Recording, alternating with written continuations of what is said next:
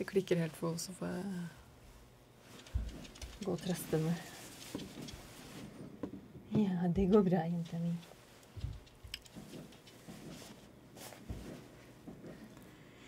Nå begynner det å komme folk. Det er alltid hyggelig.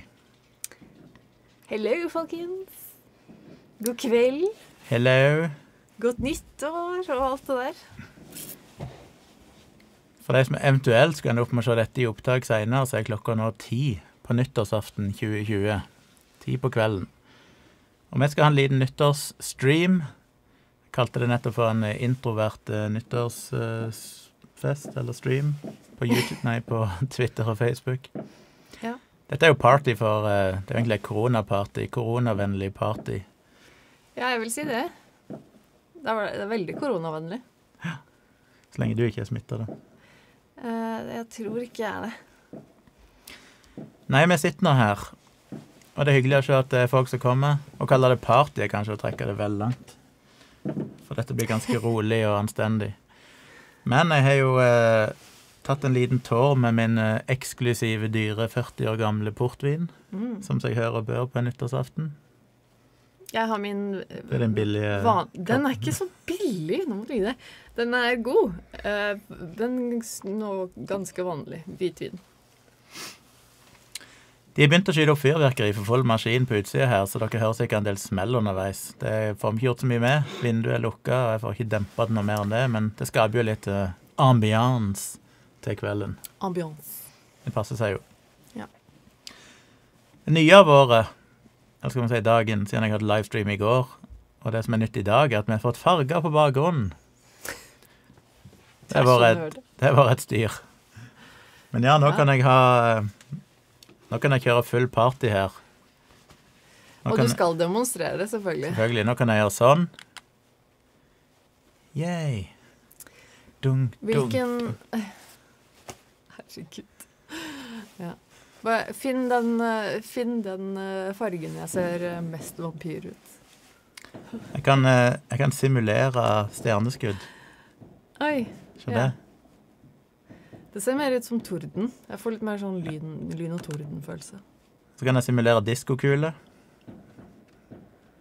Du får grooven i det med en gang, se. Dette er lyn. Dette er lynsimulasjonen.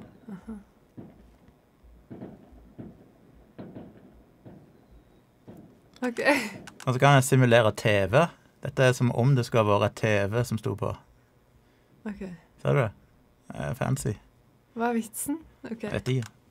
Så kan jeg simulere candlelight. ok.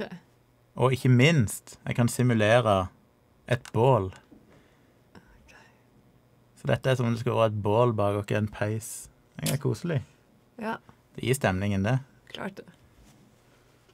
Eller, siden det er nyttårsaften, så kan jeg simulere fyrverkeri.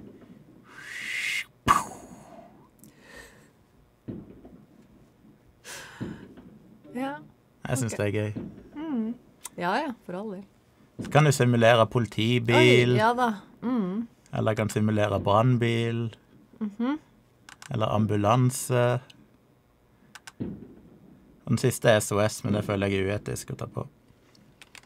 Så vi får gå tilbake igjen til vanlig lys.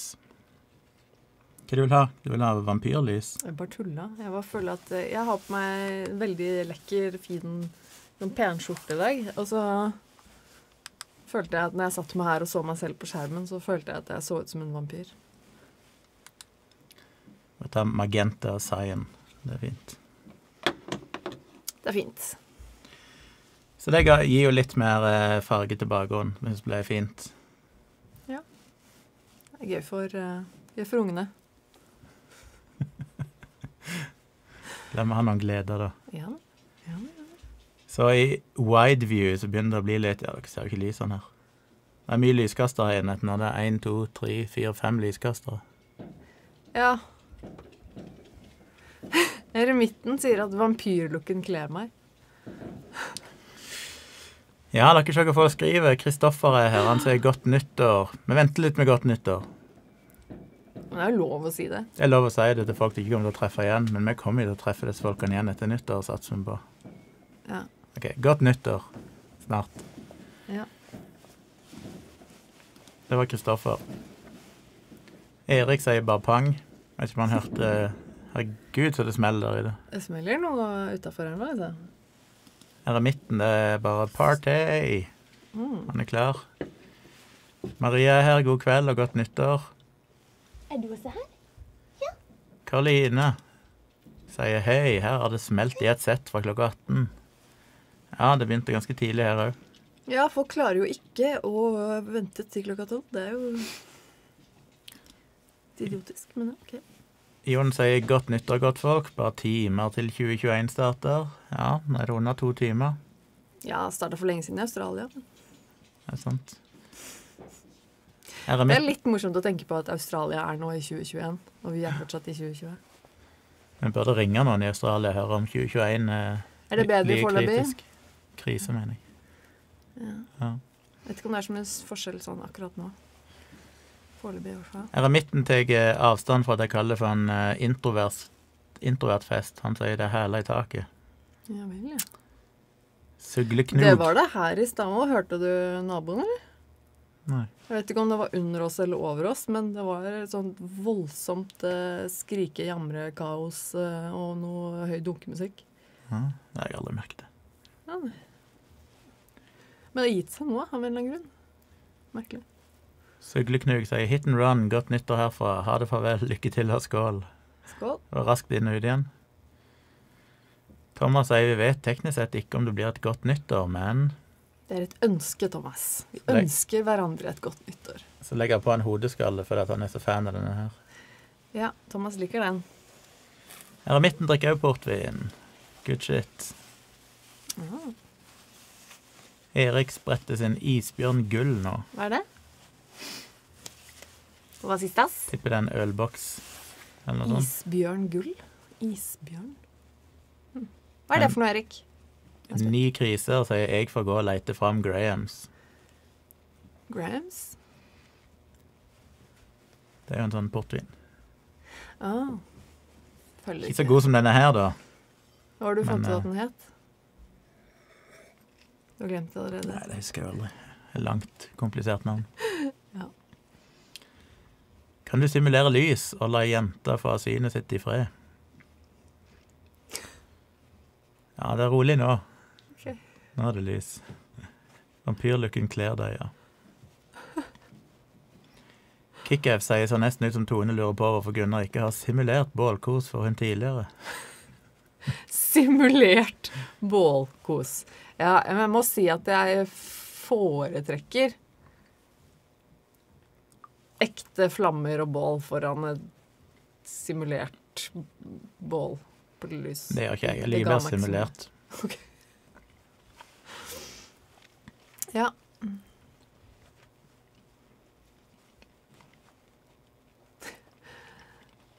Eremitten sier blir litt samme moralske dilemma som Jolandi Visser.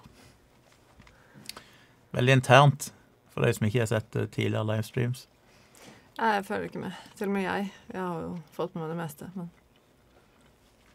Linda sier godt nyttår. Godt sier nyttår til alle. Jeg bor på østkanten, så for et par dager siden lurte jeg på om det var gjengoppgjør her. Hadde de begynt så tidlig? Maria mener at diskolysene var hennes favoritt. Eremitten sier nei da, introvert er greit, men rolig, det vil jeg ha meg frabedt. Ganske rolig her. Ja. Godt nyttår til Kai. Rune sier første alene-nyttår på meg, Grandiosa på menyen i kveld. Det er aldri feil. Det høres helt fint ut, det. Jeg spiste restene av min kalkunfilet som jeg lagde på andre juledag, med ris, Ja. thai, wok og en asiatisk saus. Det ble en sånn liten bastard som vanlig. Det var jo nesten fancy, må jeg si. Karoline sier det var en amerikaner som sa til en europeer at siden vi ligger foran dem tidsmessig, hvorfor advarte vi dem ikke om 9-11 da? Ja, jeg Ja. føler meg litt skyldig. Vi leste jo om det før det skjedde. Eremitten sier Rune, jeg slo på stortromma og lagde meg pytt i panne pluss ravioli. Blir så glad når folk er litt laidback her, at ikke det er sånn uh... Ja, jeg har litt sånn inntrykk av at, uh, at den, den gjengen som følger med på oss, ikke er de mest fisefine folka. Det sier jeg på liksom all, all mulig kjærlighet. Jeg blir glad for det, for når jeg ser på Instagram og sånn, så føler jeg bare alle sånn fancy middager med gjester. Ja, jeg tror de fleste er litt sånn på nyttårsaften så skal det være fint, liksom. Jeg syns det er helt greit det med Grandis på nyttårsaften. Det syns jeg er fint. Ermitten slår til med en Taylors Bottle Vintage Port her. Per sier satser på at 2021 blir et fyrverkeri av et år sammenlignet med dette kjipe året. Jeg er jo uenig, da. Jeg syns ikke dette året har vært så kjipt. Nei, men, men så er det du er litt spesiell. Ja, det men det må jo være lov å ha en følelse, jeg òg. Det er ikke sånn at jeg må føle det som alle andre gjør. Nei, på ingen måte. Det er jo bare kjempefint for deg at det har vært Jeg føler det er sånn mantra at alle skal ha det ille. Hvis du har det bra, så er du liksom en sviker. Å ja, nei. Jeg tror, det er, jeg tror det er et unntak. Nei. Det som en skrev her på Jeg tvitra noe i den retning. Tidligere i kveld så en som sa at ja, verden er laga for ekstroverte og A-mennesker. Det var på tide at vi òg fikk lov å have our time. Ja. Fint å se på det på den måten. Erik sier at isbjørn gull er en øl, ja, fra Mack. Mhm. Tenkte det passet med noe gull i dag. Ja, det må jeg si. Det er sikkert bra. KickF sier enig med de toene. Skal det være bål, så skal man kjenne varmen, og det skal lukte litt bål også. Ja, jeg syns jo det. Jeg er jo nesten vokst opp i et bål, så jeg er ferdig med det. Vokst opp i et bål, hva mener du med det? Vi hadde en far som var veldig glad i å fyre hjemme. Ah. Og vi hadde sånn rist du kunne sette på ovnen, sånn at du så rett inn. Som sikkert gjorde at vi alle ble eh, forgifta. Sakte, men sikkert i vår barndom. Pluss hadde jeg hatt så mye bål i på hytte og overalt. Men du, altså, du mener peis? Nei, bål og peis. Ja, ja, OK. Men hadde dere mye bål? Ja, det var bål alltid. Når du bor på sånn plass jeg er, så er det alltid bål. Så det høres eh, koselig ut. Ja da, det er det. Maria sier veldig fin skjortetone fra Japan. Takk for det. Nei, den er ikke fra Japan. Den er laget i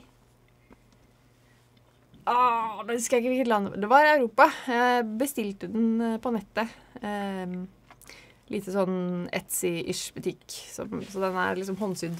Men den er jo veldig japansk inspirert, da. Den er jo på en måte inspirert av sånn eh, altså kimono, samurai, liksom type look med litt sånn pleats og ja.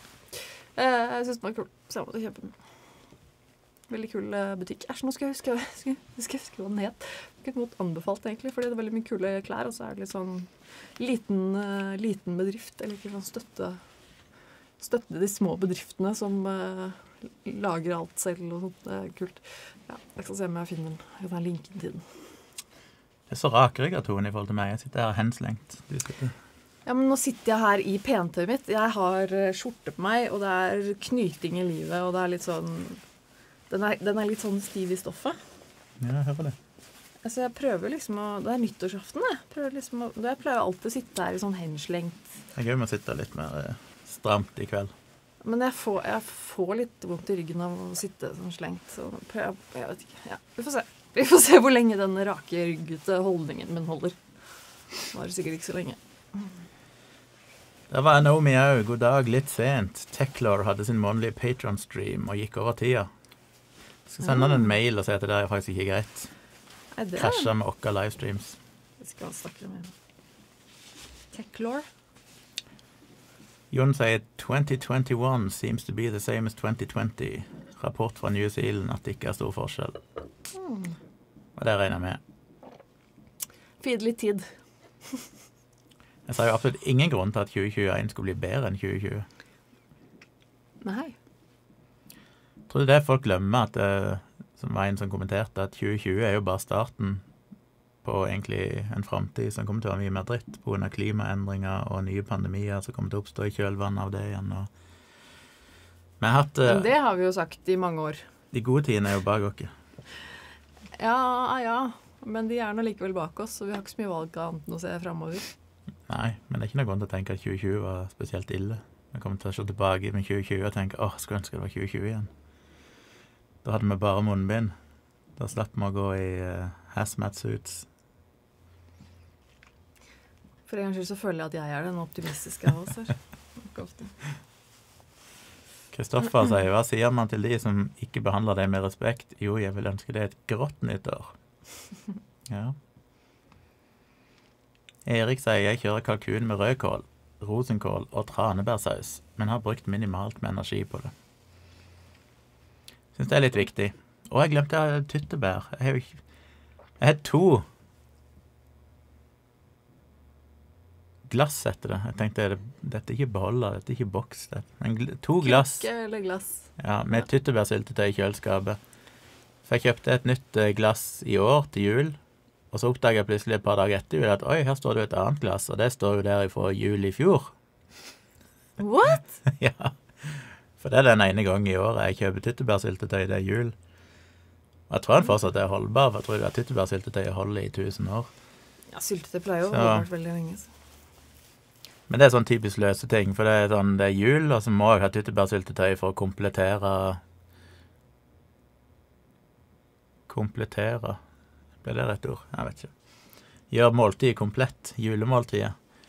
Men så er det jo bare noen teskjeer med det, og så spiser de ikke mer. Og jeg er den eneste som spiser det, så hva gjør du med resten av glasset, liksom?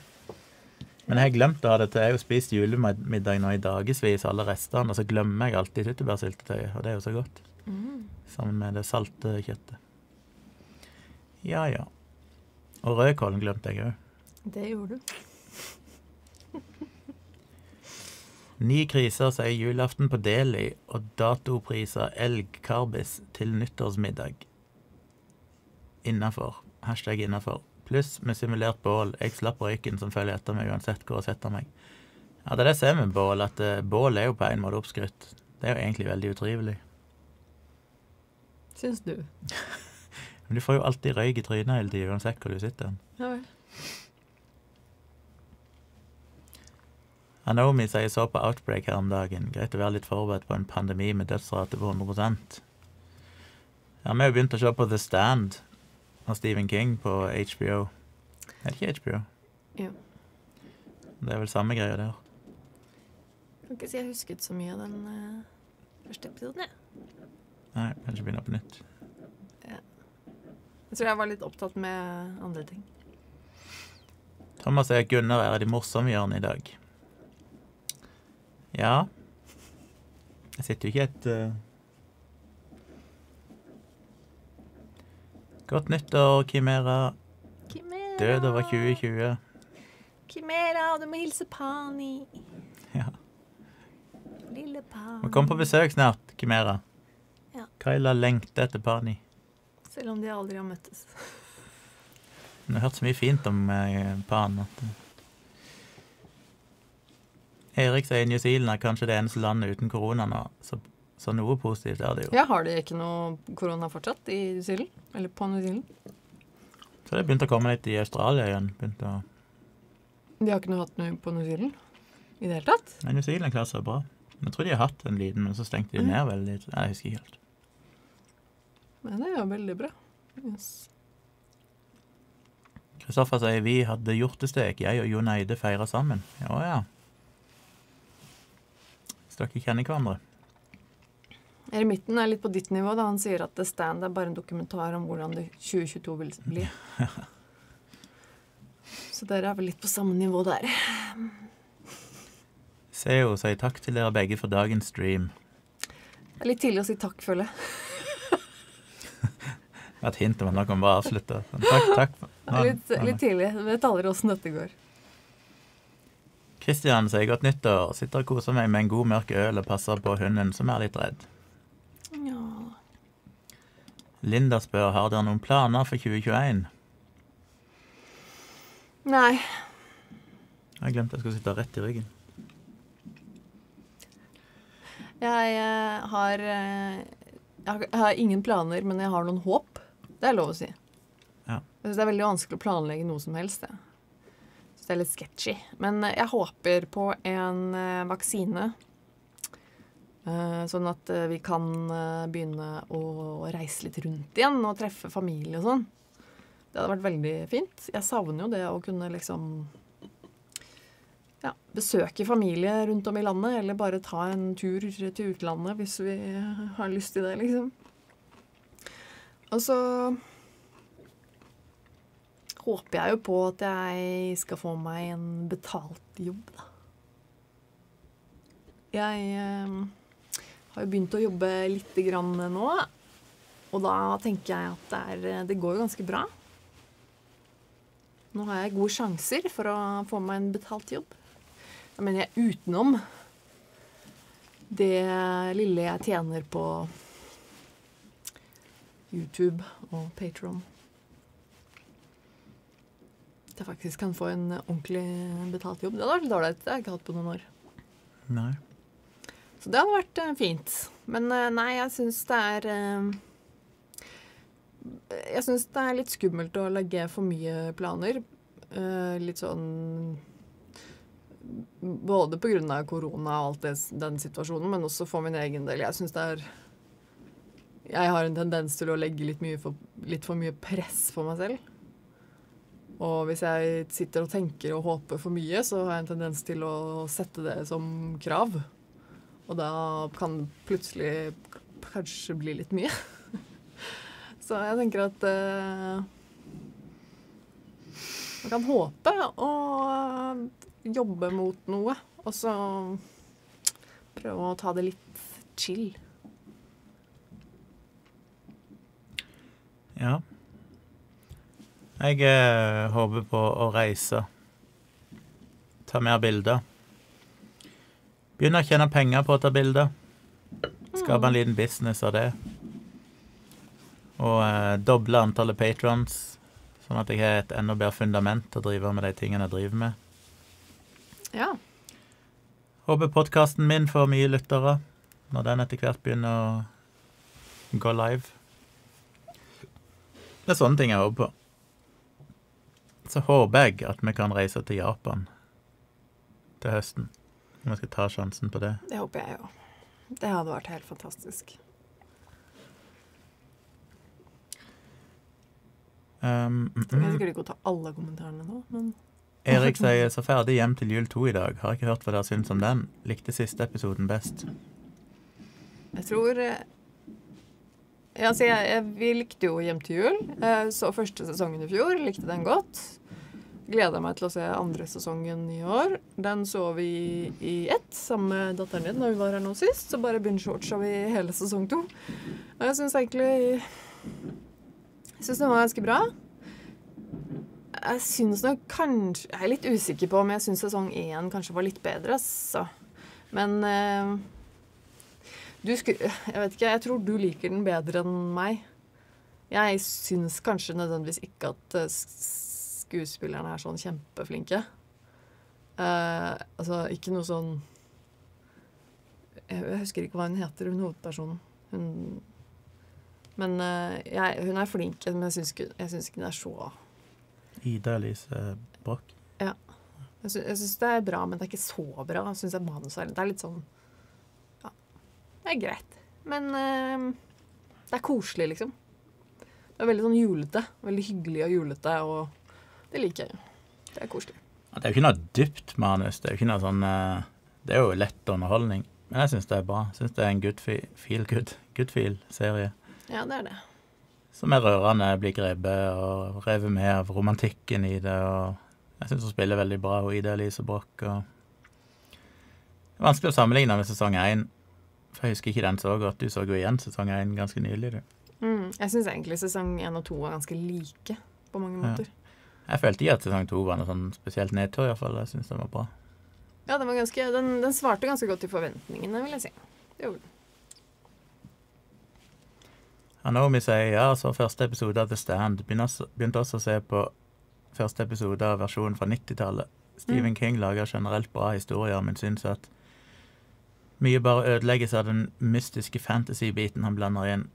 Å ja, jeg syns jo noe, noe av det som gjør at jeg elsker Stephen King.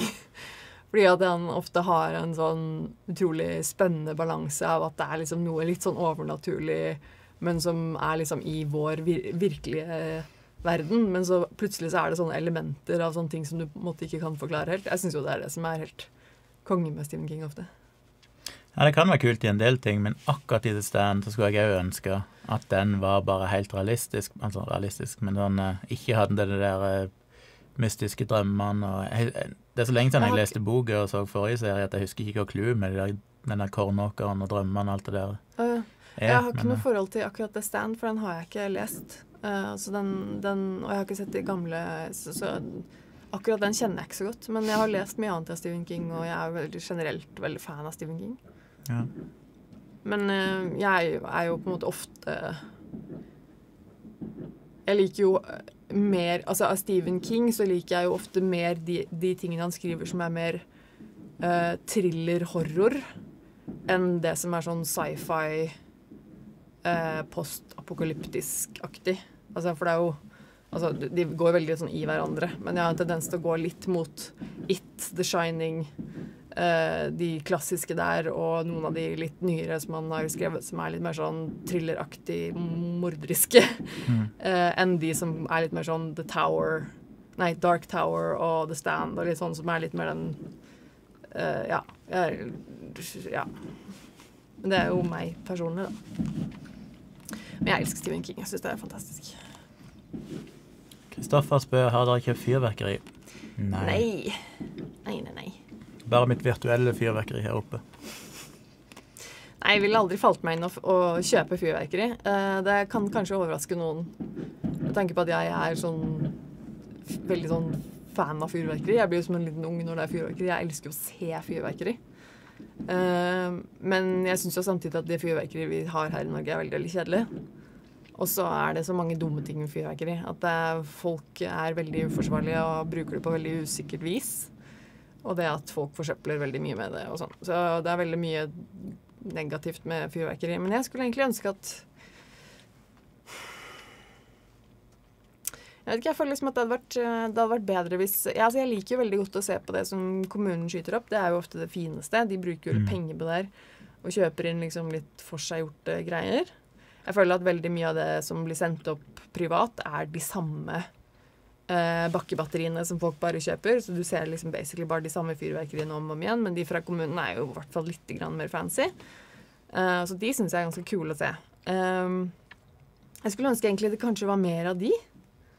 At de spredde dem kanskje litt utover på forskjellige lo lokale områder rundt i byen, eller altså sånn Sånn at, de ble, sånn at flere mennesker kunne se de, og så at vi bare liksom kutta ut det der private. Hadde ikke gjort Ja. meg noe, det. liksom.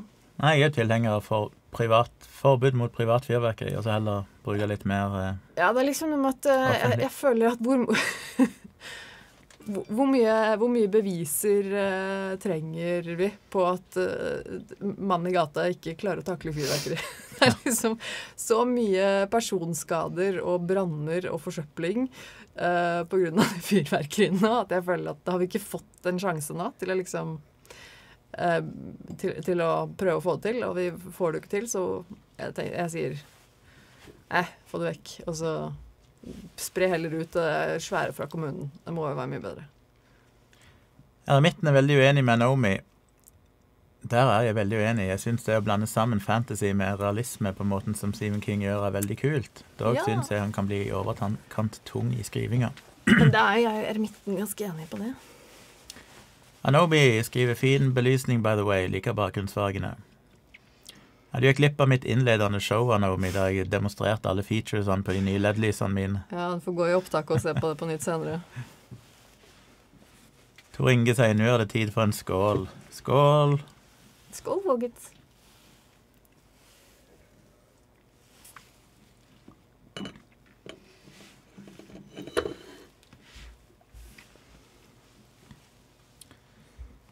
Brage sier hvis sendingen dør ut, har dere nok utstyr til å spille inn en high end pornofilm. Ja, du vet ikke hva som skjer når uh, livestreamen stopper her. Jeg bruker dette utstyret til noe. Må tjene pengene et sted. Du vet at det reflekterer ikke så godt på meg at du sier det. Det er alt dette som. Men Naomi sier jeg syns fantasy kan være gøy når det er ren fantasy eller blander med virkelighetsfjern sci-fi av typen Star Wars og Star Trek, med lite fan av Morten King blander det. Oh.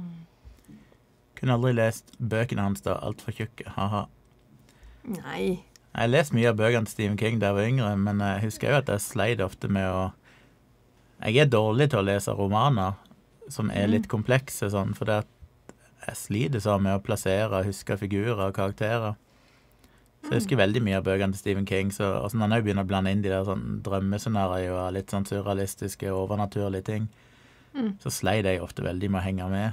Men jeg bare pløyde meg gjennom boka. Men jeg følte alltid at jeg hadde lest veldig mange av bøkene hans, så satt jeg igjen med en sånn Var litt forvirra. Visste ikke helt hva jeg egentlig hadde lest for noe. Men det var liksom underholdende allikevel. Ståle sier godt nyttår. Portvin-anbefaling, Gunnar. Ja. Ja, det blir jo den porten jeg drikker, da. ja, men den er jo faktisk veldig god, jeg må si det. Alle som prøver den, blir bare sånn Shit, denne her var Ja, den, den er veldig god. Den, jeg føler liksom at den Ja, den går liksom ikke an å ikke like. Den er litt sånn Den heter Quinta do Valado Tony 40 year old. Quinta do Valado Tony. Preg av tørket frukt, sitrus og fatkrydder. Lang, fruktig ettersmak. Ja. Den er god. Men den har de så godt som aldri inne på polet, så du må bestille den. Jeg tror ikke de har den, jeg tror ikke de har den inne i det hele tatt. Jeg bare en gang, Første gang jeg kjøpte den, det var på Det er vel omtrent den eneste gangen, en av to ganger eller sånn, jeg har kjøpt alkohol på uh, taxfree på flyplassen. Å ja, jeg, jeg smakte den jo, som jeg har fortalt tidligere, første gang i uh, Riga. Og så når jeg Mm. kom til flyplassen på vei hjem, da, så måtte jeg bare sjekke om de hadde den, og så hadde de den faktisk. Oh. Så en eller to ganger har jeg funnet den på, på, på Jeg tror det er kun på taxfree jeg har funnet den. Men etter det så har jeg alltid bestilt.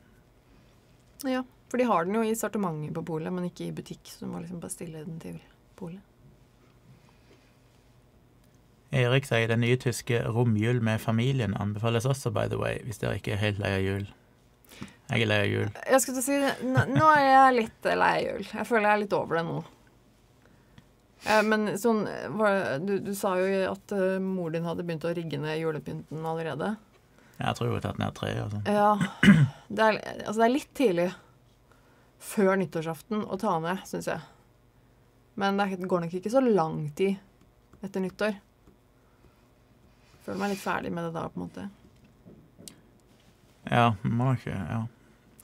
Karoline, jeg tok ned julestjerna mi her oppe i dag. Ja, sånn det. Karoline sier vi har sett Hobbiten 1 og 2 i går og i dag. Har ikke sett dem før, men ganske gode. Mm. Jeg har ikke sett de heller. Jeg har lest Ikke boka for mange år siden, men ikke sett filmene. Nordjæven sier jeg har lyst til å slutte med rus og begynne med kjærlighet. Ja, Det holder meg med deg i. Kjærlighet, Kjærlighet og sjokolade. er jo en rus. Veldig fin rus, da. Kjærlighet til sjokolade, det Jeg anbefaler. Ja. Line sier heia dere, som alltid veldig koselig når dere streamer. Har gledet meg til det. Ja, det er koselig. I dag har jeg feira med min årlige pose med sørlandschips, enorme mengder Pepsi Max og Mandalorian. Hadde en fin prat med nerden min om framtida og ser frem til et nytt år. Godt nytt år ønskes dere. Ah, så hyggelig. Godt nytt år, Line. Koselig. Det hørtes veldig fint ut. Årlige pose med sørlandschips. Sørlandschips er, er godt, altså. altså. Ja, men sørlandschips er godt. Mm. Det er faktisk veldig godt. Pepsi Max og Mandalorian. Jeg har fortsatt ikke begynt på Mandalorian. Jeg har den jo liggende nå på Disney Plus, men uh, ikke kommet så langt ennå. Jeg har blitt litt opptatt av uh, min Nintendo Switch med mitt nye Pokémon-spill. Så det er bare gøy med Pokémon. Ja. Alt det beste kommer fra Sørlandet. Hæ? Pokémon er ikke fra Sørlandet, kjære. Nei, men sørlandsgipset. Ja, altså. Alt det beste er fra Japan. Karoline sier. Ja.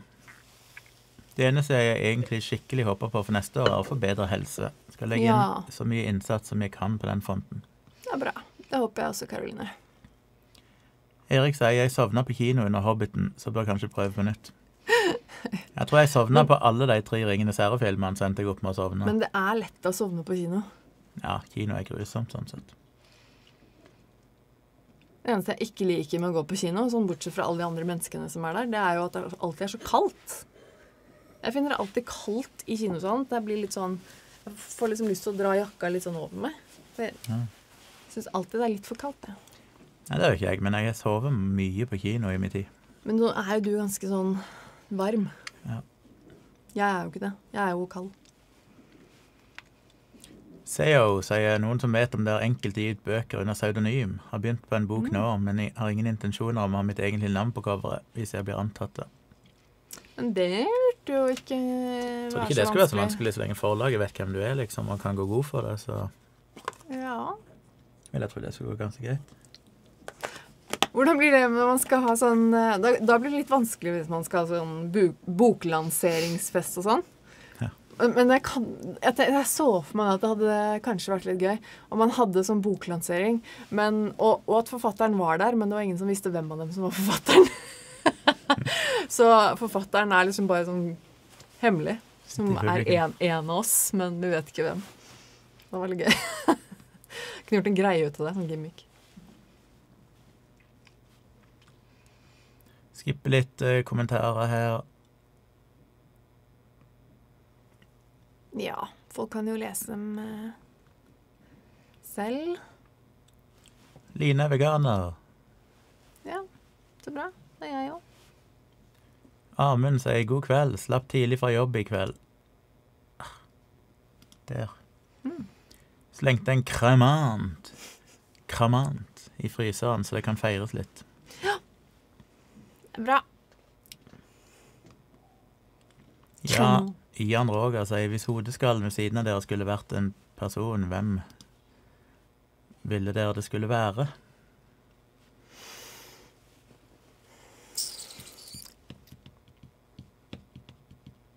Altså, hvilken person ville du hatt en død bit av kroppen til, liksom? På en måte? Ja. Ja det, jeg, jeg følte det var litt klisjé liksom å si sånn Albert Einstein, liksom. Det hadde vært litt kult. Og liksom Dette er hodeskallen til Albert Einstein. Inni her satt det en ganske genial hjerne. Jeg kommer liksom ikke på noe menneske som er avdød, som jeg tenker at liksom Som jeg hadde noe veldig spesielt forhold til. Nei. Som jeg kan komme på.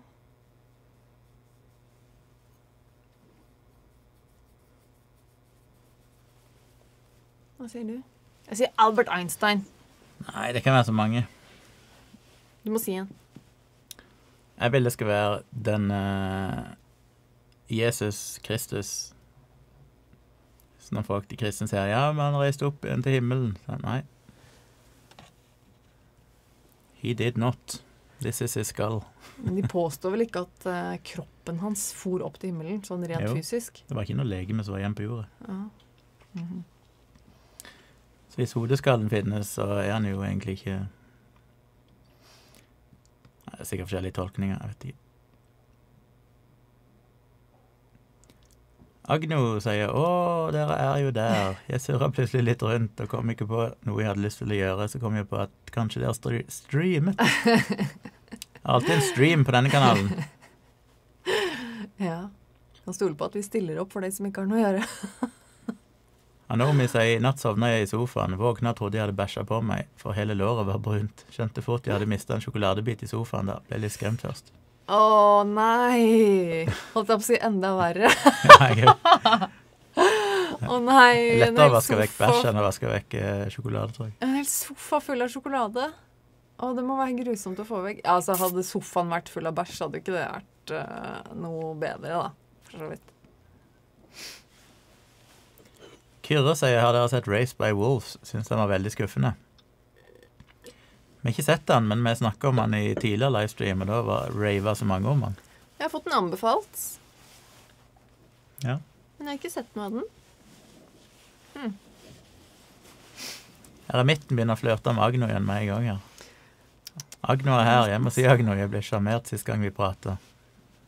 Klarer ikke å holde i flettearmitten. Ja, ja, ja.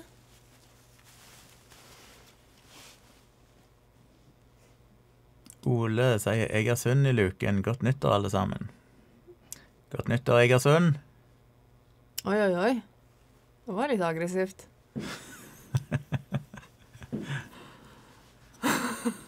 Blir beef med en gang. Man hører rivaliserende kommuner her. Her er midten, sier jeg så alle Lord of the Rings-filmene back to back under førpremiere av treeren. Etter det var jeg fint forsynt med Ringenes herre-universet. Og aldri hatt lyst til å se noen av dem igjen. Ja, men altså. Det var Roy òg. Hei og godt nyttår, Roy. Linda spør Gunnar kommer bøkene dine på Storytel, og har du noen nye bokprosjekter på gang? De burde jo absolutt vært på Storytel. Nei, så vidt jeg vet, så gjør de ikke det, for det er jo helt opp til forlagene, og forlagene har vel ikke prioritert å bruke penger på det. Men placeboeffekten fins jo på eh, NBL. Er ikke det den heter? NLB. NLB. Norsk lyd- og blindeskrift eh, Bibliotek. bibliotek, eller noe sånt. Eh, så hvis du kvalifiserer til medlemskap der, på nbl.no, eller nlb.no, husker aldri, Ja, NLB. så får du en profesjonelt innlest lydbok der. Ellers har jeg begge lydbøkene inne på min Patreon, så hvis du blir Patreon nær på patreon.com slash Nei, der er det. Tjomli. Så har jo jeg lest inn begge bøkene der, så du kan få både lydbok Eller hvis du vil sitte og se på at jeg leser de, så finnes det jo videoopptak av at jeg leser inn begge bøkene i sin helhet. Så de finnes som lydbok, men kun, kun når jeg leser de sjøl. Det er da du skulle ha dette simulerte Ja, bållyset. søren òg. Jeg tror jeg må lese det inn på nytt, kanskje. Nei, men Det hadde vært så bra hvis du hadde den godstolen i stua, og så hadde du en peis, Ja. og så hadde du filma det, og så satt du der med en sånn knitrende peis og leste. Åh, det har vært genialt. Det er bare peisen som mangler, da, for så vidt. Kanskje det blir neste trinn, at jeg fjerner dette bordet, setter inn igjen stolen, og så får jeg meg et lite En bord. peis! Nei, men hvor koselig hadde ikke det vært? Kunne jeg hatt peisbakgrunnen min. Ja. Jeg skulle gjerne hatt de på Storytel hvis det er opp til meg, men det er jo som sagt forlagene som eier rettighetene. Og de må jo da prioritere å bruke penger på det, og det koster jo en del, og det krever mye å lese inn profesjonelle lydbøker, så tviler på de kommer på Storytel, men som sagt, de fins som lydbøker inne på min Patrion. Da kan du få de rett i podkastappen din og høre de som podkaster hvis du vil det, eller spille de av rett fra nettsida.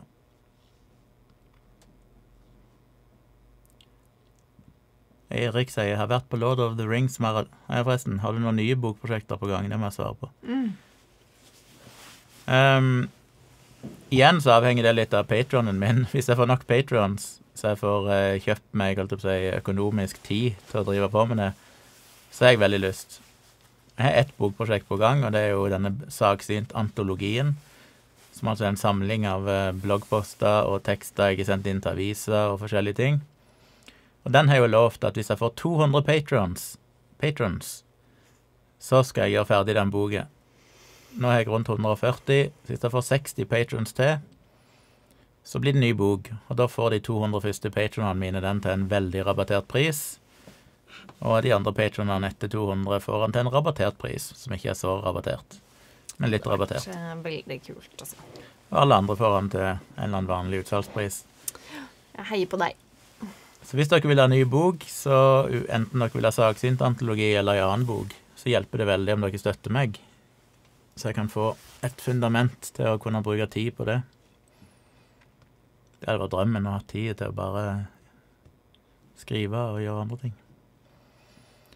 Erik sier jeg har vært på eh, Lord of the Rings-maraton på kino én gang, så føler jeg ikke trenger å se noen av dem igjen. Eksen min ser dem minst én gang i året. Høres jo greit ut. Jeg skal ikke uttale meg. Jeg vet ikke hvor mange ganger jeg har sett Lord of the Rings-filmene. Det har jeg faktisk ikke tall på. Det er veldig mange. Naomi betrygger oss med at det var en gammel skinnsofa, så det var lett å få vekk. Det er bra. Endelig godt. Det er fordelen med skinnsofa. Ja. Definitivt lettere å vaske. Eremitten føler vi outa han med flørtinga. Nord-Jæren sier 'åkka byer evil', ja. det var dine ord. Jeg sier 'I say nothing'.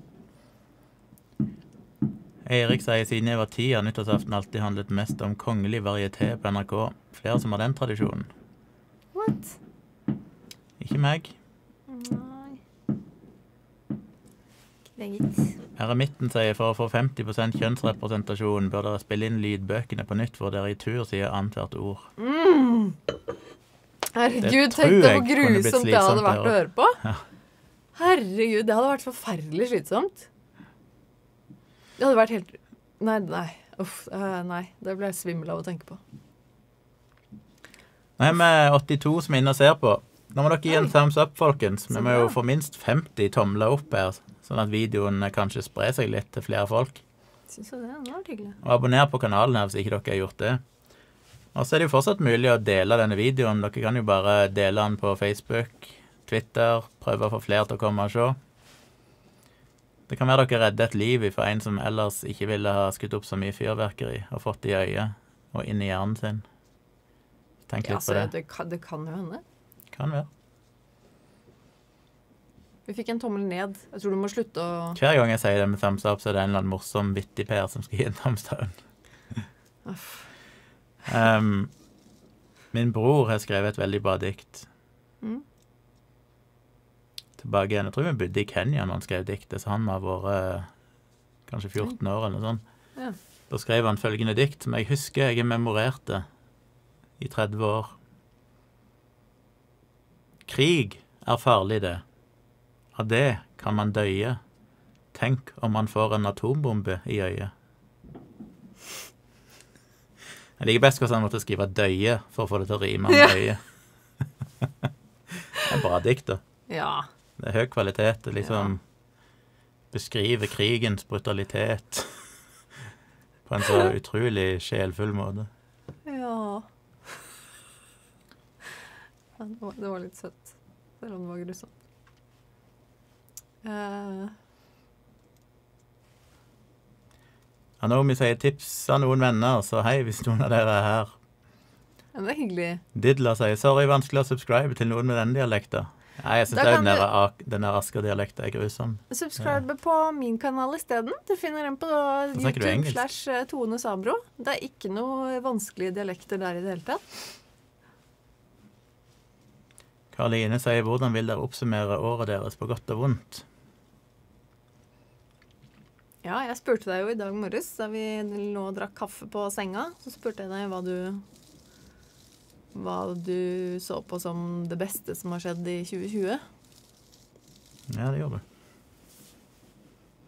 Hva svarte du da? Jeg svarte selvfølgelig frieriet ditt. Nei, det svarte du ikke. Svarte du ikke i det hele tatt. Det måtte jeg minne deg på. Ja.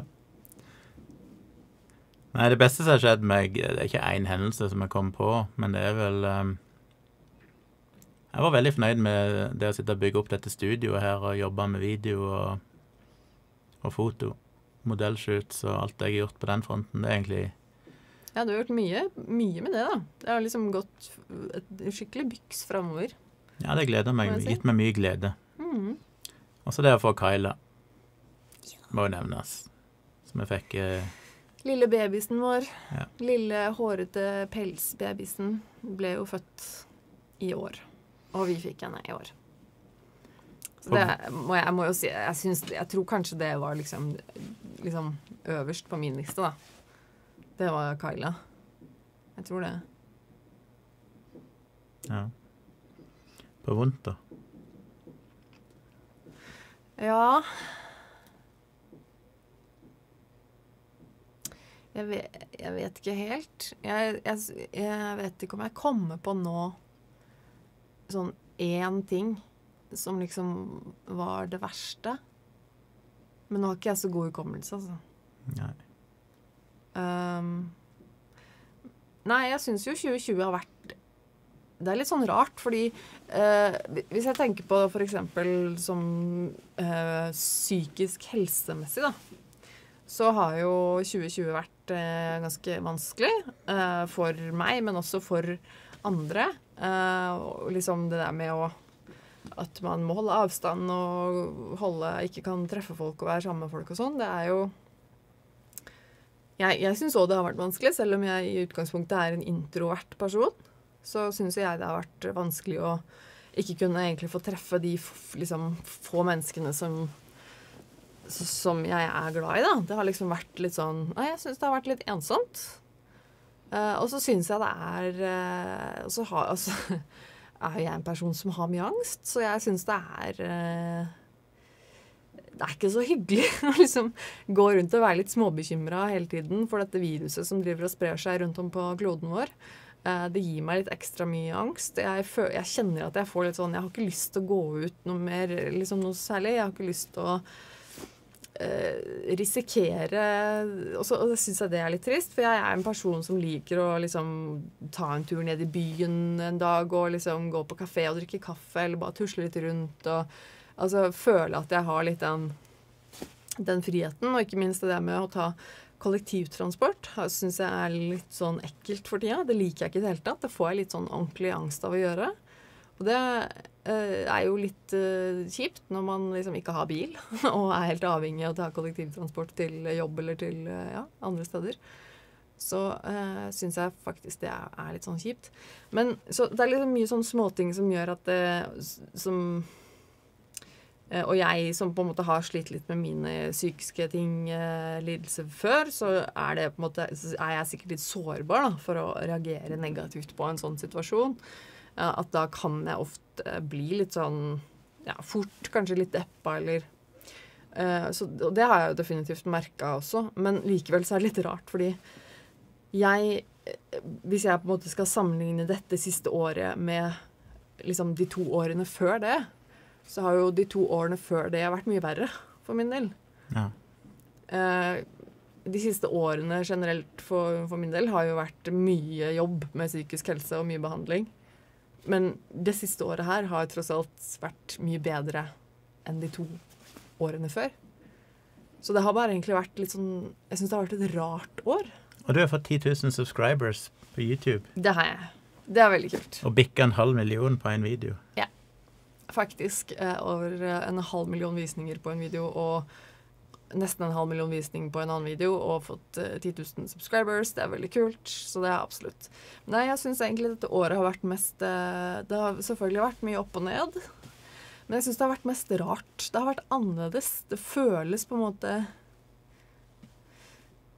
Ja, annerledes. Rart. Jeg vet ikke. Ja. Det mest negative for min del er nok at jeg har slitt med å være like produktiv jobbmessig når jeg er hjemmekontor.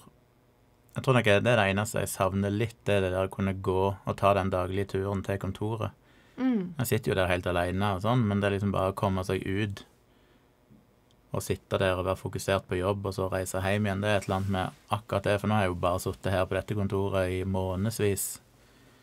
Det er mange dager jeg ikke er utenfor huset, annet enn bare rett ut forbi her med hunden. Mm. Så det kan gå ukevis uten at jeg egentlig er vekke noe plass. Ja.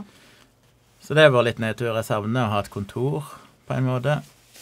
Og jeg savner å kunne reise til hjemstedet mitt og familie og sånne ting. Mm. Uh, ja. Erik spør har dere opplevd noe som var uventet, men positivt i år. Ja, jeg må jo Jeg går jo med en gang til Kaila, Kyla, til hunden vår, fordi jeg det var liksom en det, det, er jo det å ha hund Jeg har jo hatt hund en gang før, men det begynner å bli mange år siden. Og så har jeg alltid liksom drømt om å ha hund. Jeg har alltid vært ekstremt glad i dyr. Og så med eksmannen min så ble ikke det så veldig aktuelt. Han hadde ikke så veldig lyst på å ha hund. Eh, og så visste jeg at du var litt sånn inni det, alt jeg på å si. Du var litt sånn OK, greit, åpen for det, liksom.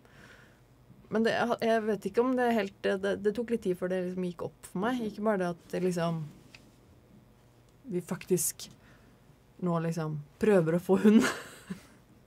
Men også det at liksom plutselig var det bare en hund der. For det skjedde så, det skjedde så plutselig.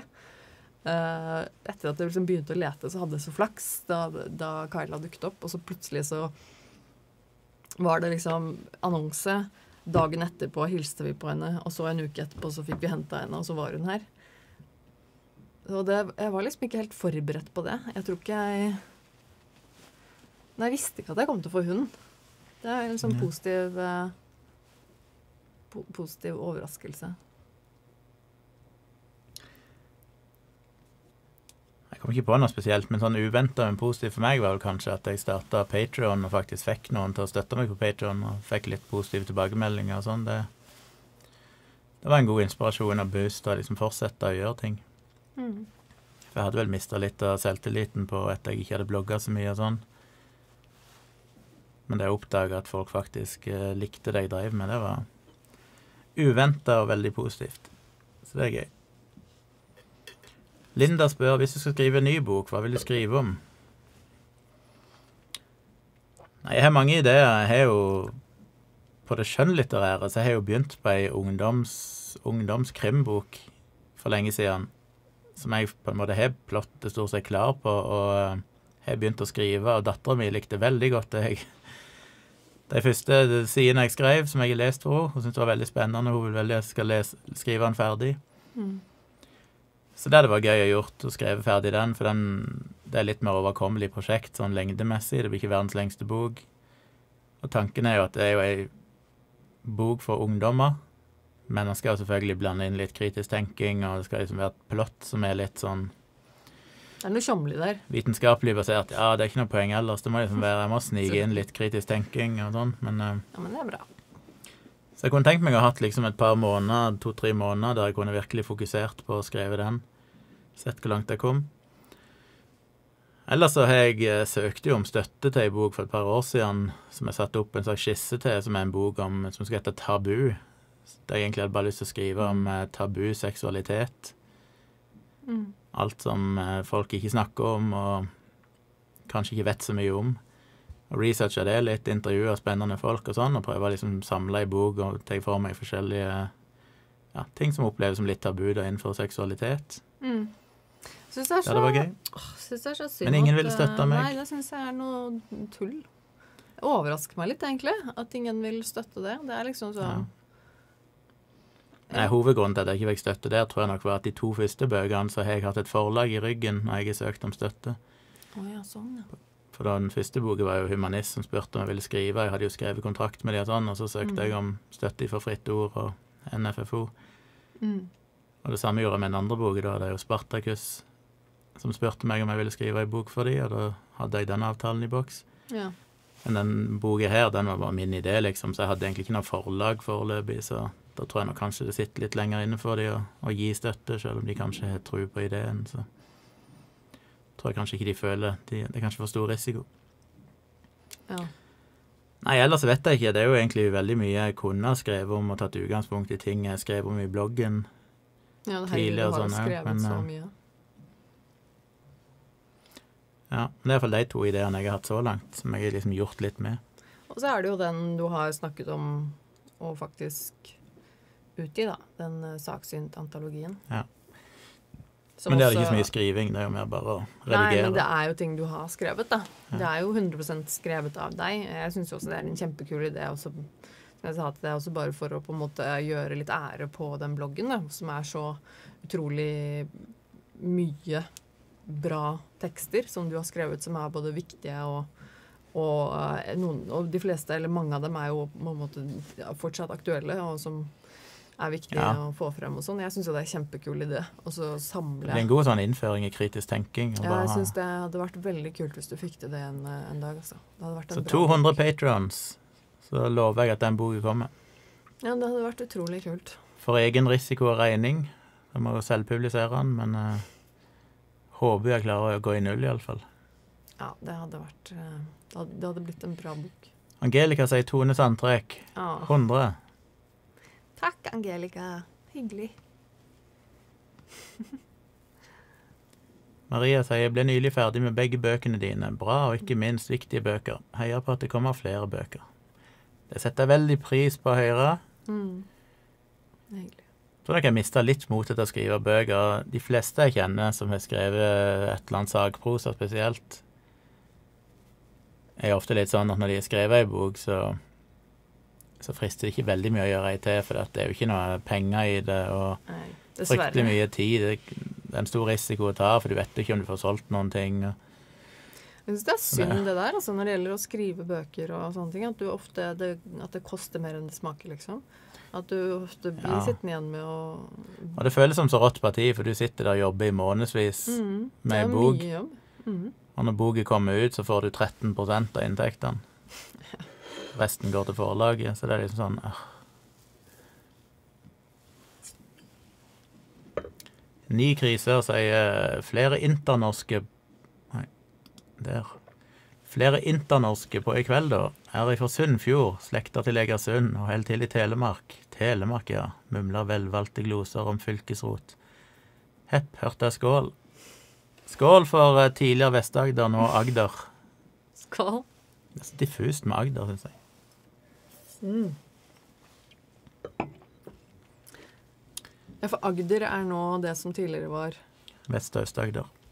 Vest- og Øst-Agder. Ja, nettopp. Det heter bare Slått sammen Agder. Agder. Mm. Torjus sier veldig hyggelig med denne streamen. Hadde planer om en liten middag med venner her. Men de ville på fest, og da ble det nyttår hjemme. Så takk for denne koselige alternative feiringa. De ville på fest.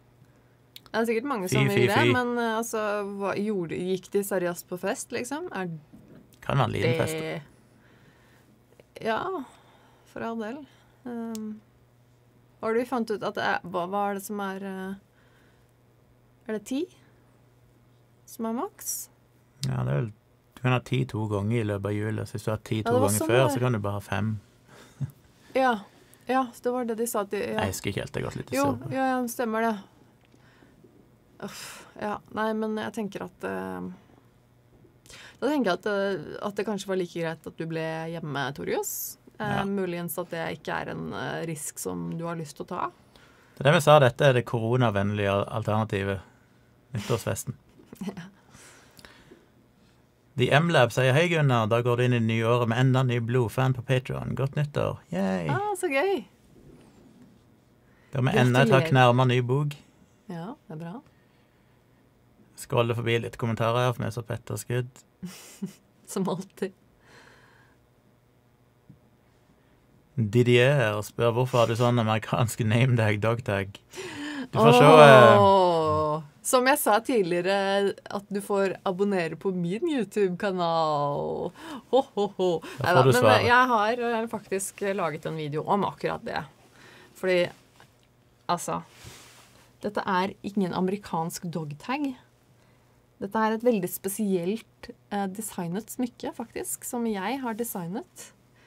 Eh, og faktisk fridde til Gunnar med. Så det er Gunnar sitt forlovelsessmykke. Det er min forlovelsesring. Og designet er eh, et, eh, en eh, ny, et nytt element i det periodiske, periodiske systemet som jeg har designet. Som er et element som er oss to.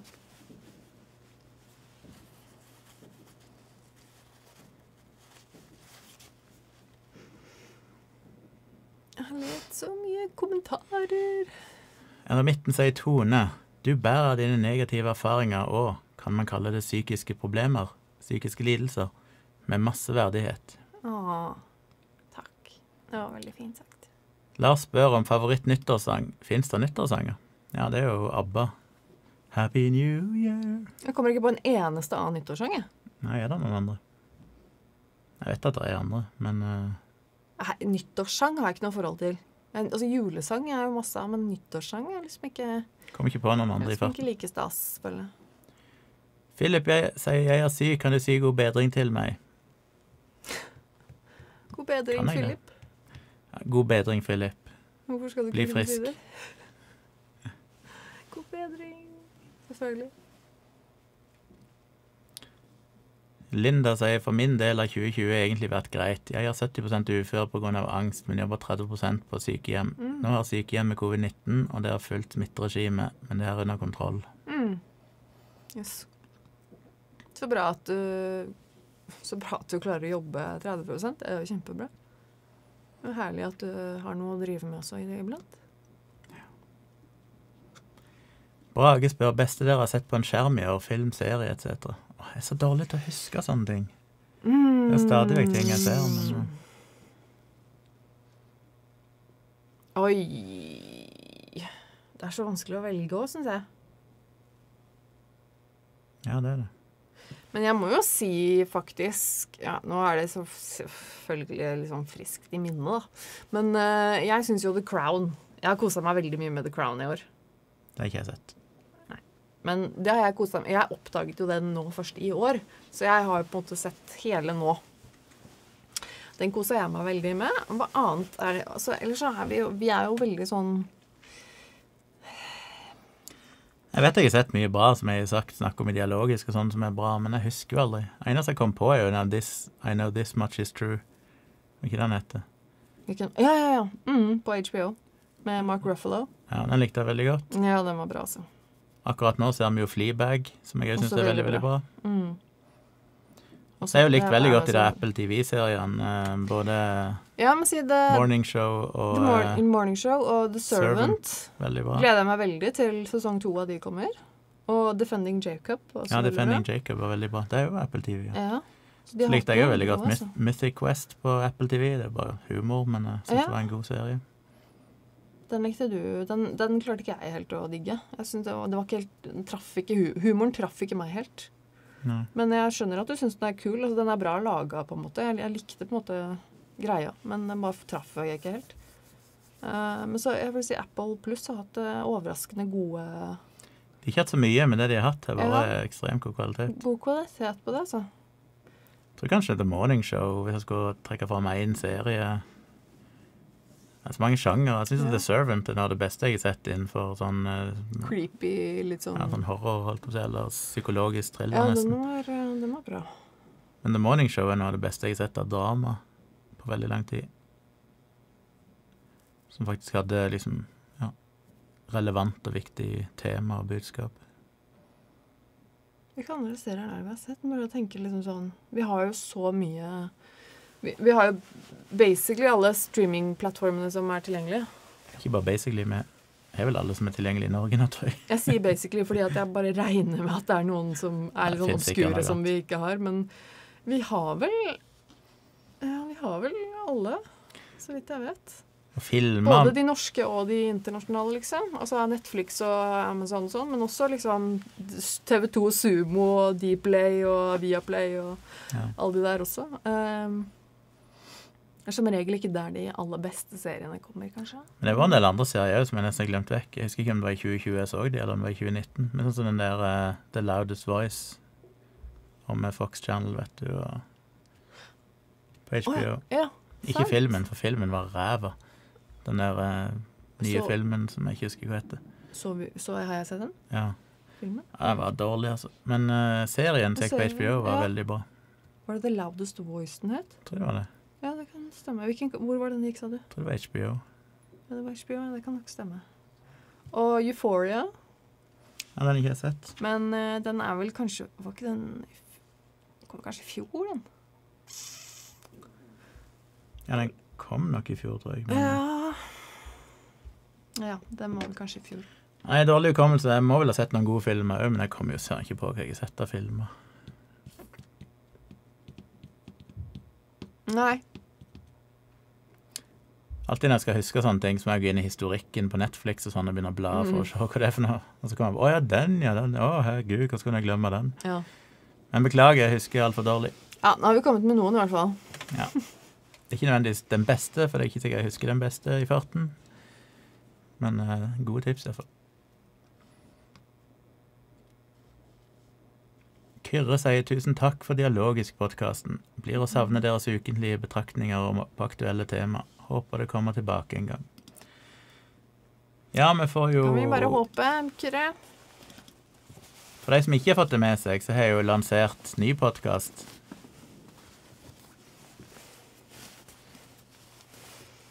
Hvor skal vi plassere den?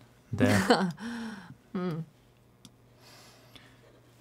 Så de som savner dialogisk, de har jo debrief med Dag. Og så starter jeg min nye podkast nå, som jeg har lansert første episode av. Men den har sikkert ikke dukka opp i eh, feeden deres ennå, for det tar litt noen dager.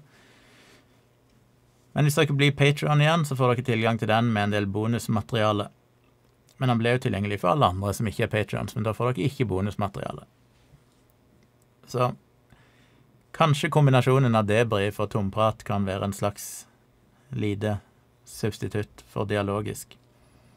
Så følg med på det om noen dager. Prøv å søke på iTunes eller Spotify eller hvor dere hører på podkaster hen, i appen deres. Søk på Tomprat, så skal dere finne den. Spennende.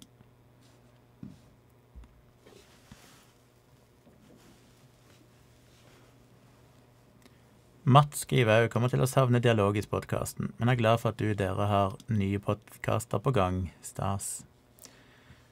Ja, så er jo meg og Tone denne her, da, for de som ikke har fått med seg det. Vi er jo Virkelig grusomt-podkasten, som òg finnes på Spotify og i alle podkast-apper og er åpen for alle. Der vi forteller virkelige historier om grusomme hendelser. Så det går an å abonnere på den, så får dere høre oss fortelle om virkelige ting som har skjedd i historien, som var ganske grusomt. Mange som eh, liker den. Ja, så det er mye podkaster på gang. Og så har jeg min egen podkast. Ja, du er nerve, den er ikke bilder her, men uh... Jeg har min egen podkast som heter Nerve, og den har jeg holdt på med nå faktisk i et par år. Um, da er det et par måneder nå i det siste det har vært litt stille, men jeg la ut en episode nå i, uh, i jula. For de som ikke har hørt den ennå, så er det bare å gå inn og abonnere på Nerve. Blir jeg veldig glad. Og på patronen hennes, som dere ser her nede, patron.com slash Tone Sabro, så får du videoopptak av podkastene og, og litt annet bonusmateriale. CO sier 13% Ja ja, heldigvis har jeg planer om å selge i milliontall. Hva slags skriveprogram anbefaler du dere? Angående de 13% så er det jo vanlig som standardkontrakt i Norge, så får du 30 000 i forskudd. Men det er jo 30 000 du får i forskudd, det er ikke 30 000 du får i tillegg til det du selger. Så Mm. etter du har fått de 30 000, når du leverer førsteutkastet til manuset som regel, så får du ikke utbetalt noe mer før du har solgt minst for 30 000, og alt du selger over det, begynner du å få penger for. Så det er ikke sånn at du får 30 000 i tillegg til det du selger. Du får 30 000, og så Og så går det i pluss. Eh, og 13 jeg mener det er 13 som er standard. Men det er klart, selger du i milliontall, alt jeg på å så vil jo for 13% gi litt penger uansett, men da kan du sannsynligvis forhandle deg til bedre kontrakter òg. Men standardkontrakten er vel 13% i Norge. Hva slags skriveprogram anbefaler du dere? Nei, Det kommer veldig veldig an på det er litt hvilken type bok du skriver og sånn, men det programmet som veldig mange sverger til, er et program som heter Scrivener, eller Scrivener, ikke usikker på hvordan det uttales, men S-C-R-I-V-E-N-E-R. Scrivener med C. Eh, Det fins iallfall til Mac. Jeg er litt usikker på om det er Windows-programmet òg. Jeg hadde nesten kanskje trodd det. Det fins til og med til iPad. Mm. Kom ganske nylig. Muligens jeg vet ikke om det fins iPhone, men Men det er jo et program som er er litt sånn overveldende, men det har en veldig god sånn opplærings... Når du starter første gang, så kan du klikke deg gjennom en sånn, et dokument med linker til Som guider deg gjennom hvordan du bruker alt. Men det er et sånt fantastisk skriveprogram der du kan lage masse sånn snippets og organisere arkene og drag and drop, så du kan på en måte skrive kapitler, eller hvordan du måtte ønske å strukturere det, så kan du etterpå bruke drag and drop til å strukturere det. Mm. Du kan få sånn korktavleoppsett, du kan få sånn eh, så du kan se det litt sånn i oversiktsbildet, så du ser strukturen på historien din. Det er masse sånne bokser der du kan skrive inn informasjon om karakterene eller steder og sånne ting, hvis du trenger å ha notater for å huske i en roman, for eksempel, ting du ønsker å huske eller beskrive om backstory til forskjellige folk og sånne ting. Du kan dra inn alt mulig bilder, videosnutter, PDF-er, alt mulig sånn eh, scrap material som du trenger til research, kan du dra inn og ha liggende der. Og når du er ferdig med alt og liksom satt opp alt, så kan du eksportere det i tusenvis av forskjellige formater. Og da på en måte setter han sammen boka for deg automatisk, med forside og Det koster vel litt penger, regner jeg med. Jeg husker ikke, det koster ikke all verden. Det er, det er ikke sånn superdyrt program. Det er et av de mest brukte. Så det er utrolig bra hvis du jobber med noe som er litt komplekst. Mm. Jobber du med noe litt lettere, så vil jeg anbefale et program som jeg òg ikke vet om finnes til Windows, men iallfall til Mac, så finnes det et program som heter Ulysses.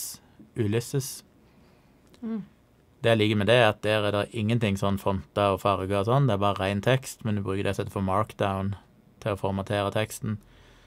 Og markdown er jo nesten som HTML, bare en slags forenkla versjon, der du kan skrive enkle koder for å få utheva skrift eller forskjellige tittelstørrelser og sånn. Mm. Eh, ofte er det raskest å bare skrive det.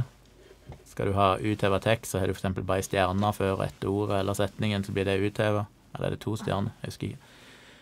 Men hvis ikke du er komfortabel med det, så kan du fortsatt bruke Dragon, nei, bare markere teksten og så klikke på et menypunkt, så lager han det til utheva, men han, da viser han det på en måte med de stjernene, eksempel. Mm. Men den er utrolig lett og enkel å synke med iCloud eller Dropbox, eller du kan bare ha ting han lagrer lokalt hvis du vil det. Og den finnes det òg iPad og iPhone-apper på, så den er veldig fin til å bare organisere masse notater, skrive lange tekster sånn. Og det jeg liker med den, er jo at den er jo sånn eh, målgreie, så du kan si at eh, du skal eksempel skrive så og så mange bokstaver per dag, og så viser han deg hvor langt du har kommet hele tida, og hvor mye du har igjen. Og det er skrevet og da kan du si at denne boka skal være ferdig med 1. mai, og så, regn, og så skal den være ja, 300 sider lang, og så regner han da ut hvor mye du må skrive hver dag, og så viser han en sånn fremdriftsindikator for å vise deg hvor langt du er kommet hver dag, så du kan oppfylle målene dine og sånn. Så Scrivener er jo fantastisk, men han er litt sånn litt kompleks å sette seg inn i med en gang. Men det er utrolig mange forfattere som bruker det. Og så er det veldig mange som bare bruker eh, Google Docs eller Word eller et eller annet sånt. Det funker egentlig òg veldig bra. Eneste jeg merker på sånn eh, Sånn som placebo-defekten, hvis jeg åpner hele manuset til den i Word, så blir det utrolig tregt, for det er så mye tekst. Så jeg føler ikke de tekstbehandlerne der alltid like gode når du får så lange tekster. Da blir ting litt tregt ofte. Så jeg anbefaler Scrivener eller et sånn enkelt skriveprogram sånn som Ulysses, eksempel. Syns jeg fungerer veldig bra.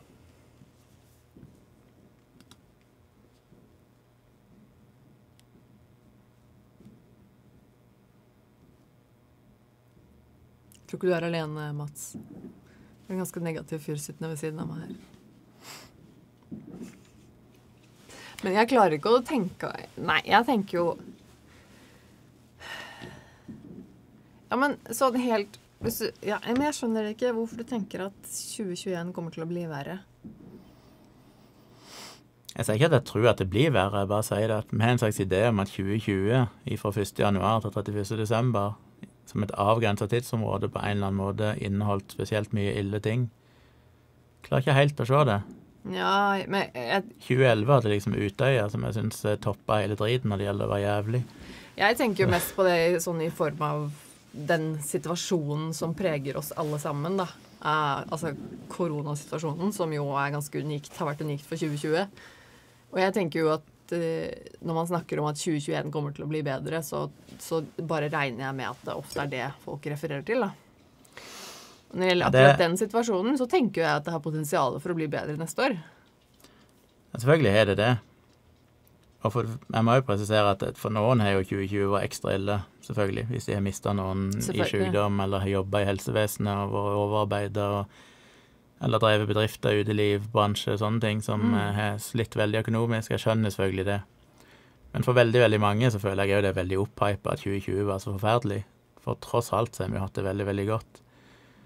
Og Ja. Poenget mitt er vel bare det at, 20, at 2020 tror jeg mer enn at det liksom var et sånn isolert år, så tror jeg heller det er starten på noe vi må venne noe til.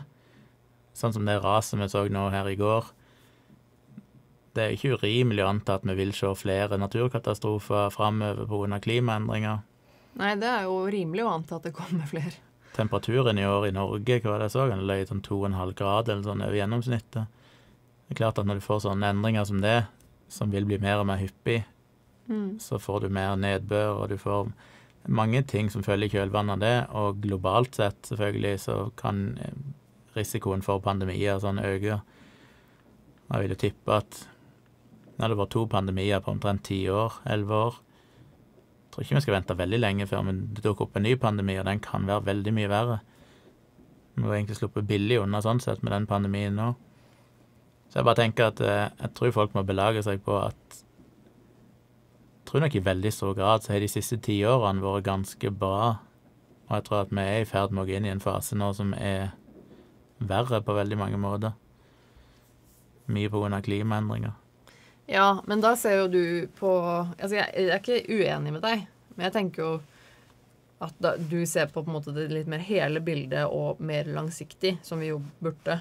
Men jeg tenker jo at når de fleste sier sånn 2020 versus 2021, så tenker de fleste på litt mer den dette året sammenlignet med neste året. Mange tenker jo på korona, selvfølgelig, men jeg føler jo at det er utrolig mange som har liksom hver gang en eller annen kjendis døy, eller går for noe trist ting som har skjedd i verden, så er det sånn åh, 2020 bare blir verre og verre. Men noen må jo snart se analytisk på det. For jeg skal vedde på at hvis vi begynner å telle opp antall tragiske hendelser, så har ikke 2020 har vært noe verre enn andre år. Det bare føles kanskje verre sett i lys av korona. Ja, og det er jo liksom ofte en litt sånn psykologisk effekt. ikke sant? Du, har den der, du, får, du får den confirmation biasen med at alt, alle de negative hendelsene som skjer, de bare bekrefter at 2020 har vært det jævligste året ever. Eh, så selvfølgelig, og det har vi jo en tendens til å tenke. Jeg tenker jo også ofte det sjøl at liksom Jesus, for mye syke og grusomme hendelser eh, har ikke vært Og så må jeg liksom ta meg selv i å tenke at jo, men sånne ting er jo Det skjer jo andre år også. Det er jo ikke sånn at hvis, altså For jeg tenker at hvis du tar hvis du tar vekk eh, korona, hele alt som har med koronasituasjonen å gjøre Utenom det så har vel ikke 2020 vært noe spesielt. Nei, jeg tror ikke det. Jeg skal ikke veldig mange år tilbake igjen for å finne mye verre hendelser, inklusiv naturkatastrofer. Um, så 2020 Så sammenlignet med andre år Og det er ikke mer enn hva tid var det? Var det 2019 eller 2018? Det døde en del kjendiser, sånn Prince og diverse folk. Og da var det sånn Dette året er så fælt, skal det aldri slutte? Og så kommer nytt år, og så skjer det andre ting da. Og da plutselig det, det er liksom hvert år så drar folk inn i det om at dette er det verste året som har vært. Så jeg husker ikke veldig langt tilbake igjen, for i år er det vel dødd relativt få kjendiser sammenlignet med bare et par år siden, da det døde mange. Men det er det jo ingen som husker, at egentlig så har det vært et bra år sett i det lyset. Hvis det var ditt store tap, at du mister artister du er stor fan av. Ja. Så det kommer jo helt an på hva du velger å vektlegge og se på. Men jeg tror at jeg tror at 2021 kommer til å være bedre på koronafronten, men jeg er jo samtidig Ja. litt pessimistisk til at det kan oppstå mutasjoner av virus, og vi ikke nødvendigvis er så ferdig med det som det vi tror vi er. Og Mm. at de, de tiltakene vi har nå, vil uansett sannsynligvis vare kanskje et halvt år til. Og så er det jo det du sier da med at, uh, altså at koronasituasjonen har tatt mye av fokuset vekk Mm. fra andre ting som vi også ikke må glemme. Som er uh, klima- og naturkatastrofer, som på en måte er et veldig eh, Altså, det er et veldig aktuelt problem. Det skjer jo nå. Men likevel så snakker vi om det som om det er noe som vi må ta tak i i fremtiden. Men det er jo på en måte sånn Det er jo et pressende problem som på en måte bare Som, som gjelder her og nå, og som bare blir verre og verre. Så det er jo Sånn sett også er det jo synd med korona. At det på en måte vil da ta fokuset vekk fra alle andre sånne ting, da. Ja. Som er eh, livstruende. Altså. For det er det jo. Nei, vi får se. Jeg bare Ja. Jeg tror vi er en tendens til å huske det siste året som verst, nesten uansett hvor fett år det. Ja. Anomi sier eh, selv om det hadde vært kjipt for de som klarer å beherske seg, syns jeg man kanskje burde vurdert å stenge polet og ølsalget uten forvarsel litt god tid før jul. Selv om folk hevder de har kontroll, tror jeg neppe at folk klarer å holde avstand, har like bra hånd- og hostehygiene osv. når de har fått i seg litt for mye. Nei, det er jo helt klart. Det er jo et kjempeproblem nå i vår eh, koronasituasjon nå, hvor eh, vi har denne uh, smittesituasjonen, og hvor folk begynner å drikke alkohol, så blir jo ikke situasjonen noe bedre. For det er jo uten tvil at det er det som er roten til mange smittespredningshendelser, er når folk går på fest. Ja. Så, og folk er ikke fornuftige med tanke på å arrangere fester, og litt for store juleselskap, sier Anomi osv. Og, så og det, det er helt klart. Ja, nå er jo smittesalene økt dag for dag her i uh, landet. Og jeg tipper vi har jo langt ifra sett toppen. Nå er vi oppe i over 700.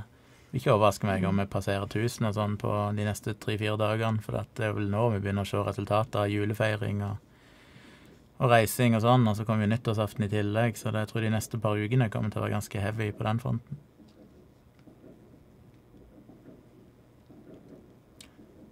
Eremitten sier jeg tror 2021 blir et tegn på minskende galskap i verden, men det er ikke umulig at det må bli verre før det blir bedre. Det er klart at det å få ut Trump vil jo gjøre ting litt lysere på mange vis. Ja. Det vil jo det, uten tvil. Jeg, merker jo bare det at jeg, jeg, Som jeg sa til deg her forleden nå, at eh, etter at valget er over, så har jeg ikke hørt noe fra Trump i det hele tatt. Jeg har ikke fulgt noe med egentlig på han og den der politikkgreiene i USA. Det har liksom For etter at det, etter at det var liksom litt over, så roa det seg ned. Heldigvis. Det, det gleda jeg meg til, for jeg syns hele valggreiene var eh, ekstremt slitsomt og Ja. Utslitende, holdt jeg på å si.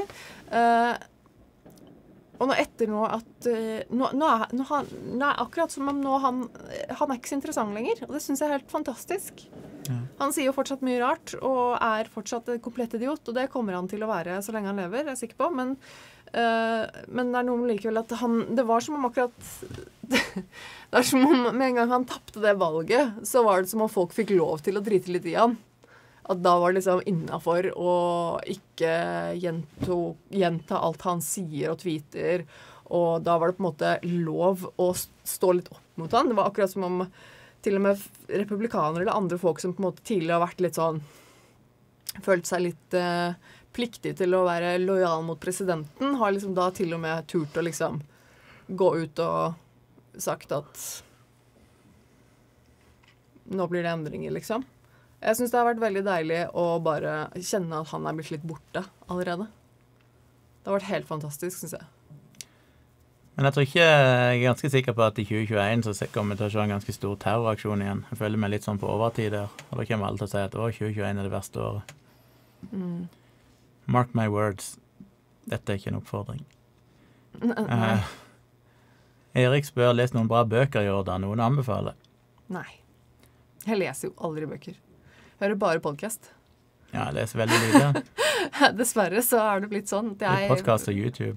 Hvis jeg leser bøker, så er det jo lydbøker. Jeg er ikke noe flink til å lese, sånn fysisk lesing. Men, eh, men eh, nei, det blir mest podkast på meg, altså. Eremitten sier at du ikke kalte det en tjomprater, altså en wasted opportunity. Ja, jeg har hørt det. Kanskje han eh, blir relansert som tjomprat når jeg har fått nok lyttere til at folk skjønner, skjønner tjomprat. Når folk skjønner ordspillet. Så. Nei. Jan Roger spør hvilke materielle ting vil dere slitt med å miste? Ja, det er dessverre altfor mye. ja, men det er jo Garderoben din. Nei, jo, men altså, jeg Jeg er jo Jeg er jo sånn, jeg. Jeg er opptatt av materielle, ting. Jeg liker ting. Eh, om det er klær og mote, interiør, eh, elektroniske duppedingser. Eh, jeg har alltid vært sånn. Jeg er opptatt av ting. Jeg liker å bruke penger på ting. Eh, design og overfladiske, idiotiske, egentlig unødvendige ting. Eh, og det innser jeg jo. At det er jo ikke strengt nødvendig. Det er ikke noe jeg trenger for å leve et godt liv. Eh, men jeg må jo likevel være så ærlig og innrømme at jeg Det er noe jeg setter pris på. Uh, jeg um, Men det er klart Du kan ikke nevne én ting. Du må nevne én ting. Ja, Altså, jeg det, det, er mange, det, det er mange ting som jeg på en måte hadde syntes at var vondt å miste. Men det er jo selvfølgelig grader av det. Men jeg tenker at det, hmm, Slitt med å miste. Slitt med å miste mobiltelefonen min, eller alt som er i mobil... Alt, altså hvis jeg ikke hadde hatt mobiltelefon, så hadde jeg slitt. For der har jeg alt. Ikke bare bilder og sånn, men også den, det er den jeg gjør alt med og på. Eh, så da hadde jeg nok slitt litt, eh, hvis jeg ikke hadde hatt mobiltelefonen min. Um, materielle ting. Jeg har jo veldig mye her inne, både kamerautstyr og miksebord og alt mulig sånn. Mm. Men hvis jeg måtte sprunget ut her fordi det brant og bare kunne redde én ting, Bortsett fra Kyla, da. Så men materielle kommer ting Ja, men det er med altså, hunden, selvfølgelig, men det er ikke materielle ting. Ehm, Det blir jo mobilen. Ikke fordi det er egentlig mobilen jeg er mest glad i, men det er mer bare fordi at i alt i alt så er det jo den jeg hadde hatt mest nytte av. Ja. Det er den jeg føler meg helt lost uten. Ja. Jeg er jo tusen ganger mer produktiv på en Mac enn jeg er på en mobil når det gjelder å få gjort ting. Og det er Ja. mye gøyere å jobbe med en Mac enn å sitte og jobbe på mobilen. Men allikevel så hadde jeg eh, hatt mye mer muligheter med mobilen enn jeg hadde hatt med Mac-en, sånn sett, totalt sett, med alt jeg Mm. kan gjøre. Så det er et kjedelig svar, og det er sikkert det svaret temmelig mange i dette landet ville ha gitt. Det er liksom mobilen som er huben, der du har livet ditt på mange måter. Men det er sånn åh. Ja, jeg, jeg, jeg, ja, men jeg har tenkt på det, faktisk. Nå etter det, det grusomme raset som skjedde nå. Så har jeg liksom tenkt på det der å, det å miste alt man eier. Og det er selvfølgelig utrolig vondt og kjipt uansett å, å miste hjemmet sitt. Men, men jeg tror at jeg Jeg, ah, jeg er nok ganske opptatt av tinga mine. Jeg tror at jeg, jeg tror at jeg har en Jeg tror jeg knyt, knytter mye av min eh, min velvære til det jeg har rundt meg av materielle goder. Dessverre. Jeg er blitt veldig glad i kamerautstyret mitt, objektivene mine. Det er de som har dem. Men jeg tenker jo alltid at alt her inne er jo i utgangspunktet forsikra. Jeg har en god innboforsikring, så alt kan kjøpes på nytt. Det eneste jeg har som ikke kan kjøpes på nytt av materielle ting, er kanskje um, den hodeskallen vi har ute i stua, Mm. som er en ekte hodeskalle av et menneske. Den er ikke så lett å erstatte. Jo Bortsett fra den så føler jeg nesten alt kan kjøpes på nytt. Det er jo bare ting jeg har kjøpt. ja, jeg tenker på enkelte, enkelte gjenstander jeg har som er på en måte vintage eller arvet. Altså den stolen på soverommet som jeg har arvet etter min farmor, og den eh, vintage kimonoen som henger på veggen i stua, f.eks., som er på en måte ekte eh, ting som det mest sannsynlig altså bare fins én av, som er gammel, og som du på en måte ikke får erstattet. Da. Det er jo noen sånne ting. Men det er jo likevel ting som det er, ikke, det er jo ikke ting som er veldig viktig i livet mitt, men det er jo ting som jeg ville synes at var trist å miste. Eller så opplevde jeg jo faktisk i år å miste en ting som jeg ble veldig lei meg for å miste. Jeg klarte faktisk å miste eh, min forlovelsesring, som jeg fikk av min eksmann da vi forlovet oss. Og det gjør meg veldig veldig trist fortsatt. Det er et par måneder siden jeg mistet den. Jeg, eh, lang historie, det skal jeg ikke ta hele, men Men eh, Why? Må sette det mood. Ok. Jeg følte det var veldig upassende. Takk for det, liksom. Eh, men eh, Nei, og, og det merka jeg at det, det gjorde meg jo ordentlig lei meg. Jeg, jeg gråt jo, jeg ble jo liksom fysisk ordentlig trist da jeg oppdaget at den var borte. Og jeg har, jeg har ikke funnet den siden. Den har ikke dukket opp, og jeg er dessverre stygt redd for at den ikke kommer til å dukke opp lenger. Så det merka jeg at eh, det var en materiell ting som jeg syns var ordentlig trist å miste.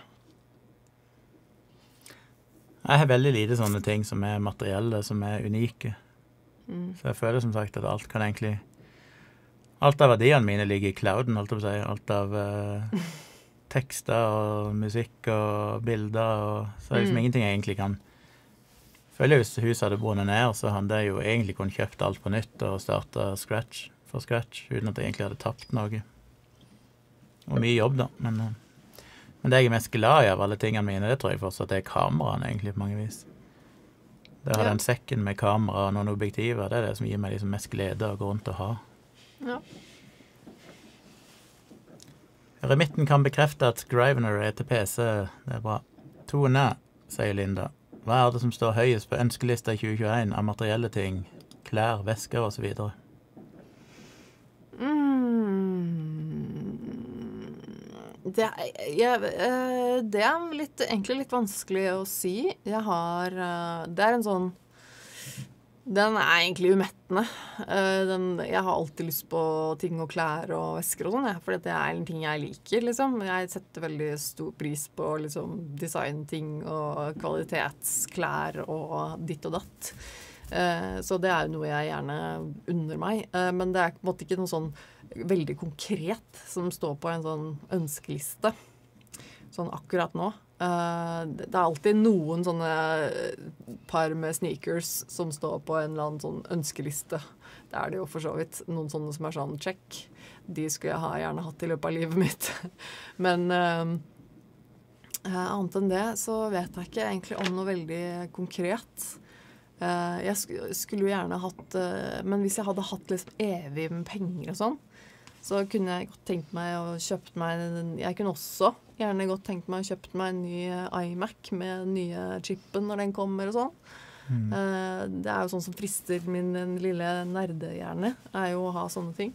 Um, ellers så kunne jeg godt tenkt meg å ha en PlayStation 5 og alle konsollene og det greiene der. Jeg kunne godt tenkt meg å Nei, men Nei, det er egentlig ikke um, Kan ikke påstå at det er liksom en spesifikk En spesifikk ting. Nei. Jeg kommer ikke på noe. Nei. Det var litt overraskende, jeg merka jeg nå. Men det er sånn, jeg kommer ikke på det nå. Men når jeg kikker liksom i mine Studioutstyr til Ja. Men det er, sånn, men det er ikke sånn Jeg jeg vet liksom ikke om det konkret, Nei. på en måte. Jo, jeg skulle gjerne, gjerne, jeg skulle gjerne hatt noe mer eh, Liksom eh, jeg skulle, Hvis jeg hadde hatt masse penger og sånn, så hadde jeg gjerne gjort litt sånn som deg. Altså rygga opp litt ordentlig inne på mitt studio òg. Og så gjort det litt, litt bedre. Altså for, for nå Ja. Men, men Vet ikke. Kjedelig svar. Enda en patron ifra Ottar. Takk, Ottar. Så bra. setter jeg veldig pris på. Er. Erik spør så dere kongens tale. Nei, jeg så bare veldig Jeg så et lite klipp av den bare i stad på uh, nyhetene. Hvor de uh, tok og sendte et lite klipp av det hvor han snakket om uh, den eh, rasulykken. Men utenom det så har jeg ikke eh, sett den. Inner Space sier 2020 er nok et av de mest spesielle årene i vår levetid så langt. Men jeg frykter at når vi ser tilbake om 10-20 år, så vil 2020 nærmest fortone seg som et mildt forvarsel. Ja, det er litt min følelse òg.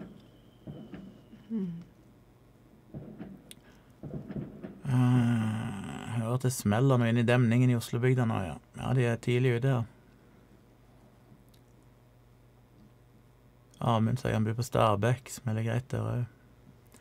Innerspace sier jeg hadde blitt helt fra meg om jeg hadde mistet min 1975-modell Fender Stratocaster. Hatt den i 30 år. Og den jeg bruker hele tiden, den dag i dag. Veldig spesiell gitar. Mm, det kan jeg skjønne. Jeg har liksom ingen sånne ting, jeg, tror jeg, så jeg kommer på i farten. Så Ja, eller jeg har sånn Ja, det er jo liksom den, det ene Jeg har sånn et par smykker og sånn, som er sånn uh, Det ene Det her som jeg fikk av deg, som jeg hadde blitt veldig lei meg for å miste. Og den her eh, andre, det gullhjertet her, som jeg liksom fikk i dåpen. Som jeg også trodde jeg hadde mista en stund, som jeg fant igjen, heldigvis. Som, uh, som er sånn Det er noen sånne ting som på en måte jeg er litt ekstra glad i, som er litt trist å miste. ja.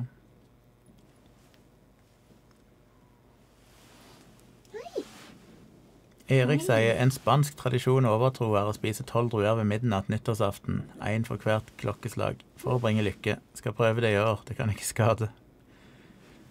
Ja, det kan være du svelger en for feil. Kanskje Altså choker kvele, på.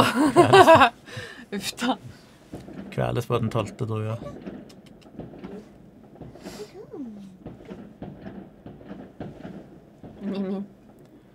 Agno sier oh lord, etter at jeg ga ut album, har jeg forsøkt å jobbe med promo. Hater promo, driter i promo, og lager heller melodi til et dikt fra en kvene oppe i nord som jeg aldri har møtt. Fuck promo. Men må en liten tur på taket og se fyrverkeri før jeg fortsetter. Har ikke lov til å være der. Setter på opptak i musikkprogrammet mitt imens, slik at jeg kan legge inn fyrverkeri i låta. Det er smart. Viktig å bruke alt du kan. Mats spør spiller dere noen videospill, og hva slags tanker har dere om det? Like greit å kose seg med et, like greit å kose seg med et flott spill som å lese en god bok. Jeg er helt enig. Jeg har alltid vært en eh, gamer, not a reader. Eh, jeg sitter og koser meg med Nintendo Switch og Pokémon for tiden, jeg, faktisk. Det har jeg det veldig godt med. Jeg sitter og faktisk og hører på podkast og spiller eh, Pokémon samtidig. Det, det er helt gull, altså. Helt gull. Må si det. Jeg har svart på det spørsmålet noen ganger tidligere i livestreamen. Jeg spiller ikke noe dataspill for tida. Jeg spilte mye på 90-tallet, men jeg kunne ikke spilt noe særlig på 20 år. Men Tone spiller jo, så Sideine her, god kveld. Vi ligger og hovrer på rundt eh, 80 seere i kveld, det er jo bra. På julaften var vi vel oppe i 100 på det meste. Alltid tid for en runde med thumbs up igjen. Viktig å gjøre det, og husk at dere kan dele streamen her. Planen her nå er jo at vi holder på i et kvarter til, Gjør vi det? Ja. Kvarter? Ja, ja Ti minutter, kvarter til. Må avslutte litt før klokka blir akkurat tolv, så at vi rekker å samle oss litt. Men streamen kommer til å stå på her med et pausebilde, så det er samme streamen som kommer til å fortsette etterpå. Så bare la så bare- streamen stå. Trenger ikke å lukke noen ting. Nei, bare la ting stå på, og så er vi tilbake igjen her litt over midnatt en gang. Alt etter hvor lenge vi gidder å stå og se på fyrverkeri. Så fortsetter vi så lenge det er interesse for det. Så fortvil ikke. Hvis dere skal se fyrverkeri, så skal vi slippe dere, så dere kan springe og se på det.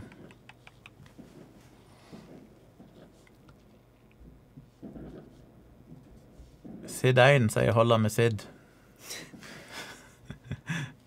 OK, Sid, Sidden. husk på det. Kommer aldri til å huske det.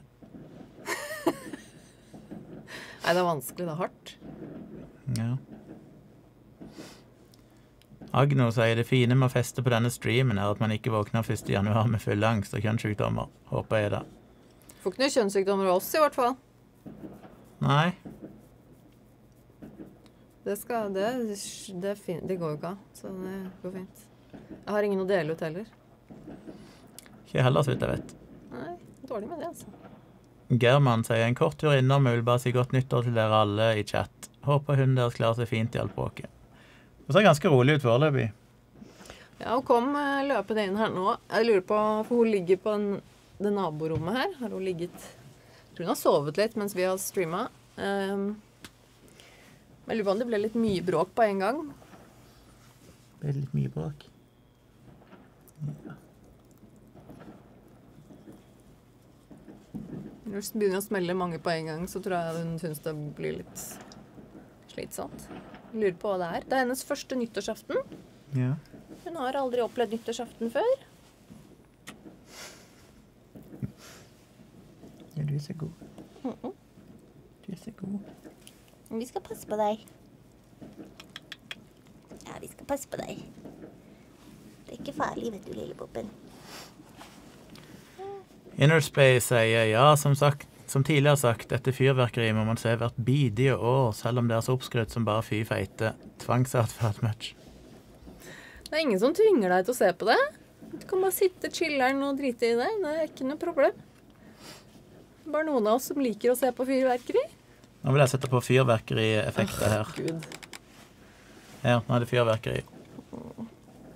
Lyseffekter. Det er lov nå. Nå er det snart midnatt her. Ja. Eremitten sier til Agno klart det, internett og virkeligheten har det til felles at hvis du prøver å engage med feil person, kan du få virus. Ja, det var snakk om datavirus her tidligere. Ni kriser sier så vakker liten pelskling heimen har velsigna med. Jo, Ja. hun er den fineste lille bisken i hele verden. Ja, så du hører. Ja. Fineste og gladeste. Snilleste bisken. Hæ? Går bra foreløpig, i hvert fall. Håper det går greit og når, klokka når klokka slår tolv. Da må jeg jo spørre dere, dere er jo ikke svart, men er det noen av dere som har fyrverkeri, som skal skyte det opp snart? Eller skal alle bare observere passivt? Vi har ikke noe fyrverkeri, vi skal bare ut og kikke litt. De er jo godt i gang, som sagt. Eremitten er ute og flørter med Agno igjen. Jeg håper dere bor i nærheten av hverandre. Så. Smittevern. Smittevern! Kommer langt med munnbind og kondom. Nei. Å ja, så lenge du har munnbind og kondom, så er det ingen som blir smitta. Det er ikke helt sånn det funker. Jeg sier du kommer langt, sier jeg ikke det. Det er Kommer ikke noe garanti. Men Å, OK. -hmm. Roy gidder ikke gå bort til vinduet, han har sett nok fyrverkeri. Er That's the greit. spirit. Det er helt greit. Fyrverkeri er frivillig å gå og se på. Nord-Jæren sier har en kanne med bensin, i hvert fall. Jeg sier Nord-Jæren alltid, men det er Nord-Jæren. Oh, ja. Eremitten er sur på at jeg er han. Ny krise, jeg lar til og med stjerneskudda ligge i fred. Stjerneskudd er så dårlige erfaringer med. Stjerneskudd er et produkt du må kjøpe god kvalitet av. Litt som grillkull. Mm. For jeg har kjøpt mye stjerneskudd til unger dattera mi og nevøer sånn, jeg har vært og feira nyttår med dem, og så hver gang nesten så står, blir vi stående hele nyttår og klarer ikke å sette fyr på dem, for det er så dårlig kvalitet at det er jo klin umulig. Nei. Så jeg alltid ligger nedtur. Amund har null fyrverkeri. Sid vet ikke om han skal observere engang. German har fyrverkeri. Vurderte å droppe det pga. hunder, men nabohunden skulle bort, så da ble det likevel. Guttungen syns det er stas. Jeg syns det er lov å gjøre det for ungene sin skyld. Tor Inge har ikke noe fyrverkeri. Linda har ikke fyrverkeri. Eremitten, han ser fram til et eller annet som ikke husker hva er. Inner Space, jeg, jeg skjøt to skudd med hagle nyttårsaften 1999-2000. Siden nothing on my part. Agno skal observere passivt og er egentlig for forbud mot privat pga. dyr og motbydelig pengemisbruk. For mer og bedre offentlig fyrverkeri. Snakkes etter fyrverkeri. Helt enig. Men det, det, det lyset der Er nå må, du, nå, må du, nå må du roe ned. nå ble det litt voldsomt. Skal vi gå til den, da. Oi, ja, det var jo så mye bedre. Så kjedelig du er, da. Nei, men kjære vene. I've got lights and I'm gonna use them. Ja, Sånn, da. Rød og grønn. Nei, nei. Lilla og Kan du ha eh, noe som harmonerer litt grann, eh, Sånn, da. Ja, OK. Sånn, da. Ja. Stette Media. Har ikke råd til verken fyrverkeri, champagne eller sigar i år, så skal nok bare ut for å observere til en forandring. Sigar, ja, det hadde jeg glemt vekk. Sigar hadde jo vært litt kos å hatt. Nei, Det burde jeg ha kjøpt. Men, men. Nei, det stinker så jævlig. Vet du, Hadde du hatt sigar, så hadde du ikke fått noen midnattskyss fra meg, for å si det sånn. Æsj. Det er noe av det ekleste. Nå skal jeg ha mitt nyere Inner Space, I wanna go home. Dette begynner å bli farlig. Godt nyttår, Eline. Hva er klokka? Ti på. Ti på. Det litt tid på ennå. Eneste jeg trenger å gjøre, det er å finne sko og jakke. Ja, Vi går vel bare ut på balkongen, rett eh, bak her, faktisk. Vi blir stående der. Da har vi faktisk litt utsikt.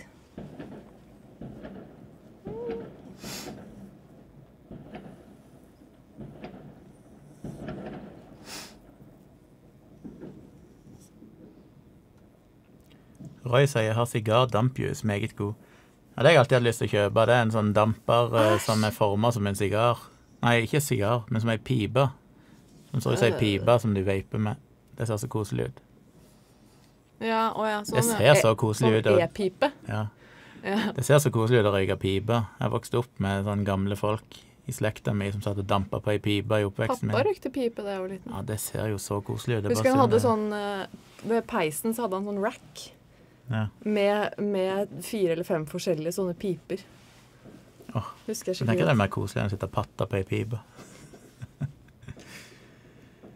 Terje sier har visst glemt å si hei, så hei.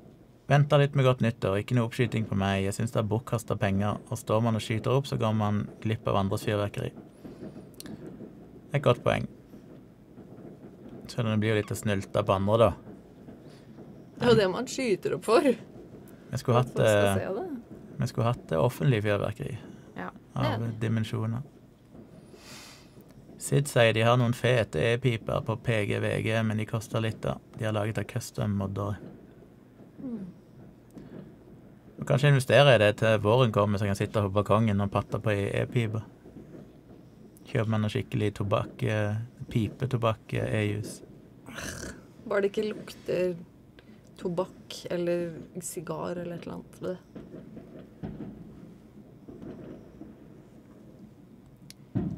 Terje sier jo jo, men ønsker heller ikke bidra til at brannvesenet må ut, slik som nå i Bodø. Ja. Da hadde jeg blitt forbanna hvis huset hadde begynt å brenne pga. at noen sendte opp fyrverkeri. ja. Men det er jo jævlig trist. Mye ulykker og sånt som skjer pga. folk. Men det er, det er folk vi må skylde på, ikke fyrverkeriene. Guns don't kill people. People do. Å, se på den tjukke lille magen. Nei, ikke tjukk. Ikke tjukk. Bare god. Perfekt liten mage. Å, for et kosedyr. Trengte litt trøsthjelp òg.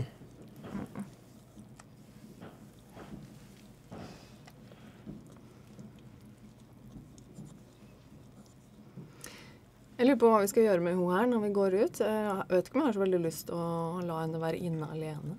Kanskje jeg skal ta og pakke henne inn i jakka mi. Innunder jakka, og så ta henne med ut. Prøv å ta henne ut først, og se hvordan hun reagerer. Å, så trett. så tøt. Sid sier han varm raspberry custard i, eller noe med et hint av sigartobakkaroma i. Jeg vaper jo bare den der uh, Screamo Mango. Jeg har prøvd så mange andre sånn frukt og bær og sånn. Jeg syns alle blir sånn kvalmende søte, så jeg trives aldri med dem. Det er noen som sier her at hunden kan, stream, sånn kjøre streamen. Ja, Hvis vi Ja. bare skal sette den ned. Så kan han stå og gjøre seg, deil, gjøre seg deilig mens vi går ut. Nei, Jeg skal begynne å runde av her, så vi kommer ikke ut i skal ikke runde av. Nei, ikke runde av. Vi er tilbake igjen. Vi skal ha pause. Men jeg kommer til å kjøre på et pausebilde. Og så eh, ønsker vi dere foreløpig godt nyttår, og skal ønske dere godt nyttår igjen når vi kommer inn, for da er det virkelig på tide å si det. Ja, Vi tar en liten pause. Går ut og skåler litt og sånn. Og kikker på litt fyrverkeri. Og så kommer vi tilbake om ikke så lenge. Altså, det, er ikke, det er ikke snakk om så altfor lang tid. Så kan vi sitte og fortsette å Kose litt med hunden. Og streamen blir gående, så det er fortsatt lov å skrive i chatten. Dere kan sitte og diskutere hvis ikke dere skal ut. Dere kan stille spørsmål, så skal vi se på det når vi kommer tilbake igjen. Yep, så ikke lukk streamen. Bare la den stå, og så kommer vi snart tilbake. Og når jeg kommer inn igjen, så skal jeg ta en sånn vits med sånn åh, jeg har ikke vært på do siden i fjor. OK. Takk for at dere har vært med oss så langt, så håper vi at vi ses igjen etterpå. Se snart.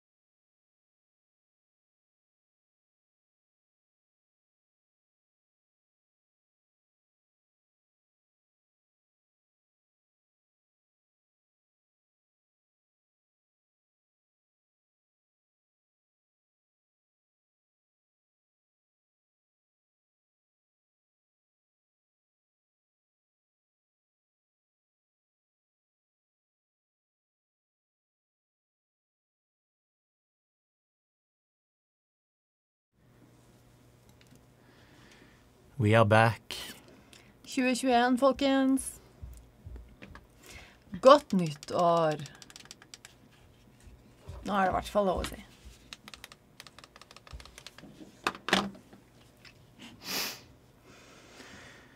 Skal vi se om vi scroller opp igjen her. Skal vi virkelig sitte og gå gjennom alt sammen? Det tror jeg blir litt mye. Ikke alt, men vi må se hva som skjer. Der var vi. Først må vi jo si godt nyttår, ja.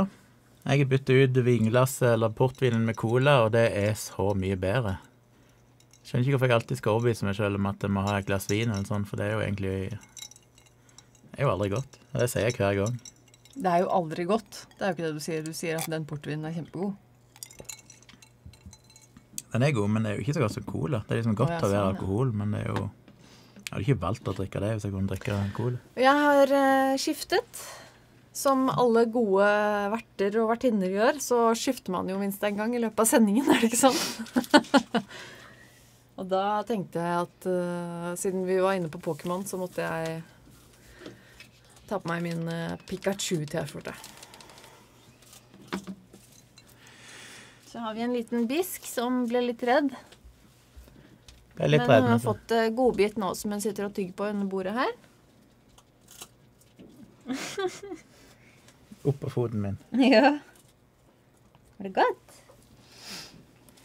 Andreas spør om mulig du har publisert det tidligere, men kommer det en ny bok fra deg, en oppfølger til placebo-defekten? Svart på det tidligere i streamen her.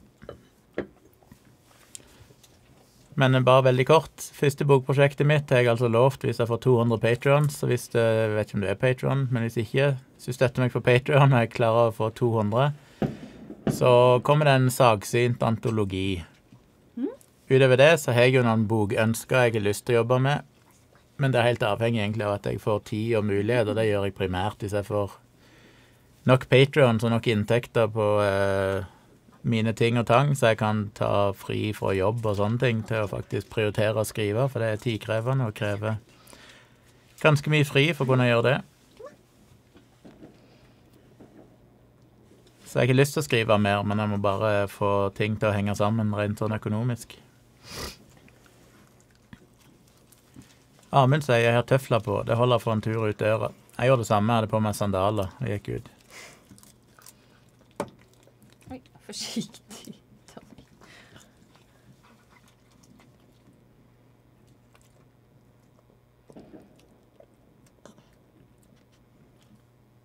Oi, er den borte allerede? Naomi sier han brukte pausen på å bestille nye PC og lage mat, gidder ikke fyrverkeri. Jeg syns fyrverkeri i år var litt skuffende. Det var ikke så stas. Jeg synes det var gøyere i fjor. Jeg tror det var litt fordi det var med ny leilighet, og det var liksom litt spesielt å se det her første gang. Denne gangen var det litt mer sånn ja, greit nok. Ja, jeg merker jo bare at jeg eh, ikke likte å gå ut Jeg var litt stress på grunn av hunden. når Kyla var litt redd for fyrverkeri. Vi satte henne Mm. inne på eh, Altså, det har egentlig gått fint fram til, fram til ganske nærme tolv, liksom. Men vi prøvde jo først å ta henne med ut, bare for å se. Jeg hadde henne liksom i, i jakka. Det var ikke noe sjakktrekk. Nei, men det, jeg, tror, jeg tror det hadde gått greit. Hadde det ikke vært for de naboene som var så nærme, som plutselig begynte å smelle noe som var så nærme, som var så innmari bråkete. Fordi at eh, før den begynte å smelle, så gikk det liksom greit. Men eh, Nei. Da ble, hun, eh, da ble hun redd, så da satte vi henne inn på gangen, som er det rommet som er mest eh, Hva heter det? Mest inn i leiligheten. Ja, det, der er det ingen vegger som går ut. Ja, så eh, fikk, hun, fikk hun sitte der litt i frem. Jeg likte ikke å gå fra henne. Jeg blir sånn, jeg blir så innmari mamma. Jeg sånn, nei, nei, jeg må Men Nå vet vi til neste år. Da bare tar vi henne inn der, gir henne en godbit, og så kommer hun til å klare seg fint. Nå har du fått litt godbit og løper litt rundt der. Det begynner heldigvis å roe seg litt der nå, så det skal nok gå greit.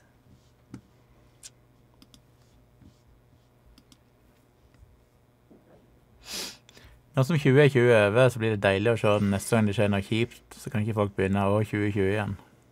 Det Litt deilig. Da kan folk endelig innse at det er ikke noe med 2020 å gjøre. Det, Generelt. Generelt så er det vanskelige tider. Ja. CEO vil kjøre debatt her. Hvor langt ute i januar kan vi si godt nyttår? Personlig syns jeg det er innafor første uka. Etter det begynner det bare å bli teit. Jeg tenker at godt nyttår, det har du lov til å si Altså helst, så- altså, helst så skal man jo si det med en gang. Men hvis du møter noen som du ikke har sett siden nyttår, innen januar, så er det lov å si godt nyttår. Ja, Du sender ikke en godt nyttårsmelding liksom fire dager seinere, men nei, nei. Men hvis du møter i noen mailsammenheng For meg er det jo primært i jobbsammenheng, så får jeg supportmailer og sånn. Og da er det av og til jeg føler for å skrive, liksom, svare med 'hei og godt nyttår'. Ja. Og da er jeg alltid sånn Hvor lenge skal jeg gjøre det? Nå, Hvor mange dager ut i januar kan jeg fortsatt gjøre det før det liksom begynner å bli litt teit? ja. Jeg tror jeg òg ligger på sånn rundt ei uke de første dagene etter nyttår. Da går det liksom. Men skal ikke så langt ut i januar før jeg føler at nå er det ferdig.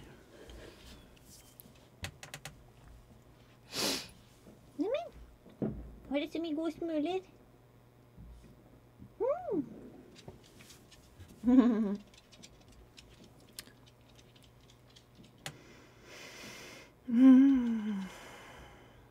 ja. Eremitten skriver nær det tradisjonsrik sjokoladepuddingspising. Det høres godt ut. Ja, sjokoladepudding er godt. Det er sånn jeg alltid eh, pleide Jeg pleide å spise det til eh, dessert da farmor var barnevakt, husker jeg. Hun oppvekst, oppveksten min. Da var det enten, eh, enten sånn gelé eller eh, sjokoladepudding. Og det var alltid mest populært med sjokoladepudding. Det beste med sjokoladepudding er jo vaniljesausen. Nei. Jo. Nei. Godt nyttår til alle dere som skriver her, eller har skrevet for lenge siden sikkert. Det er ikke noe timestamp på de her kommentarene eller chatten, så jeg vet ikke akkurat når dere skrev de, men Erik skriver skåla med Nosecco fra nå av. Tør ikke drikke bobler med alkohol når jeg er alene.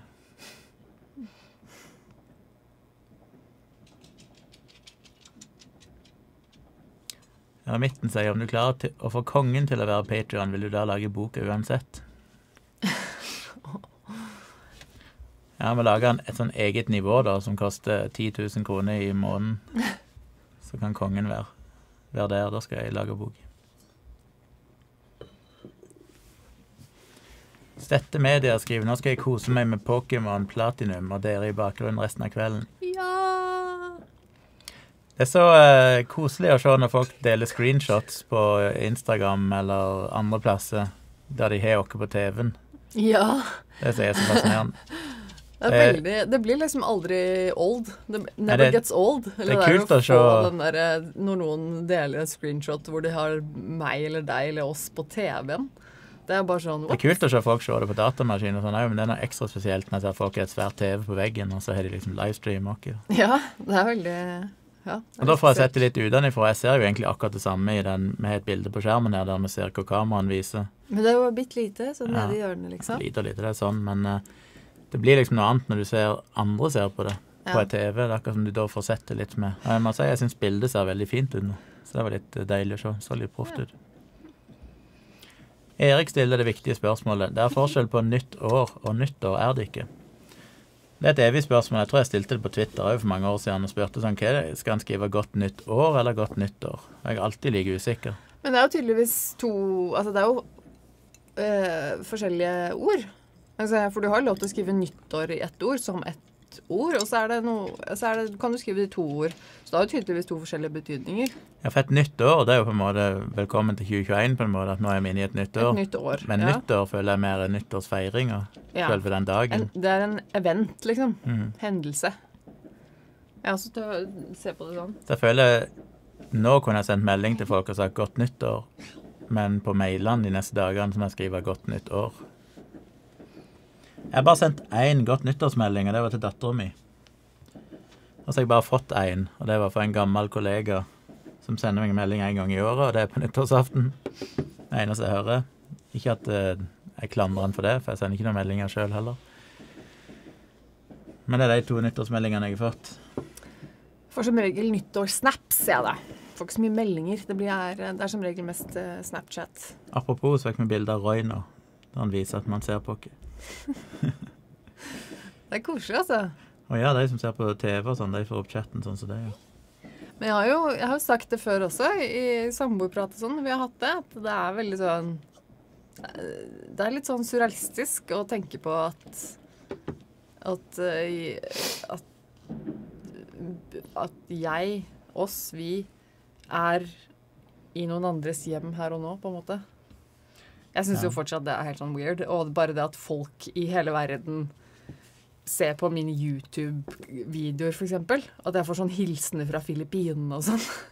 Og i dag så fikk jeg på min eh, Instagram så fikk jeg fra en følger eh, en, en melding fra en nyttårsmelding fra en fra Brasil. Jeg er tydeligvis veldig populær i Brasil. Jeg får stadig meldinger fra folk som er i Brasil, og som er sånn 'Vi elsker deg i Brasil!' Og det er sånn Ja. Det er så rart, men fantastisk morsomt. Er du helt sånn Vi må snart reise på sånn turné i eh, Rio. ja. ja, men det er også samme YouTube-videoen og kanalen. Liksom. Det er noe spesielt. Det var jo derfor jeg også lagde videoer på engelsk. Det er også fordi at jeg syns det er noe veldig kult med å kunne få en hilsen fra eh, hvor som helst i hele verden. Plutselig så er det en som kommenterer at liksom Hei, jeg sitter på Malaysia. Digger videoen din, liksom. Det er sånn What? Det er, eh, for meg er det litt sånn mind-blowing at liksom jeg fins i et hjem uh, på TV-en i Malaysia et eller annet sted, liksom. Typ, da. Jeg syns det er kjempegøy. Eremitten mener at min Patrion-tier for kongen bør hete Majestetsfan. Du kan jo sette begrensninger på Royal fan. Du kan jo sette begrensninger på de forskjellige tiersene på Patron. Du kan si at denne er det bare så og så mange som kan være på, for å gjøre det mer eksklusivt. Jeg kan jo lage en majestetsfan som koster 10 000 i måneden, som du bare kan være én på. Så kan det jo være det finnes en eller annen riking der ute som har lyst til å støtte meg. Ja, altså, Sånn der, det var gøy. Vet jo aldri. Kanskje jeg burde gjøre det. Burde kanskje lage en tier som koster sånn 1000 kroner eller 5000 i måneden. Men da blir det jo egentlig en sugar daddy på et vis. Ikke noe galt i å ha en sugar daddy. Nei. Det for gøy, det. Gøyere hvis det er en sugar mama. Mr. Finstad skriver 'Se nordlys en gang'. Beste vaksinen for fyrverkeri. Jeg har aldri sett skikkelig nordlys, som jeg snakket om i en tidligere livestream. Det vil jeg gjerne se en gang. Og gjerne ta bilder av. Innerspace sier vi sender nyttårsmeldinger til hverandre i trioen jeg er med i, ellers intet, og det er faktisk helt greit. Jeg husker i gamle dager, sånn på slutten av 90-tallet, tidlig 2000-tallet, var det kanskje mer, da SMS begynte å bli populært. Da sto jeg jo de første kvarter etter nyttårsaften, følte jeg, jo bare sendte SMS og gikk gjennom kontaktlista mi og sendte til alle, til og med sånn folk jeg egentlig ikke hadde kontakt med lenger, bare følte at liksom det var en anledning til å Jeg tror det var mange som hadde godt nyttår av meg, så var de sånn Hæ, what the fuck, hvorfor i all verden sender han godt nyttår til meg? Og så var det alltid det samme problemet med at nettet var overbelasta. Sånn du fikk liksom svarene sånn tre timer seinere, og så kom det plutselig sånn godt nyttår fra noen som var sendt ved midnatt. Det skjer jo aldri lenger. Nettet blir overbelasta, men det er fordi så mange går via Snapchat og sånn. Og Instagram og ikke så mange som sender SMS. Messenger. Antoinette sier godt nyttår og kommer akkurat hjem etter å ha blåst nabolaget til himmels. Du er en av de, ja.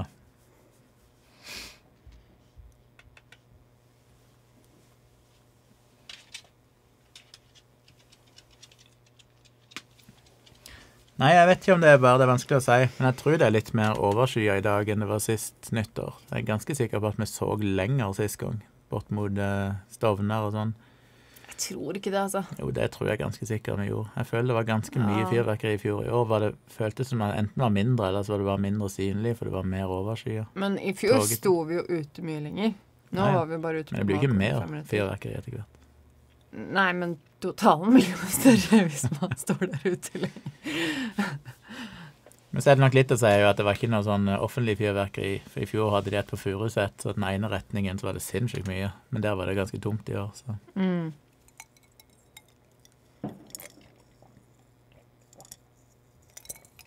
Å, cola, altså. Det er så godt. Norse Ross skriver fra fra Neues Jahr. Neues Jahr. Antoinette sier at eh, jeg er en av dem, ja. Men klin edru med vernebriller på. Goody goody. Her er det faktisk ingen som er klin edru. Det er ikke ofte. Vi pleier jo å være ganske edru folk. Vet ikke jeg. Det eneste jeg har drukket, er egentlig en liten eh, portvin. Vet ikke hva jeg det, det er ikke at vi er så innmari drita at å gjør noe, men eh, jeg har hatt et glass hvitvin, og du har hatt et glass portvin. Det er jo Jeg vet ikke om de hadde klart å måle promillen i blodet mitt en gang hvis de hadde prøvd. Jo, det hadde de nok faktisk. For den er ganske psykosensitiv, de der målerne. Naomi sier ja, tenker at godt nyttår bare kan brukes 1. januar. Så tenker jeg vi kan ønske godt nytt år i hvert fall to uker inn i januar. Kanskje ut i januar. Jeg tenker ut, ut januar må være greit hvis det er folk du på en måte ikke har sett siden Ja, hvis jeg, hvis jeg hadde vært nære er det sånn, sånn folk du kjenner på en måte, og kommer på besøk og sånn, så er jeg åpen for det. Ja. Selv om jeg tror ikke jeg hadde gjort det. Men når det er mer sånn jobbgreier, sånn folk du ikke er sånn personlig nært forhold til, så føler jeg at maks to uker kanskje, så går det an å skrive det. Mm. Etter det så begynner det å bli sånn kleint. Det begynner i slutten av januar å skrive godt nyttår. En viktig debatt, og vi tør å ta den her på livestreamen. ja. Nå er det over 90 seere, det er hyggelig. Oi, Det er er vi flere flere har nå? inn. Ja. Men nå har jeg skifta til mitt casual-antrekk. Du får spole tilbake igjen, så får de se ditt kule antrekk. Det er ikke ofte jeg pynter meg, men jeg, jeg pynta meg for dere i dag. Jeg har pynta meg, sa du ikke det? Du går med skjorte ganske ofte. Jeg gjorde det før, men de siste tida har jeg faktisk gått lite med skjorte. Mm. Før gikk jeg alltid med T-skjorte og ei åpen skjorte utpå. Ja. I mange, mange, mange år. Men så er de Jeg bare kikker litt etter hun der, så jeg er sikker på at ikke hun kreperer. Men hun jeg er fortsatt litt urolig, altså. Åssen går det med deres eh, dyr der ute? Er de fortsatt urolige, eller? Nå er det ganske rolig utafor her. Det Smeller ikke noe særlig mer. Nei, nå roer det seg skikkelig. Men merk på Kaila at hun fortsatt er litt grann sånn Med en gang det kom et lite smell her nå i stad, så kommer hun liksom gående inn her og sto under beina med en gang. Under beina her på meg. Hun er fortsatt litt sånn urolig. Stakkar. De stakkars dyra, altså. Ja, det er en del hunder i uh, borettslaget her. Ja, men tenk på alle de dyra som bor ute, da. Tenk på alle de ville dyra som er ute, som ikke har noe sted å gjemme seg for alt det bråket. Det må jo være tortur. Antoinette skriver 'venter på sending der Gunnar stiller med lærkryss på kassa og gagball'. Det er veldig lite min stil. Ja, det tror jeg ikke skjer. Jeg har aldri vært noen tilhenger av sånn fetisj, uh, klær og kinky kledning og Nei. Nei. Nei. Det tror jeg du må se langt etter, altså, Antoinette. Beklager det. Hvis du betaler betaler godt nok, derimot. Det hadde vært et herlig syn, da. Hvis du blir min Patrion på uh, Majestets-tieren, Majestetsfan, som koster 5000 i måneden, så skal Da jeg stille opp i Da skal vi nok i kanskje kunne ordne noe, ja. en privat livestream. Ganske billig av meg. Hey, jeg vil også ha sånn privat, uh, privat livestream. Jeg gjør det på din. Du kan, du kan iallfall gjort det. Du kan ta, fått sånn sugar daddy som telte deg 10 000 i måneden på Patrion, hvor du stilte opp toppløse et par ganger i uka. I måneden. Serr. Ja, sikkert. Det verste er at det Tenk på alle de rike brasilianerne som uh, sitter bare og venter på det. Ja, det verste er at det, det frister nesten. Seo sier at hybelkaninene under senga er fortsatt litt nervøse. No. Stakkar. Amund sier som singel og skiftarbeider kan jeg nok dessverre ikke ha dyr. Skulle gjerne hatt en Mm. hund. Ja. Jeg er litt, litt spent på hvordan det blir, for jeg har heller ikke kunnet hatt dyr fordi jeg har reist så mye med foredrag og jobb. Jeg var vekke liksom mm, egentlig i snitt én gang i uka, så var jeg iallfall bortreist. Mm. Og så kom pandemien, og så er vi bare hjemme hele tiden, men en eller annen dag så vil jo ting åpne seg igjen, og da lurer jeg litt på hvor Altså, mye reising det blir. Ja, og jeg øh, har jo ikke det. Jeg har jo aldri vært en sånn som reiser så mye. Jeg har alltid på en måte hatt jobb som er ganske lokalt og sånne ting. De siste åra så har jeg jo ikke hatt øh, jobb. Eh, men jeg eh, Jeg vet ikke. Jeg ser jo for meg at det, det er liksom Det må vi bare ordne, på et vis. Ja, det ordner seg. Men jeg er veldig sånn Jeg vil jo ha med Jeg vil jo ha med Kaja. Overalt. Det er sånn vi snakket om og sånn. Vi kjøper ikke bil, er det du sier? Nei, jeg vil ikke ha bil. Jo, kanskje. Vi skal få en fancy Skal kjøpe en Apple-bil i 2025. Ja, eller en Tesla, eller et eller annet sånn fancy tech-bil. Det var det gøy. Uh, men uh, men eh, ja, men jeg liker jo ikke å kjøre bil. Altså, for eksempel, hvis Vi skulle dratt til Trondheim. da, Hvis vi har snakka om det, liksom, hvis du skal på et foredrag, eller sånn da vi skulle eh, til Trondheim i sommer og gjøre liveshow med Dialogisk, så er det sånn Jeg vil jo helst ha med Kaila. Jeg tenker, Men kan vi ikke bare ta henne med? Det er liksom, det er jo en Mm. kort flytur. Hun er såpass liten at vi har lov til å ha henne med i kabinen, i buret, liksom. Eh, det, en, det, det hadde liksom gått greit. Men så er det sånn men så er det hotellet, og så er det opplegget, for at vi har et opplegg. Altså, da hadde det jo ikke gått, for da hadde vi jo et show vi skulle gå på eh, og, å, gjøre. Og da hadde vi jo ikke hatt noe sted å ha Kyla, liksom. Så. Men, men det er sånn ellers, hvis vi snakker om å reise, så er jeg jo helt sånn Jeg vil jo helst ha med Kyla. Jeg vil jo ha henne med overalt. Jeg vil jo vise henne verden. jeg elsker jo å gjøre alt mulig med Men jeg tror det hadde vært mer stas for deg enn for Kyla. Jeg tror hun er mest tilfreds med å være her. Jeg. Ja, men nå har vi jo, eh, har vi jo eh, folk vi kjenner, da, som har tilbudt seg å være hundepassere. Mm. Og så har vi prøvd eh, hundehotell eller kennel eller hva man skal kalle det en gang. Uh, hvor lenge var hun der? To netter? Ja. Det tror jeg var nok. Jeg følte meg ikke veldig komfortabel med at hun skulle vært der noe mer enn to netter, for å være helt ærlig. Nei, men igjen så vet jeg ikke om hun leide noe nød akkurat. Jeg tror nok det er mer bare at jeg syns det er mammahjertet ditt som syns det er litt vondt. Ja, både òg. Man har jo også, selvfølgelig har man hørt mye skrekkhistorier fra sånne kenneler og sånn, men Men Ja. Jeg vet ikke. Jeg, jeg, men jeg merka jo forskjell på henne med en gang vi dro derfra. Når jeg henta henne fra den kennelen Nei, du var ikke med, du, når jeg henta henne. Nei.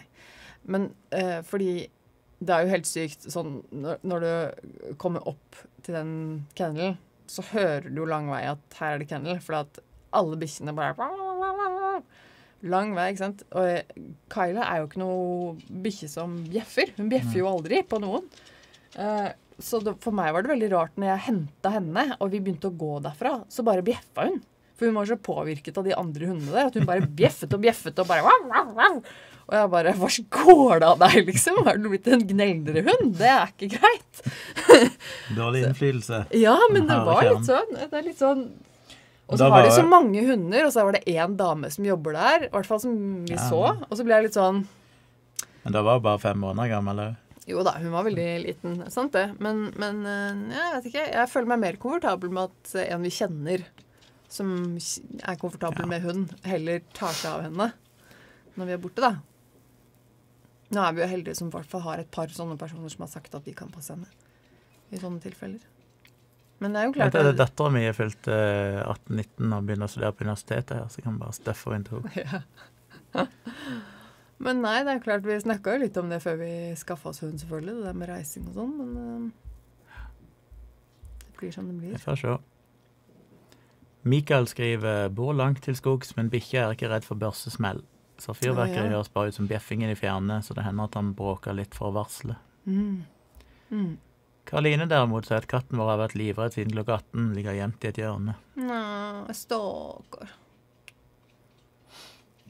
Uff a meg. Antoinette forsvinner ho-ho-ho i et av kvelden igjen, folkens. Ha en herlig aften videre inn i det nye året. Sov godt. Det er 2021 nå, det er litt deilig å tenke på. Jeg blir alltid så oppildna når det er nytt år. Det føles alltid som en ny start. Det er litt vondt i det derre pirkete perfeksjonist. Ja, det er ikke så. For at fint år. 2021 er det er grusomt. Nei. Mens jeg hadde jo sett, jeg hadde sett for meg virkelig liksom sånn 2020 er så deilig år. Fordi at det er 2020. Og det er liksom eneste Det er liksom en sjelden kombinasjon vi får. Det er vel egentlig kanskje den eneste. Så det ble liksom 2020. Så han bruker så mye mer båndbredde. Han bruker nesten dobbelt så mye båndbredde som vanlig her på streamen. Er det fordi at uh, Er det fargen på bakgrunnen? Kan jeg ikke skjønne det. Den er jo ensfarga. Merkelig. Går det bra? Innerspace sier på nyttårsaften for noen år siden var en av naboens to katter på eiendommen her rundt midnatt. Den ble veldig skremt, stakkar. Ble helt satt ut av sin nattlige musejaktrutine. Ja, Ja. Stakkar. Naomi sier at chihuahuaen til foreldrene mine dør sånn halvveis hvert eneste år. Stakkar. The Real Syrtek skriver det er 2020 i ni år til. Nei, det er jo ikke det. Det er 2021. Det er, ikke, Norse. det er ikke like deilig, for å si det mildt. Norse Ross skriver Gunnar, du vet hvem Chris Delia er? Delia. Mener du og Dag har snakket om han så vidt dialogisk. Hva tror dere da? Gjør han et vellykket comeback i 2021? Hvem er det? Husker ikke hvem han er. Er det han komikeren som ble uh, anklaga for uh, Jeg tror det var mer kri nei, Dag sin greie enn meg. Bare googla fort og se. Hmm. Ja, jeg vet ikke, jeg tror. Jeg vet ikke, han hadde sendt noen meldinger til noen jenter og et eller annet. Men som hadde sagt at han, så fort han fant ut at de var så, så unge, så hadde han slutta. Jeg husker ingenting av Jeg har uansett ikke noe forhold til han, så jeg vet ikke. Det får du spørre Dag om. Jeg har ikke fulgt med på han i det hele tatt. Han Spør den ene delen av dialogisk som ikke er til stede. Så vidt vi vet. Kanskje han ser på. Ja. Anomi sier nettet deres mer stabilt nå, forresten. Virker sånn i dag, i hvert fall. Det er ikke gått ned, iallfall. Det har ikke vært nede i dag. Jo, det var nede tidligere i dag. Jo, det var det jo. Ja. Det har vært nede én gang i dag. Men jeg klarer ikke helt å pinpointe om det er ruteren min internt, eller om det er Get eller Telia-modemet. For det tidligere når nettet gikk ned, så forsvant det lyset på Telia-modemet som indikerer at han er nettforbindelse. Men de to siste gangene nettet er gått ned nå, etter jeg bytta modemet, så er det bare ruteren som plutselig blacker ut. Akkurat som ruteren ikke akkurat ristarter, men at det skjer et eller annet. Men så vet jeg ikke om det er en konsekvens av et eller annet som skjer med Telia-forbindelsen, så jeg vet ikke helt. Vi får bare jeg må la det gå litt tid, og så må jeg bare følge med. Men vi får jo fiber nå om et par uker. Sant det. Du har jo bestilt fiber. Det er jeg veldig spent på. Nordjæven lurer på om jeg kan lage en video der vi rapper. Jeg skulle gjerne likt å se deg rappe. Jeg rappa en gang offentlig, og det var i i Saronsdal. Hæ? I Saronsdal. Vet du hva det er? Nei. Det er sånn kristent eh, senter oh, ja. i Kvinesdal. Sånn eh, feriesenter som eh, kristne folk reiser til om sommeren med opplevelser for barn og alt mulig, med en sånn svær hall der de har sånn kristne møter hver kveld. Ja, okay. Så jeg trengte ikke føle meg dum for at jeg ikke visste hva det var. Nei, men det er jo et sånt begrep nesten i hele Norge, det. Saronsdal, det er jo liksom en sånn greie. Og der opptrådte korrocka en gang, og da fremførte vi ei sang. Jeg lurer på om det var en av Stavanger gospelkor vi fremførte. Og i den sangen så er det, det er sånn gospel, men det er versene blir rappa. Og jævla kul sang, òg. Digger den. Synes den var kul. Og det var som jeg snakket om i går, den der perioden der jeg ikke eide skam. Ja. Så da gikk jeg ut i bar overkropp med bare skinnvest på.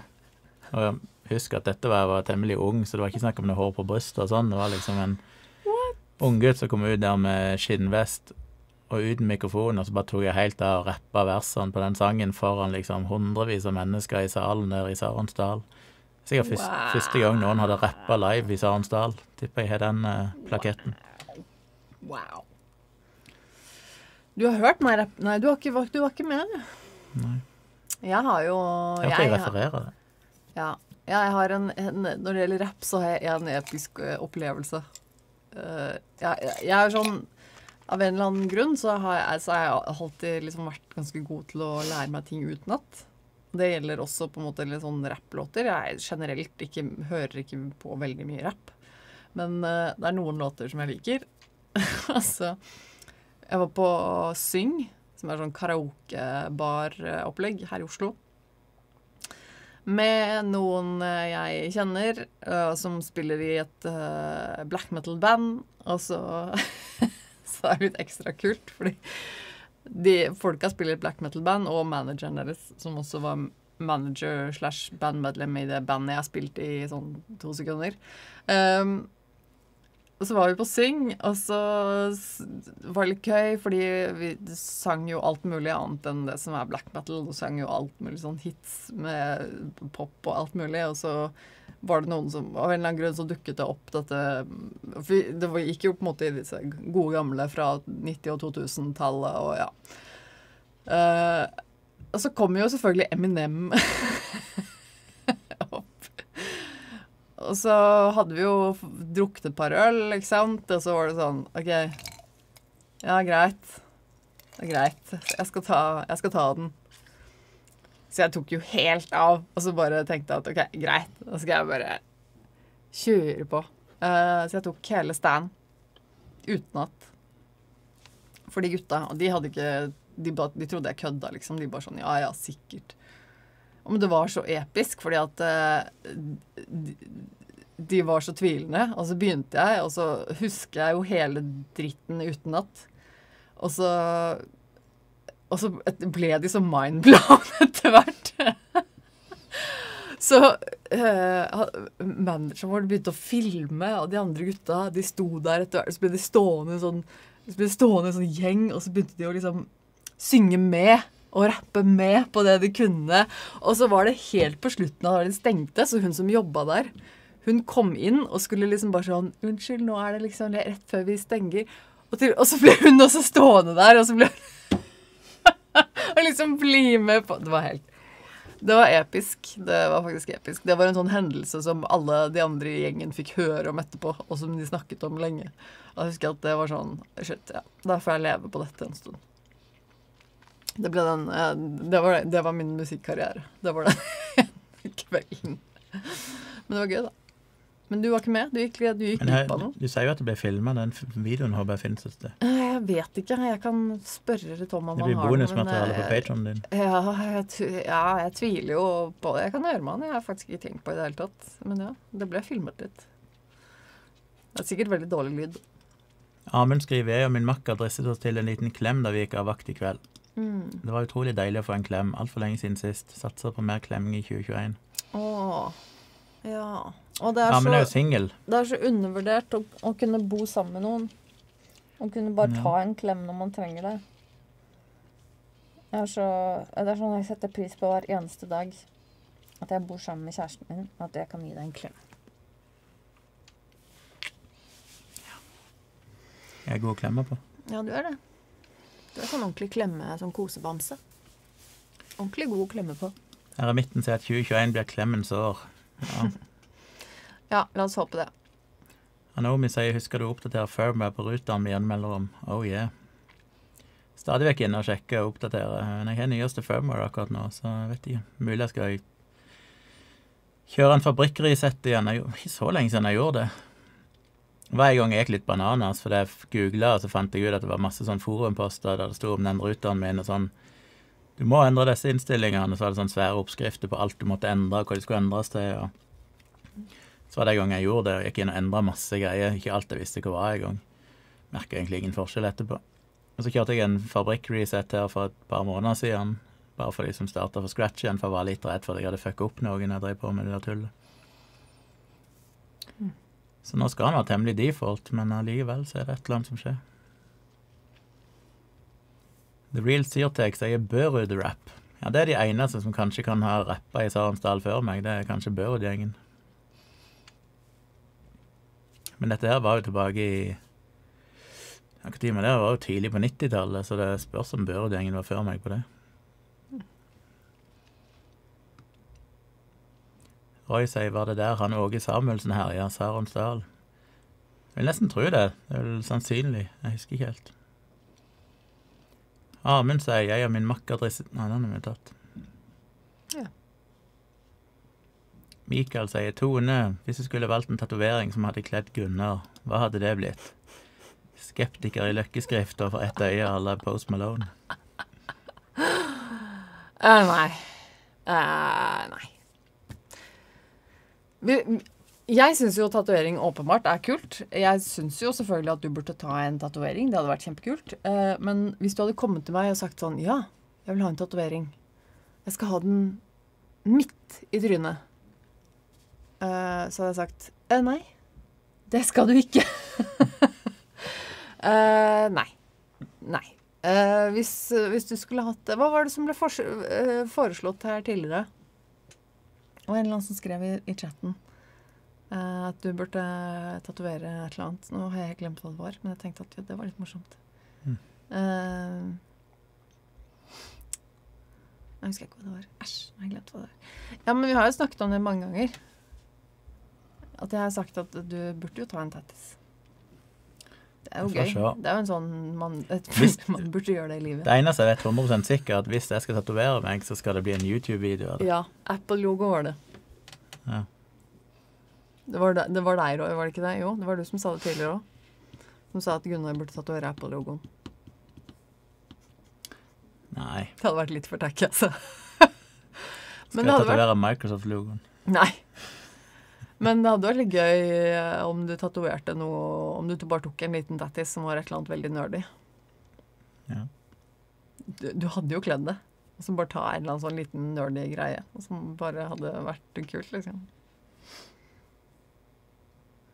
Ja. ja det, det, det er egentlig ganske rart, sånn egentlig, at Jeg måtte tenke meg om ordentlig nå for å være helt sikker på at det jeg skal si nå, er sant. Men jo, jeg har faktisk Jeg har ikke hatt fryktelig mange kjærester i mitt liv. Men jeg har aldri hatt en kjæreste som har hatt en eneste tatovering. Det er egentlig ganske rart. Er det ikke det? Sånn med tanke på hvordan jeg ser ut, på en måte. Mine interesser. Så er det jo litt Jeg har faktisk aldri hatt en, en kjæreste med en eneste tatovering. Si litt om deg. Jeg gjør det, det. Hva sier det om meg? Erik sier leser nylig et tips om å sette seg 90-dagersmål istedenfor nyttårsforsetter. Vurderer å bruke morgendagen på det. Ja, mitt mål er bare å få 200 patrons, så jeg kan få lagd en ny bok. ja det hadde vært gøy. Nei, mitt mål, mitt største mål i 2021, det er altså å få ett godt betalt fotooppdrag. Det tror jeg Ja, er mitt store mål. Ja, Men det burde jo ikke være så vanskelig å få til. Ja, det er jo tydeligvis det. Så jeg vet ikke helt hvordan jeg skal markedsføre meg. Men jeg må begynne å tenke litt på det med markedsføring, tydeligvis. Det har jeg Mm. snakket om lenge, men jeg har ikke gjort det. Mm. Innerspace sier Åge Samuelsen kjøpte dette Kråkeslott-hotellet i Dalen innerst i Telemarkskanalen. Ellers solgte han møter hvor han samlet inn kollekt som han brukte på fylleguller på danskeferier. Hva snakker vi om nå? Åge Samuelsen, som er en sånn gammel predikant-dude Mm. og sanger Mm. som ga ut kristne kassetter. Sindre sier hvor aktuell er den nye eplebilen for deg, Gunnar? Ja, Hadde den ikke vært så dyr som den helt garantert kommer til å være, så Hadde det ikke vært for at jeg ikke skal ha bil, og Ja. at den sannsynligvis kommer til å være sinnssykt dyr Men altså Hvis enten den ikke hadde vært så dyr, eller at vi hadde hatt psyko mye penger, så hadde det jo plutselig ikke vært så uaktuelt å kjøpe en bil. Nei, Hvis Apple-bilen var tilgjengelig nå, og jeg trengte bil nå og hadde råd til det, så hadde jeg jo valgt Apple-bilen. For jeg er helt overbevist om at den kommer til å gjøre ting den kommer til å gjøre, For det gjør jo de med de fleste tingene. At de gjør et eller annet som er De lager ikke bare en ny elektrisk bil, de gjør noe helt nytt. Og det er det jeg er så spent på, hva det er de finner på. Blant annet så regner jeg med de kommer til å ha en overlegen batteriteknologi. Jeg er veldig spent på det, altså. Men ja, Iallfall det ryktene tilsier. Og de har jo Ja. kompetansen til å gjøre det, så jeg er veldig spent. jeg har det. For det er jo snakk om en er- helt annen type batteriteknologi enn i en mobiltelefon, liksom. Ja, ja. Men uh, Og det er jo en grunn til at eh, Tesla ikke har laget noe bedre enn det de har. De er jo på en måte de som har laget de beste batteriene hittil. Men de skal jo ikke så mye bedre nå med batteriene. De beste bilene nå ligger jo oppe på ikke langt ifra bensin. Ja. Det er litt å gå igjen ennå, men eh, det begynner jo å nærme seg sammenlignbart med bensin i rekkevidde. Ja, jeg må jo si at eh, altså hvis jeg hadde hatt liksom masse penger og en god inntekt og alt det der, så skulle jeg gjerne hatt en elbil. jeg. Det hadde, vært, eh, det hadde passa Ja. meg veldig greit å ha. Altså, det er ikke det at jeg eh, Jeg har aldri hatt bil. Jeg, jeg har alltid liksom bodd i byen og bodd sentralt og brukt kollektivtra kollektivtransport og vært egentlig fornøyd med det. Men nå merker jeg jo at liksom det er enkelte ganger hvor jeg har tenkt at liksom Det hadde vært så deilig å ha en bil, om ikke det hadde vært liksom vår. Vi hadde nok ikke sikkert brukt den så innmari mye, men det liksom, vi skulle hatt en bil å disponere.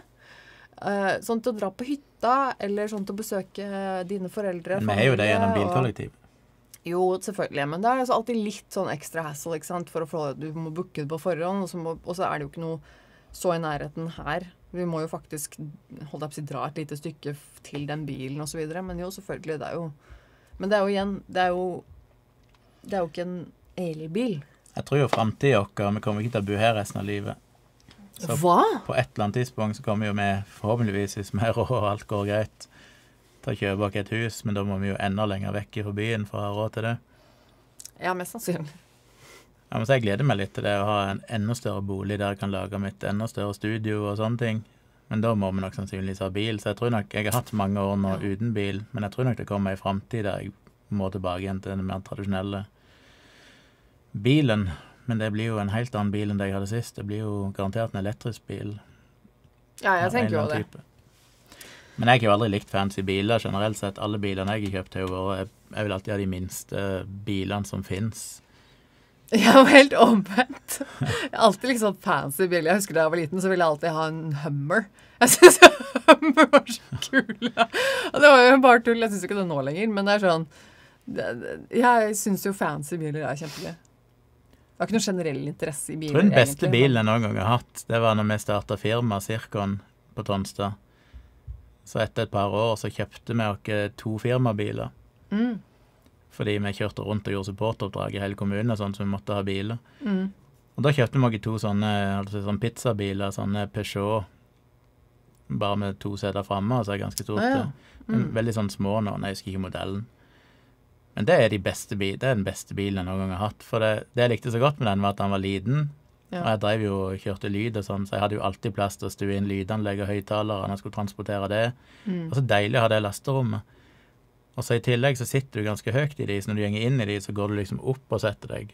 Og det elsker jeg òg, å sitte høyt, for du fikk så mye bedre overblikk enn på litt kulere biler der du sitter lågt, som er helt grusomt. Så en bitte liten bil der du sitter høyt, Hummer. det er min eh, Sitter du veldig høyt og fint? Ja, men det er ikke en liten bil. For tuller. Nei. Hummer. Nei, nei, nei. Nei, må være en miljøvennlig bil hvis du først skal kjøpe en bil. Ja, når vi skal kjøpe bil neste gang, så tror jeg knapt du får så mye alternativer. Innerspace sier Sarensdal var vel først og fremst Arild Edvardsen, var det ikke? Jo, det var jo Arild Edvardsen som var stjernen der.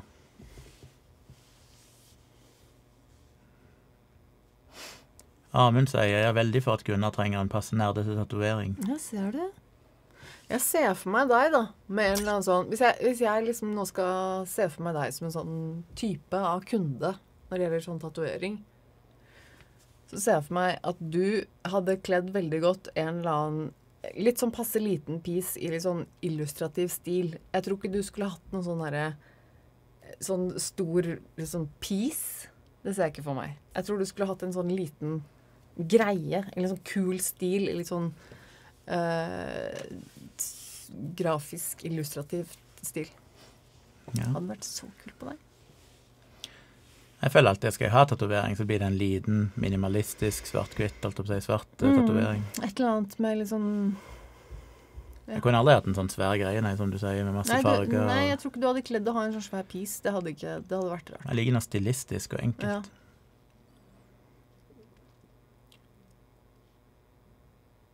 Det er nesten så jeg har Det er liksom flest tenkt flere ganger at liksom Å, skal jeg kjøpe det til deg? Julegave. Bursdagsgave. Jeg Jeg kan ikke gjøre det. Nei. For, altså, du, for du, du må jo ha lyst på det sjøl. Jan Roger spør hva motiverer dere til å stå opp i morgen med godt humør? Ja, først og fremst, i morgen er jo en fridag, så da skal jeg ligge lenge. Bortsett fra at jeg nok må ta hunden ut, da. Men eh, i morgen skal jeg ligge og ikke føle meg stressa på at jeg må opp og gjøre noen ting. Det, det- Ja. Det som motiverer meg, er at jeg alltid har lyst til å gjøre et eller annet. Jeg har lyst til å spille inn en podkast eller lage en video eller dille med noen datagreier. Nå driver jeg og bytter mailtjeneste her, så akkurat mens vi sitter her og streamer, så driver jeg en prosess og importerer mange gigabyte med mail fra en gammel leverandør til en ny leverandør. Som ofte pleier å Som jeg håper går bra. Med sånne ting blir jeg så glad av. Det er helt latterlig hvor mye glede det gir meg. Så når jeg har sånne prosjekter på gang der jeg skal sette opp et nytt system eller fikse noe eller endre Åh, det elsker jeg. Men akkurat hvis jeg er spesifikt i morgen, 1. januar 2021, så er det vel eh, bare at jeg har en fri dag der jeg kan kose meg, og så kan jeg stå opp, og så vet jeg at jeg har friheten til å sitte og gjøre et eller annet. Mhm.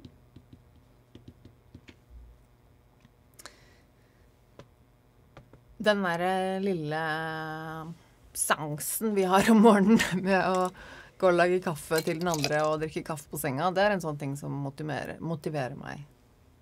For det Ja. syns jeg er så hyggelig måte å starte dagen på. Å få kaffe eller servere kaffe. Våkner hver morgen at uh, hvis jeg står opp først, så eh, etter når, jeg, når det er tid å vekke deg, så kommer jeg inn med kaffe, og så kommer jeg inn med hunden. Og hunden har jo lært seg det at når jeg på et visst tidspunkt, når hun ser meg komme gående med en kaffekopp gjennom stua, så vet hunden at nå skal vi inn til mamma. Og da blir hun helt vill og kommer gående bort til døra og står og hyper og sånn. Jeg åpner døra, og så går hun bort til soverommet og skal inn. Og hun er altså hun er den største mammadalten jeg har sett. Hun blir helt gal når hun treffer Tone. Så da løfter jeg henne opp i senga, og så bare vom opp i trynet på deg, og så er det bare overalt. Og hun er så hyper i flere minutter da for å endelig liksom roe seg ned. Og så er det samme motsatt hvis du sender opp først, men hun er jo ikke så langt på nær så hyper med meg. Ja, men hun er sånn med deg òg. For jeg Ja, går opp på kjøkkenet og lager kaffe, og så går jeg med kaffe til deg og meg i hver hånda, og så ser hun det med en gang, og så blir hun sånn «Hå! Kaffe! Ja! Senga! Og så med en gang bort til døra, og så står hun der, «Ho, ho!» og så neste dør, og så «Ho, ho!» Og så er hun sånn, og så, sånn som i dag tidlig, når jeg liksom var litt for treig med å løfte henne opp til deg i senga, så bare begynte hun sånn med en gang. hallo! Hallo! Men det er sånn jeg våkner da, de gangene jeg ikke våkner først, så våkner jeg alltid at det kommer en hund opp i trynet mitt. Og Ja, det finnes jo ikke noen bedre måte å våkne på. Er en så glad bisk som er skikkelig glad for å se deg. Det er jo det koseligste. Brage sier 'beklager om du har svart på dette tusen ganger før'. Hva skal din nye bok handle om? Skal svare på denne en gang til? Ja, det velger du jo. Det er spørsmål til deg. Du må nesten svare eller ikke svare. Opp til deg. Jeg vet ikke hvor rykta det går om ny bok. Den eneste nye boka jeg har skikkelig planlagt, det er som sagt en saksintantologi, som er en samling med tekster jeg har skrevet tidligere, som blir samla mellom to permer. Og den skal jeg lage så fort jeg får 200 patrons, så det er bare å bli patron nede på tjomli.com slash eh, Nei, patron.com slash tjomli. Det minner meg om at jeg burde egentlig uh, forwarde tjomli.com slash patron til patron.com slash tjomli. Så hvis jeg sier feil, så kommer de til rett sted Å ja, sånn, ja. Ja, det kan du gjøre. Ehm, og ellers så har jeg noen andre ideer til bøker jeg har lyst til å skrive, men jeg vet ikke hva, ennå hva jeg eventuelt kommer til å gjøre. Akkurat nå har jeg ikke tid, men hvis jeg en dag får nok patrons og nok inntekter på foto og andre ting, så har jeg lyst til å prioritere det.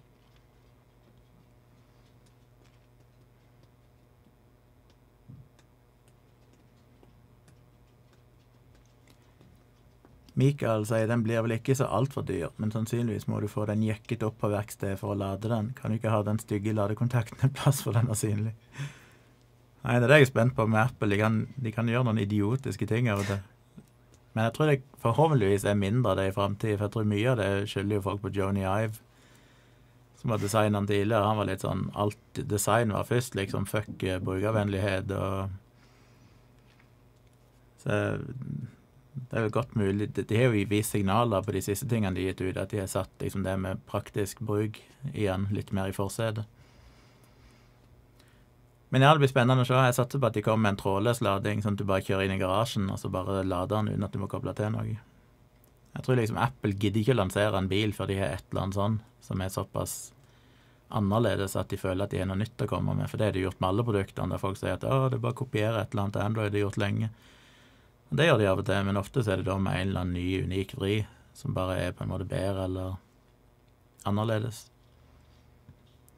Vi får se. Sannsynligvis er det lenge til han kommer her. Han blir sikkert først tilgjengelig i USA, og så går det fortsatt noen år før han blir tilgjengelig i resten av verden og sånn. Så gudene vet når han kommer til Norge, i så fall.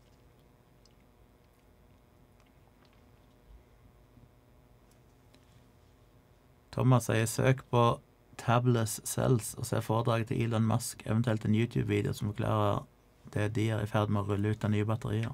Mm. Ja, de har definitivt vært ledende på det i en del år. Men jeg så nettopp en Eller så det ikke, jeg bare så en overskrift, eller en, jeg husker ikke om det var på YouTube, eller Ja, jeg tror det var YouTube, men jeg så ikke videoen, jeg bare så tittelen av thumbnail, men det var Hvor ble det egentlig av de her solceller ta, eh, Ikke takblad, ikke dette, sånn takstein. Ja. Som Elon Musk eller Tesla eller hvem det var, lanserte for noen år siden. Jeg husker jo det, de lanserte en sånn ja. takstein som var solceller innebygd på alle. Å ja. Og så hørte jeg plutselig ikke noe mer om de. De er liksom bare forsvunnet helt. Det var jo sånn, sånn Ja, shit, hva ble det av deg? Fikk jeg ikke med meg i det hele tatt, tror jeg. Vi snakka jo litt om det i den dialogiske episoden der vi hadde han Øy Øystein Ja, han eh, agronomen. Kommer ikke på hva han heter nå. Å ja. Hva var det han het for noe? Det husker jeg Åh, ikke. det står helt stille for meg. Vet jo så godt, egentlig. Men vi har hatt han med to ganger.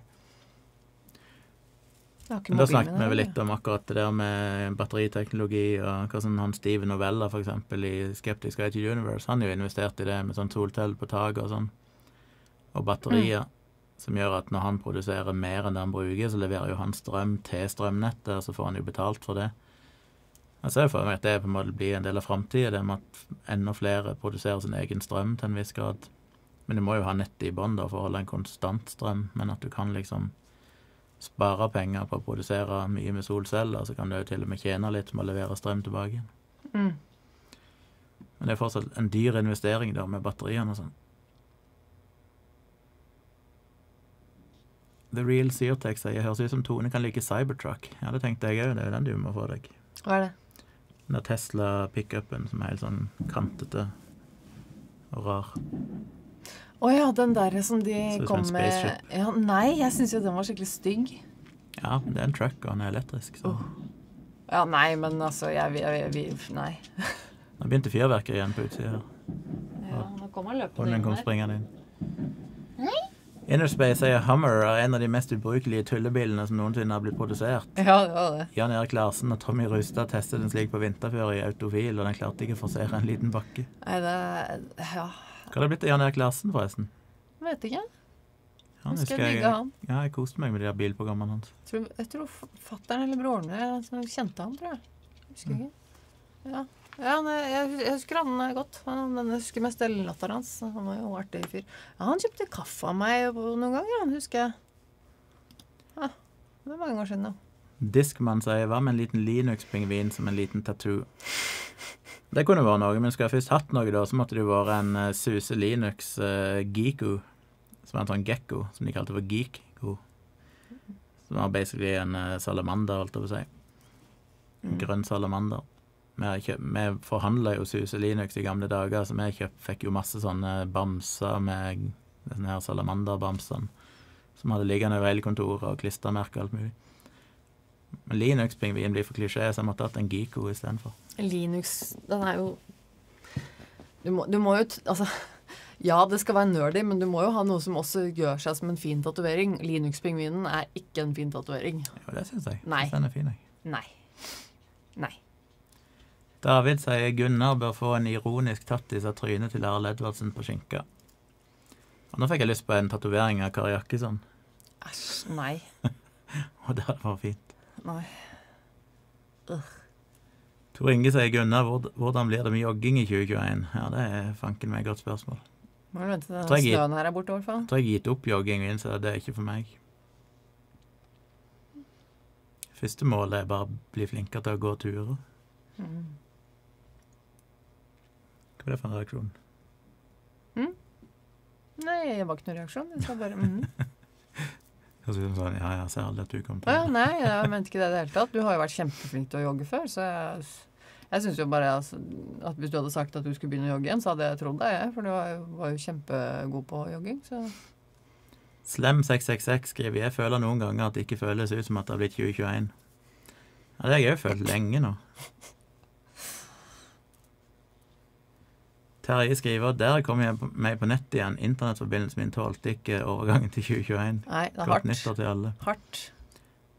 Bare sett en 2021-bug. En Millennium 20-versjon. Nei, 2021-versjonen av Millennium-bugen. Ja.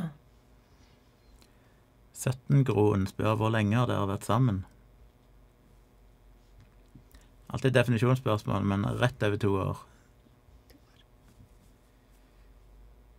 Hvor lenge har vi vært forlovet, da? Én måned. Ja. Kjell Hoem sier Gunnar, kjente du Svein Skeid? Trist å miste han på tampen av 2020. Hvem er det? Eller hva? Ringer ei bitte liten bjelle.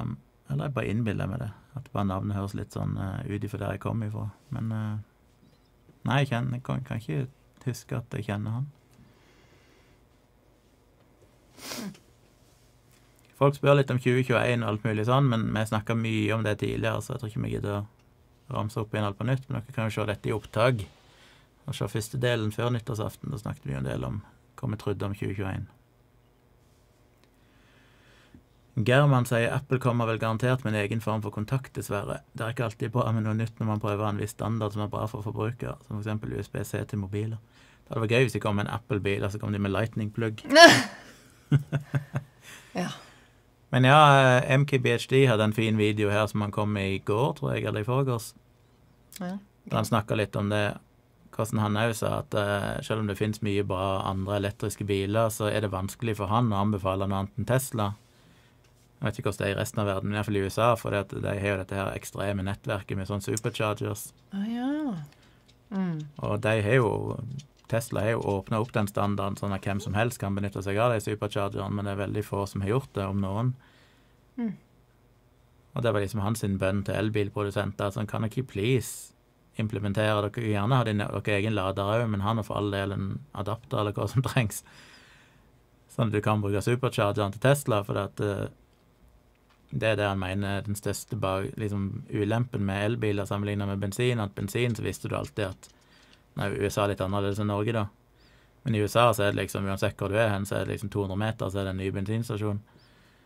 Eh, Det er litt lenger mellom de her i Norge. Men der var det liksom ikke med el-lading. Og han skulle ønske at eh, de kunne forholde seg til den der eh, Tesla Supercharger-standarden. Og det er jeg helt enig i. Hvis Apple kom med sin egen standard, vil det være helt idiotisk, med mindre de bruker musklene sine, de økonomiske musklene, til å rulle ut liksom en million ladestasjoner, sånn at de bare er overalt. Men det vil jo være en enorm forpliktelse i så fall å gjøre det. Mm. Så jeg håper nå inderlig at de inngår et eller annet samarbeid, eller bruker Blir nok trådløst, tenker jeg. Ja, jeg vet ikke hva som eh, De bare kutter ut hele pluggen. Trådløs lader, altså en eller annen sånn adapter du kan plugge til, som du kan bruke hvilken som helst charger. Altså. Mm. The Real Sirtech sier Tesla-taksteiner å få i flere amerikanske stater. Mm. Jeg har hørt lite om de allikevel. Det er liksom forsvunnet Roy sier det er vel for lite sol i Norge på nåværende tidspunkt. Ja, det er jo selvfølgelig mindre sol her nå, men eh, jeg vet ikke. De er sikkert dyre, da. Jeg husker ikke hva de Det må jo være dyrt. Thomas sier at Cybertruck er beregnet på det amerikanske markedet, og den er ment å erstatte det de har forurensende SUV-er og Hummer i USA. Konkurrentene blir tvunget til å følge opp. Det er det som er kulest med Tesla. Ja, Du kan si mye om Elon Musk, og han er jo temmelig ko-ko til tider og sånn. Men herregud, så viktig det har vært at han har gått i bresjen der og virkelig pusha den elbilteknologien. Ja, enig. Hvis ikke han hadde gjort det, så hadde vi jo leid så mye på etterskudd med elbiler. Men han er jo på en måte tvunget alle andre produsenter til å komme med sine alternativer. Mm. Og nå har vel alle, om ikke de har, så kommer de vel i år, så kommer vel alle bilprodusenter omtrent til å lansere elbiler. Martin spør har dere sett Dess på TV2 Sumo. Nei, jeg har uh, snakket om den flere ganger. Jeg har lyst til å se den, jeg. Eh, men jeg vet ikke helt om du har lyst til å se den. Eller? Jo, jeg har det. Ja. Det er bare hver gang vi skal se et eller annet, så glemmer vi jo vekk. Så den er vi skal se, Ja. og så kommer vi ikke på det. Altså. Den har jeg lyst til å se. Den har jeg, den har jeg hatt på lista mi lenge. faktisk. Thomas sier hvem andre enn Tesla forteller hva slags teknologi de kommer til å rulle ut og dele såpass mange patenter. Jeg er ikke Tesla-fan, men ser at noe av Teslas filosofi er å pushe konkurrenten til å forbedre seg. Og vi kan velge mellom mange super-elbiler. Selv har jeg bare en Hyundai Ioniq. Selv den er rene luksusen. Men hvordan kan man ikke være Tesla-fan bare pga. det? Jeg syns jo det er et av de mest geniale tingene Altså, Jeg skulle hatt bil nå. jeg ble helt sånn overveldet uh, fan med en gang, på en måte. Med en gang Elon Musk gikk ut og sa at vi kommer til å dele patenten vår på alt. Jeg syns det er helt fantastisk om bare alle kunne gjøre det. Tenk deg så mye fortere og bedre det hadde gått med å få teknologien framover. Og det er jo bare fantastisk. Og det derre patentgreiene som de er så ekstreme på i USA, går så langt noen ganger at det er jo til ingens fordel overhodet. Jeg syns det er bare Jeg bare digga det. Jeg husker det så godt da Elon Musk gikk ut og sa at han bare flagra markene. Her har dere oppskriften. Så det er helt fantastisk. Helt fantastisk. Flere som skulle gjort det. så- Karoline har en e-golf, som hun er fornøyd med. Mm, ja. The Real Seartech sier at Tesla sine superchargere i EU bruker samme plugg som de fleste andre produsenter. Er det bare pluggen det står på? Det er ikke noe sånn uh, elektronikk òg? Kanskje ikke det. Innerspace sier det er et problem med utbygging av hurtigladestasjoner i Norge. Det bakenforliggende elnettet. Det begynner nå å merkes. Ja. Ja, det vet jeg ingenting om, altså. Thomas sier selv om det ikke er hurtiglading overalt ennå, kan elbiler lades overalt der vanlig strøm. German sier nå er det 2021, så nå kan vi si Kari Jakkesson han bare så 2020. Nå er Trump inne i sin siste måned. ja tenk deg det. Nå er det ikke ja, Det er på under en måned. Ja. Under en måned nå, så er Enn sin siste liksom, ja, kalendermåned. Men nå er det bare Åh, det skal bli så deilig å se den motbydelige mannen bare troppe ut av Det hvite huset. Så. Åh. Jeg lurer på hvordan det kommer til å gå. Jeg er mer optimistisk nå enn jeg var for et par måneder siden. Altså, jeg tror han, kom, altså, han kommer jo til å Altså, han blir jo dratt ut hvis ikke han går, på en måte. Men, men, men eh, jeg er mer spent på hvordan han kommer til å ta det sjøl. Om han kommer til å dra på seg litt grann verdighet. Eller om han kommer til å gå derfra som en sur liten drittunge som bare sier at «Ja, nå er egentlig jeg noe valg til valget. Som en sånn Jeg hadde vært så redd for livet mitt hadde jeg vært Biden, med alle de der galne QAnon-folkene som jeg hadde vært livredd for ville henrette meg til Men jeg tenker at eh, det, det var jo det jeg tenkte på da Altså da, da valget var på sitt største, holdt jeg på å si. Rett etter valget. Da det ikke skjedde noe da, så Ja. tenker jeg at Da er det vel ikke sikkert det skjer noen ting, men vet jo aldri, selvfølgelig. Nei. Jeg syns fortsatt det er overraskende at ikke vi har hatt en litt sånn mer betydelig Altså Den der duden i Nashville som sprengte seg opp, han var jo sånn konspirasjonsteoretiker og trodde jo på et eller annet 5G-konspirasjoner og et eller annet greie.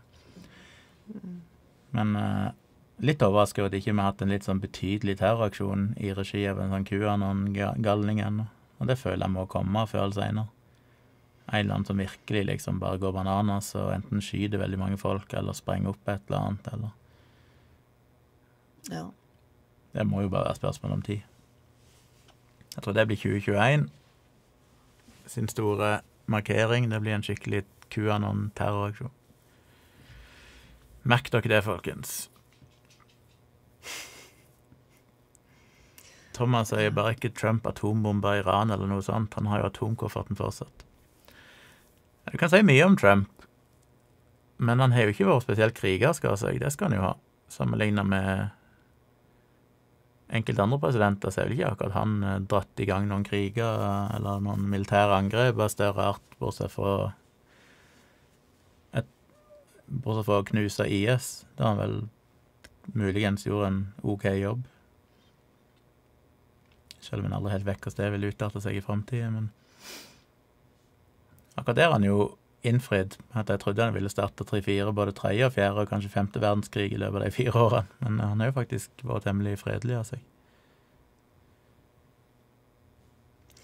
ja, hvis du ser bort fra alle opptøyene og splittelsen han har skapt i sitt eget land, så Ja, ja, selvfølgelig han det, men sånn rent sånn militær aksjon, altså. Ja, ja, ja, jeg skjønner hva du mener.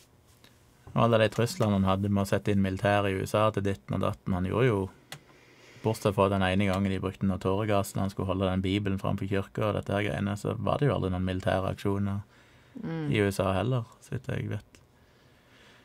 Thomas sier nå hvorfor jeg ikke er fan av selve bilen Tesla, er at fordi den er mest for spesielt interesserte, kostbar å reparere, men bra den har fans for all del.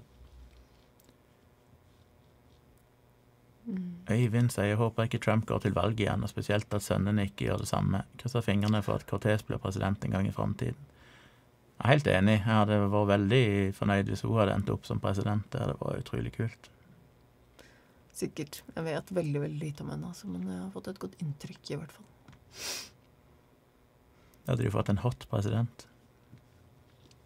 Hæ? What? Nei. Jo, det er jo Innerspace sier vekk med Trump, Jakkesson, Flat Earthers og andre konspirasjonstullinger. Men kommer vi faktisk til å være så heldige? There's more stupidity than hydrogen in the universe, and it's got a longer shelf life. Frank Zappa. Jan Roger sier Gunnar, har du tenkt på å lage merch? Har i mange år ønsket meg en T-skjorte, hettejakke med teksten Hva ville Kjomli sagt? Der har du ideen din. Ja. Den er god, den. Jeg altså. føler det er litt sånn pretensiøst å lage Kom med den sjøl. Ja. Jeg ser den. Men det er, det er jo en morsom idé, da. Men da, jeg, jeg skjønner at, du, at det er litt sånn ikke å lage den sjøl. Nei, Det var gøy med merch, men alle sånne ting som det For det første så undervurderer jeg Eller jeg vet ikke om jeg undervurderer, men jeg har jo ikke selvtillit til å tro at det finnes en eneste person som ville ha kjøpt noe av det. Og derfor tør jeg liksom aldri gjøre det. Det var litt som med den saksynte-antologien. Jeg hadde jo egentlig tenkt å kjøre den som en kickstarter, men så tørte jeg aldri, for det er sånn ah, det er så flaut når ingen kommer til å Mm. backe det, og så blir det bare en fiasko. Så når man først får selvtilliten til å tro at det faktisk er noe marked for det, så hvis mange nok maser om det og sier hei, vi vil ha merch, så kanskje jeg får selvtilliten til å tenke at ja, kanskje det faktisk er noen som er interessert. Nei, det var jævlig gøy å lage det, og det fins jo en del sånne merch-greier der du kan gjøre det omtrent uten risiko, der de mer eller mindre vil printe på forespørsel. Du ikke trenger liksom ha noe lager eller bestille så mye i forkant. Så det fins vel noenlunde rimelige måter å gjøre det på. 17 Groen sier hva syns dere om The Boys-serien? Jeg likte den. Ja, Mm. det var kul. Jeg sier ja. Var litt seint ute med å se den, men når vi endelig så den, så Mm. var den jo kul. Martin spør hvor mange språk snakker dere? Jeg kan ikke brife meg så mye. Jeg snakker engelsk og norsk. ja. Skjønner bitte grann tysk. Kunne sikkert til nød klart å gjort meg noenlunde forstått på tysk på veldig begrensa innenfor veldig begrensa områder. Jeg, jeg kan ikke skryte på meg at jeg snakker tysk på noen selvs måte. Jeg snakker engelsk og norsk. ja. Engelsk og norsk. Det er jo det språkene jeg kan, kan liksom. Kan litt japansk, da. Kan jeg veldig lite japansk. Jeg kan litt swahili. Jeg kunne mer før, men uh, husker ikke så mye av det lenger. Jeg syns jo språk er gøy, men jeg, altså, jeg, altså Jeg tror vi skal ha en sånn ambisjon i 2021 at vi skal lære oss et språk. Så begge to laster ned en, sånn, en av de her appene. Hva det heter Bilingua eller et eller annet sånt. mm, Nei. Duolingo eller hva det heter. Jeg har til og med gått på japanskkurs. Jeg bare jeg orker ikke å drive og pugge språk. Det Nei, er det er så som slitsomt. Ja. I hvert fall ikke hvis du har Altså En ting er hvis du har noen å øve med eller holde på med det aktivt, sånn at du kan vedlikeholde og faktisk gjøre noe gøy ut av det. Men det å bare sånn Jeg skal lære meg et språk, og så sitte alene og holde på med det, det er nesten umulig. Ja. Hvis jeg først har lært språket, så er det sånn når du da føler at du behersker det sånn noenlunde, hvis ikke du da bruker det jevnlig, så Ja, det glemmer er du det. helt umulig. Nei, det gidder jeg ikke. Jeg pugger opp min, eh, mine japanskkunnskaper rett før jeg drar til Japan hver gang, men det er liksom Ja, det blir liksom det. Erik mener at jeg burde lansere mitt eget portvinmerke. Det hadde ikke kledd deg. Nei. Måtte lansert en egen cola, da. Ja, en Tøyen-cola heller, heller noe uten alkohol, i hvert fall. For at at du skulle hatt din egen alkoholholdig drikke, hadde ikke vært uh, riktig i det hele tatt. Du drikker jo basically aldri alkohol. Det Tjom hadde vært Cola. Veldig rart.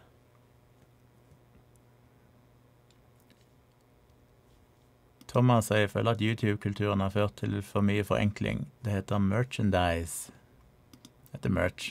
Nå Det heter merch. Sorry, Thomas. Innerspace sier ja, når man bruker USA etter 1980 som rettesnår for alt fra skolepolitikk til forskningspolitikk, så blir det sånn. Det er jo pun intended trist som faen. Ja, det var referanse til noe tidligere oppe med Anomi sier jeg kan ta en kaffe en dag etter konaen er over, så kan jeg lære deg litt mer tysk under. Ja, det må vi absolutt gjøre. Hva skal du med det, da? Skal du dra til Tyskland, da, eller?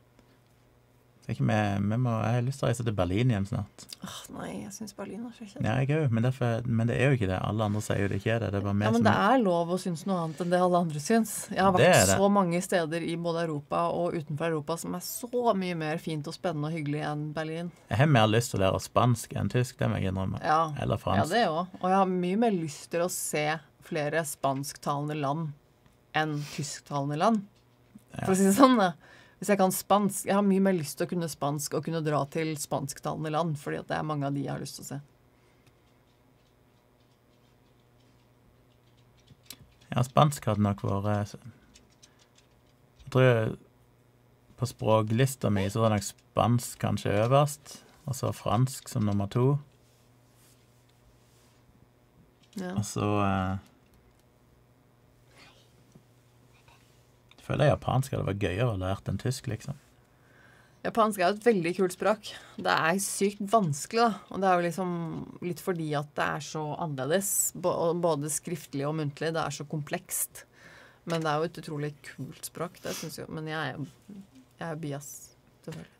Men swahili er vel et av de språkene jeg hadde syntes var gøyest å lære, og det er vel et av de enkleste språkene å lære. Men Er det det? ja, for du uttaler basically alt sånn som du skriver det. Det er ingen sånn tricky Ah. ting der. Um, og det er et fint språk. Jeg syns swahili er fint. Det er så rundt og fine ord. Ordene er liksom så Ja. Ja, det er fint. Men igjen, jeg hadde fått veldig liten nytte av det hvis jeg ikke jeg begynte å reise mye til Afrika. Men hvis du først er i Afrika, så er jo swahili temmelig utbredt og anvendelig. God aften, Ivar. Eller god natt. Anomi sier tror jeg generelt kan være flink til å lære språk, men ser ikke vitsen hvis jeg ikke skal bruke det aktivt. Hata språkfag på skolen, hadde fransk i fem år, men mista motivasjonen fordi jeg ikke brukte det utenfor klasserommet. Har litt lyst til å lære meg fransk igjen en dag. Fint språk. ja, men det er akkurat det. Det er veldig vanskelig å, å lære seg språk hvis du ikke har muligheten til å øve det inn. Anomi sier at hørte at mandarin skal være lett å lære, og så hadde jo arabisk vært sjukt, vært sjukt nyttig. Mandarin er ikke lett. Det er veldig vanskelig. For, eller det er jo selvfølgelig Jeg ser jo på en, subjektivt også. Men. jeg ser jo på en sånn dude, jeg vet ikke hva han heter, som har sånn YouTube-video. Han har jo lært seg forskjellige kinesiske dialekter og ja, masse asiatiske språk. Mm. Og han er jo sånn challenges òg, der han Han er jo ti millioner videoer der hele poenget er hver eneste gang at han enten er i Asia eller går i Chinatown i New York eller noe sånt. Oh, ja. Og så går han med en kompis, og så bestiller han et eller annet, skal kjøpe frukt eller noe sånt på markedet, og så begynner de å snakke engelsk. Å oh, ja, det har jeg sett. Ja, det er morsomt, det. så plutselig midt inni så bare slår han over til den, det språket eller den dialekten som han vet at de liksom. ja, Ja.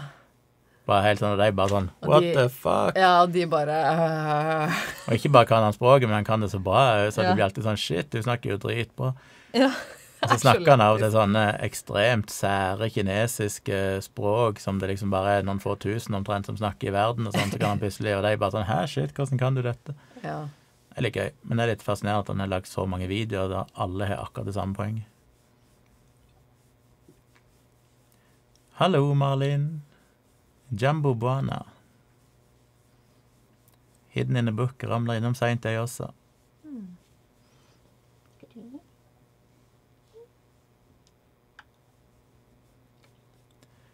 Erik sier Berlin er jo så mangesidig, man bør vel prøve ut flere bydeler. Vært der to ganger uten å bli helt frelst, men vil gjerne. Ja, Det er litt av mitt poeng. Jeg har ikke bare vært der én gang i voksen alder, og da fikk jeg ikke sett så veldig mye, og syntes det virka ganske kjedelig og traurig. Men jeg snakker med så mye folk som syns at Berlin er helt fantastisk. ja. Men jeg tror kanskje Berlin er jo en plass du får mer ut av hvis du hadde bodd der litt, så jeg har en sånn liten drøm om å bo noen måneder i Berlin, bare for å liksom virkelig oppleve det. Ja, men jeg ser liksom ikke på øh, hvorfor. Men altså sånn Ja, det er helt fint og folk som digger Berlin og sånn. øh, og så mm, Det er måte Det er ikke noe sånn at det er det verste stedet jeg har vært, eller sånn, Det er sikkert Men jeg, jeg ser ikke noe poeng med at jeg skal lære meg å like det når det er så mange andre steder som jeg faktisk har lyst til å se, og som jeg liker å dra til. Det er liksom Jeg har ikke noe behov for å digge Berlin, liksom. Martin spør når kommer neste episode av Virkelig grisete. Ja, Vi tok en liten julepause, men den skal være på plass på mandag. Førstkommende mandag. Hva er det? Fjerde? Femte? Fjerde? Ja, fjerde blir det vel, ja. Får prøve å spille inn noe i løpet av helga. Mm. Hidden in a book sier hvor lett et språk er, kommer an på hvilket grunnlag man har fra før. Ja, så er det veldig forskjell på folk å lære språk òg. Jeg tror du lærer språk lett. Ja, jeg har ganske sånn godt språk. musikalsk. Ja. Inner Space sier engelsk er lett for oss nordmenn å lære fordi den grunnleggende grammatikken er temmelig lik. De sterke verbene er faktisk det eneste man behøver å pugge. Og Det er den ene ting, men den andre er jo at vi er jo så eksponert for engelsk 24 timer i døgnet, så er jo alt engelsk og det vi konsumerer omtrent av kultur. Ja. Det er jo Hadde alt vi så var tysk på TV, og musikk var på tysk og sånn, så hadde vi jo snakka tysk flytende hele gjengen omtrent. Mm. Anomi sier jeg tror nok mandarin hadde vært vanskelig med tanke på at det er en helt annen språkfamilie, men språket i seg sjøl skulle ikke være så komplisert. Har aldri satt meg inn i det, bare hørt over folk. Ok. Er det mandarin? Det er iallfall en sånn kinesisk greie der du er så Der liksom tonefallet har så mye å si. Ja, de, de, det veldig, bruker det veldig mye kinesisk. Det har veldig mye å si hva slags tonefall de bruker. Det er ikke bare mandarin, det er også veldig generelt i kinesisk språket. Med andre språk òg, for så vidt, men eh, Men det er sånn med, med kinesisk som det er med, med arabisk og litt andre sånne språk, og for så vidt sikkert også en del afrikanske språk, også det at de har eh, mye annerledes lyder i språket sitt, som ofte kan være vanskelig å, å lære. Men det er jo veldig ofte Det er litt gøy med tanke på japansk, fordi vi som bor her på Østlandet og snakker østlandsk-norsk dialekt, har ofte lettere for å lære seg å snakke godt japansk, fordi i Japan bruker de veldig få lyder. Men de, de har, vi har en spesiell lyd som eh, vi på Østlandet bruker som det er, veldig, det er egentlig ganske gøy. Som veldig få dialekter og språk i hele verden bruker, men da inkludert Japan. Og det er den grunnen, hele grunnen til at man ofte sier at eh, japanere blander l-er og r-er. At, eh, og det er fordi at de bruker ikke lyden r, og de bruker ikke lyden l. De bruker en eh, mellomting som er en r-lyd. Som er den samme, den samme type r-en som vi bruker her på Østlandet innimellom. Når vi sier på eksempel eh, ja, andre eller Harald eller den derre r-lyden som er sånn ett tapp mot, mot ganen. Som sånn r-r-r-lyd, som er sånn langt, langt fram, men et bare veldig liksom kort tapp. Som du for eksempel bruker ikke en sånn r, for du bruker si den engang. Nei, du bruker en skarre-r, og, og andre r. Ja, men det er sånn Ja, for du Jeg blir sånn Østfold. Liksom, Det er en veldig sånn avslørende Ja, men det er litt gøy, for det er en veldig sånn Jeg kan aldri avslørende snakke greie. Det, og det er litt gøy, da jeg for eksempel, som har en, en østlandsdialekt her i Norge, har jo kjempelett for å kunne lære meg den R-lyden som de bruker i Japan. Eh, for de sier jo da arigato, ikke sant? Med den tapplyden, der hvor, der hvor vi sier arigato. De sier ikke arigato, de sier arigato. Med en sånn tapplyd. Så det er ikke en L, det er ikke en R, det er en R. Arigato. Så det, det er litt sånn Jeg skal si alligator, det ut som akkurat det samme. ja. Nei, men det er ikke den samme. Det er ikke en L. Ja, men de sier det likt. Arigato. Ja, for, for, de, for de vil jo bruke den lyden der vi bruker R og L. For, for, for dem Det er ikke at de ikke nødvendigvis hører forskjell. De kan nok høre forskjell, men de kan ikke de kan ikke lydene, fordi at de bruker ikke de lydene selv. Det er, det, jeg syns det er fascinerende, altså. Ja, det, det er gøy. Språk er jo litt eh, Det er spennende. Erik lurer på om vi pleier å se nyttårskonserten fra Wien. Jeg gjør ikke det. Visste ikke at det fantes engang. Jo da. Nei, jeg visste ikke det. Jo, det gjorde du. Nei.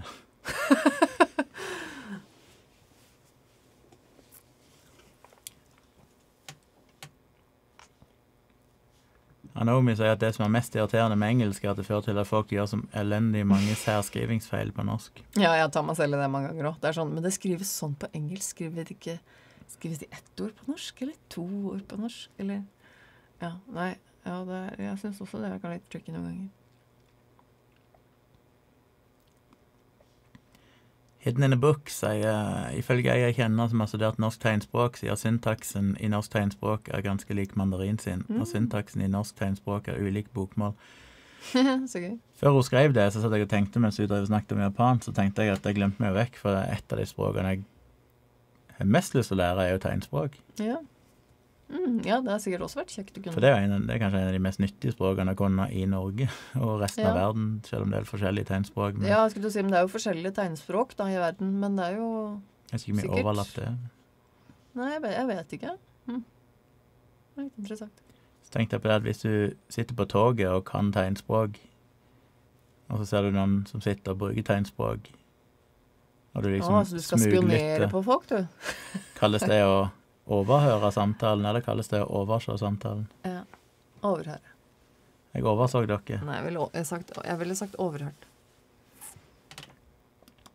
En annen morsom ting med norske dialekter, adjektivene i de fleste dialektene i Rogalandet er morsomme, eksempel ei fine jente, Ja. De er så gode. ei fine jente, med jo a-endinga da.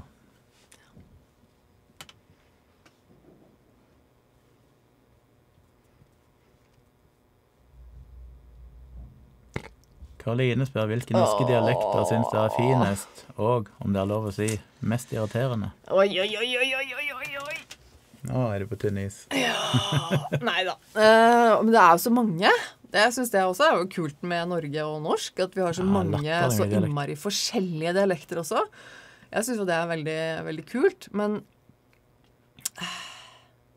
ja, fra, jeg, fra jeg var liten, så var jeg veldig glad i bergens, faktisk. Fordi eh, Det er litt fordi at eh, min altså, mamma vokste opp mange år i Bergen og snakket alltid liksom veldig godt om, om Bergen og, og bergensk.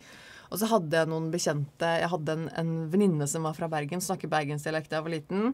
Så jeg, og, og så hadde jeg også noen venner av familien vår, så, så jeg hadde litt sånn sånne assosiasjoner. Så jeg, jeg assosierte Bergen med en sånn hyggelig greie.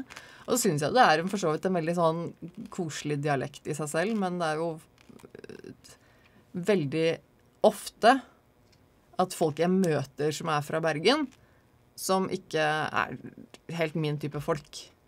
Og det, det er snakker jeg veldig generelt. Men, eh, så, men, det, men det er som med dialekter som det er med, med alt, at det kommer så an på personen også. Ja. Det er jo for eksempel han jeg jobber sammen med. Han er jo fra Bergen, han er fra Os. Eh, men han er Han er utrolig avbalansert og rolig. Litt sånn deg type. Og da er det veldig sånn pent. Veldig koselig. Uh, men hvis du får en brautende bergenser av en fotballsupporter som skriker, så er det jo det verste du kan høre omtrent. Så det er liksom noe med Selvfølgelig kommer jo det veldig an på personen også. Men jeg har alltid Jeg vet ikke, jeg syns jo Nå blir du sikkert veldig sånn. Jeg, jeg syns jo Av en eller annen grunn så har jeg alltid likt eh, Haugesund. Jeg syns den er veldig koselig. Jeg likte den veldig godt før da jeg var yngre, men jeg er ikke så glad i den nå lenger. Ja, altså, altså Ja. Og så er det jo selvfølgelig eh, sørlandsdialekten. Altså den typiske Kristiansand-dialekten liksom rundt der. Jeg har alltid likt det, for jeg har alltid tenkt på at det, det er liksom den koseligste. De med alle Ja. de bløde konsonantene. Og de alltid går ned, altså ned på, hver, på enden av hver setning. Og så er det liksom Kaptein Sabeltann og Altså alle de der. De der. Eh, Det var koselig, liksom. Men jeg vet ikke. Det var jo 90 av grunnen til at når min eh, ekskone ville flytte tilbake inn til Kristiansand fra Sirdal, og vi diskuterte hvem som skulle ha dattera vår hovedsakelig, så gikk jeg med på at hun kunne ha den, for jeg tenkte at det er jo bedre for å vokse opp med kristiansandsdialekt enn å vokse opp med denne dialekten. Ja, Jeg sa at jeg tenker på når hun var liten, så snakket hun sånn som meg de første par leveårene ja sine. det er litt rart å tenke på. Eller første tre leveårene. Og så begynte hun ganske kjapt å gå til Kristiansand når hun flytta. Men hun snakker Ja, hun snakker jo Kristiansand. Men hun snakker jo ikke veldig sånn Kristiansand. Hun snakker sikkert veldig sånn ungdom. Ungdom-Kristiansand, som er sånn utvanna. Jeg vet ikke. Nei, Jeg får, jeg får liksom ikke den der super-Kristiansand-dialekta fra henne, på en måte. Liksom det. Jeg liker veldig godt kristiansandsdialekt. Jeg er jo litt prega av uh, Når jeg var yngre og vi hadde Sirdal videregående skole, og de fleste elevene der var fra Kristiansand og området. Det er jo en veldig koselig Så ble vi jo sånn dialekt. prega av at alle de hotte jentene oh, ja. alle, Det var liksom kristiansandsdialekt, så det ble veldig fancy for oss med kristiansandsdialekt. var liksom det kule. Ja. Men jeg syns det er en fin dialekt. Veldig koselig dialekt. Men så liker jeg òg veldig godt sånn eh, eh, Egentlig sånn Harstad-dialekt rundt der. Oh, ja. Så Tromsø Jeg liker mye av de der nordlandske nordlen, nordlendingdialektene. Ikke de der Ja. mest ekstreme Jeg, jeg syns Ja, jeg syns også noe Jeg syns Tromsø er fint. Ja, Tromsø-dialekten. men ja, det er også det, det er også veldig sånn som kommer an på At det kommer an på personen. Det er, jeg føler at det, det, kan, det kan fort bli så innmari mye hvis du har en person som bare Jeg vet ikke. Ja.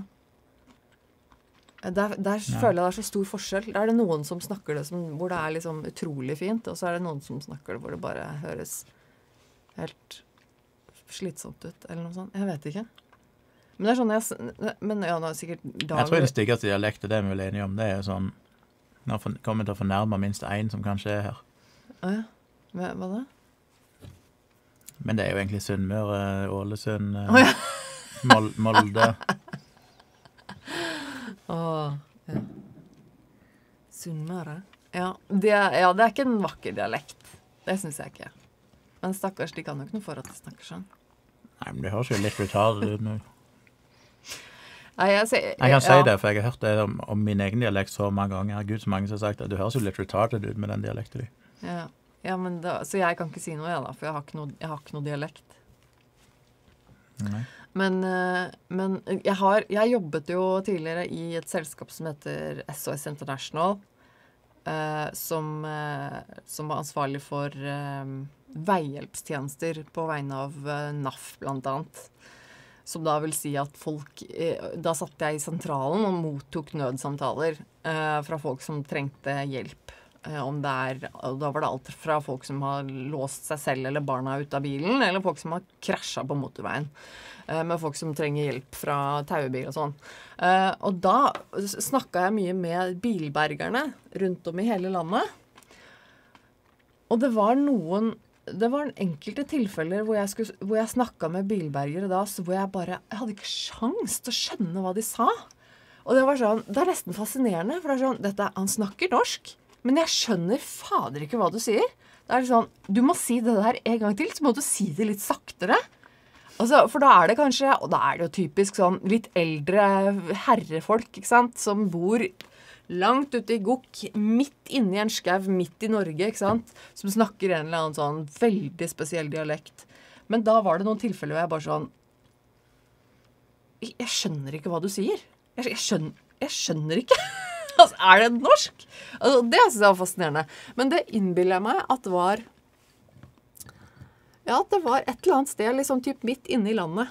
Et eller annet sted i litt sånn Jeg skal vedde på det var i, for det er min kollega som jeg drev firma med i alle år. mm, Han er jo fra Oppdal. Ja. Jeg har Ja. hatt ganske mye med oppdølinger å gjøre, fordi at han har hatt kompiser som jeg har hengt med og vært på besøk og ditten og datten. Mm. ja men, Og når han har snakka lenge med meg, så legger han om litt så han blir forståelig. Men hvis han har vært lenge vekke fra meg, og jeg møter han igjen okay. For dette er, det mest fascinerende med oppdalsdialekt at de har jo ikke bokstaven ø. Så de sier ikke snø, de sier snæ. Alle ø-er blir erstatta med æ. Ja. Ja. Ja. Men de her, altså så, det er krevende å forstå til tider når, de, når han har vært lenge i Oppdal og plutselig Ja. møter deg, så snakker han så innbarka Oppdal-dialekt. Ja, og så, snak, så snakker du da kanskje med en, en eldre herremann som, som har bodd der hele Ja. livet, og som bor ute i skauen. Da kan du tenke deg at da er det ikke Da er det ikke noe utvanna. Da er det ikke noe pent. Da er det på en måte renspikka dialekt. Og for meg da som sitter i et og det, er liksom, og det verste er jo på en måte at det er jo de som jeg snakker med av bilberger og sånn på telefonen, de vet ikke nødvendigvis, eller de tenker ikke nødvendigvis over at jeg sitter på en sentral i Oslo. Så, så jeg sitter jo der bare sånn Du, jeg sitter i Oslo, jeg. Jeg tror du må jeg tror du må gjenta det. Eller så begynner de å referere til sånn Ja, men du må bare la Bare si uh, Ja, men jeg kommer rundt oppi svingen der, så må man ta til høyre oppe ved lensmannen der, og så uh, ta til Og så, så blir jeg sånn Du, uh, sitter i Oslo, jeg. Dette sier meg ingenting. Nei, nei det, var- det var mye interessante, men stort sett utrolig hyggelige folk. Veldig, veldig koselig, da. Å.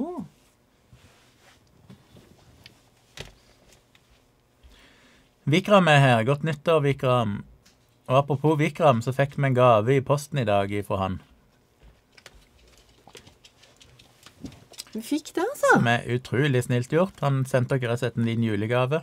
Fikk tilsendt en gave i posten. Det er jo helt fornemt, må jeg si. Det har jeg alltid drømt om å bli en sånn eh, YouTuber slash eh, et eller annet som får tilsendt ting av folk. Ja. Det var jo sånn en, Det jeg fikk eh, tilsendt den der eh, Dr. Pickles-greia, tatoveringskrem og sånn fra Australia Når de bare hadde lyst til å sende meg noen greier for å prøve. Det er sånn Jeg har kun fått tilsendt Nei, det er ikke helt sant. Jeg har fått tilsendt blomster en annen gang før fra folk som har gratulert meg med et eller annet, hvis, jeg, hvis det har skjedd noe fint. Men det eneste jeg har fått sånn av ukjente, anonyme beundrere tidligere, det var jo en glitterbomb som jeg fikk i posten en gang. Mm, Jeg vet ennå ikke hvem som sendte den. Heldigvis også. Var det godt ment eller vondt ment? Jeg tror det må være vondt ment. Jeg tipper det var en eller annen antivakser eller sånt som eh, i sin mildeste form for terrorisme Ja, det hadde jeg ikke hatt veldig lyst til å få.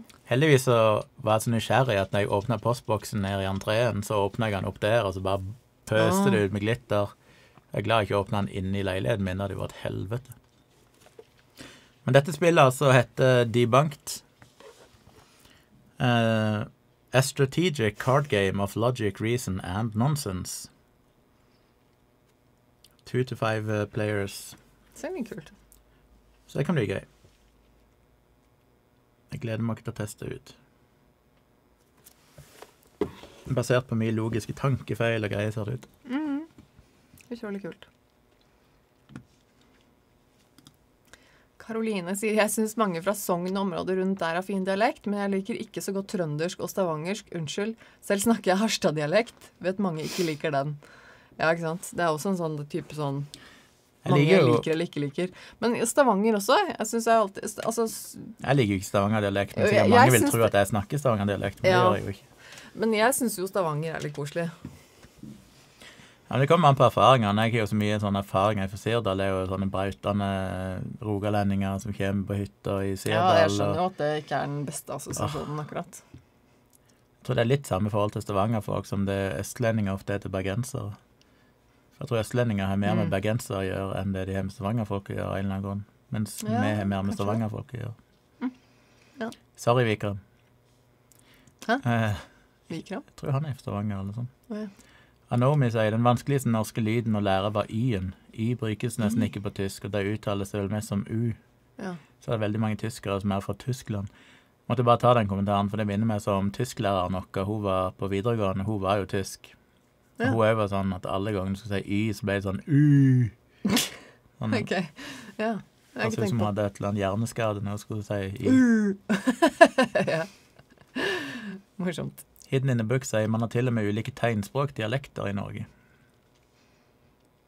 Ja. Det er fascinerende.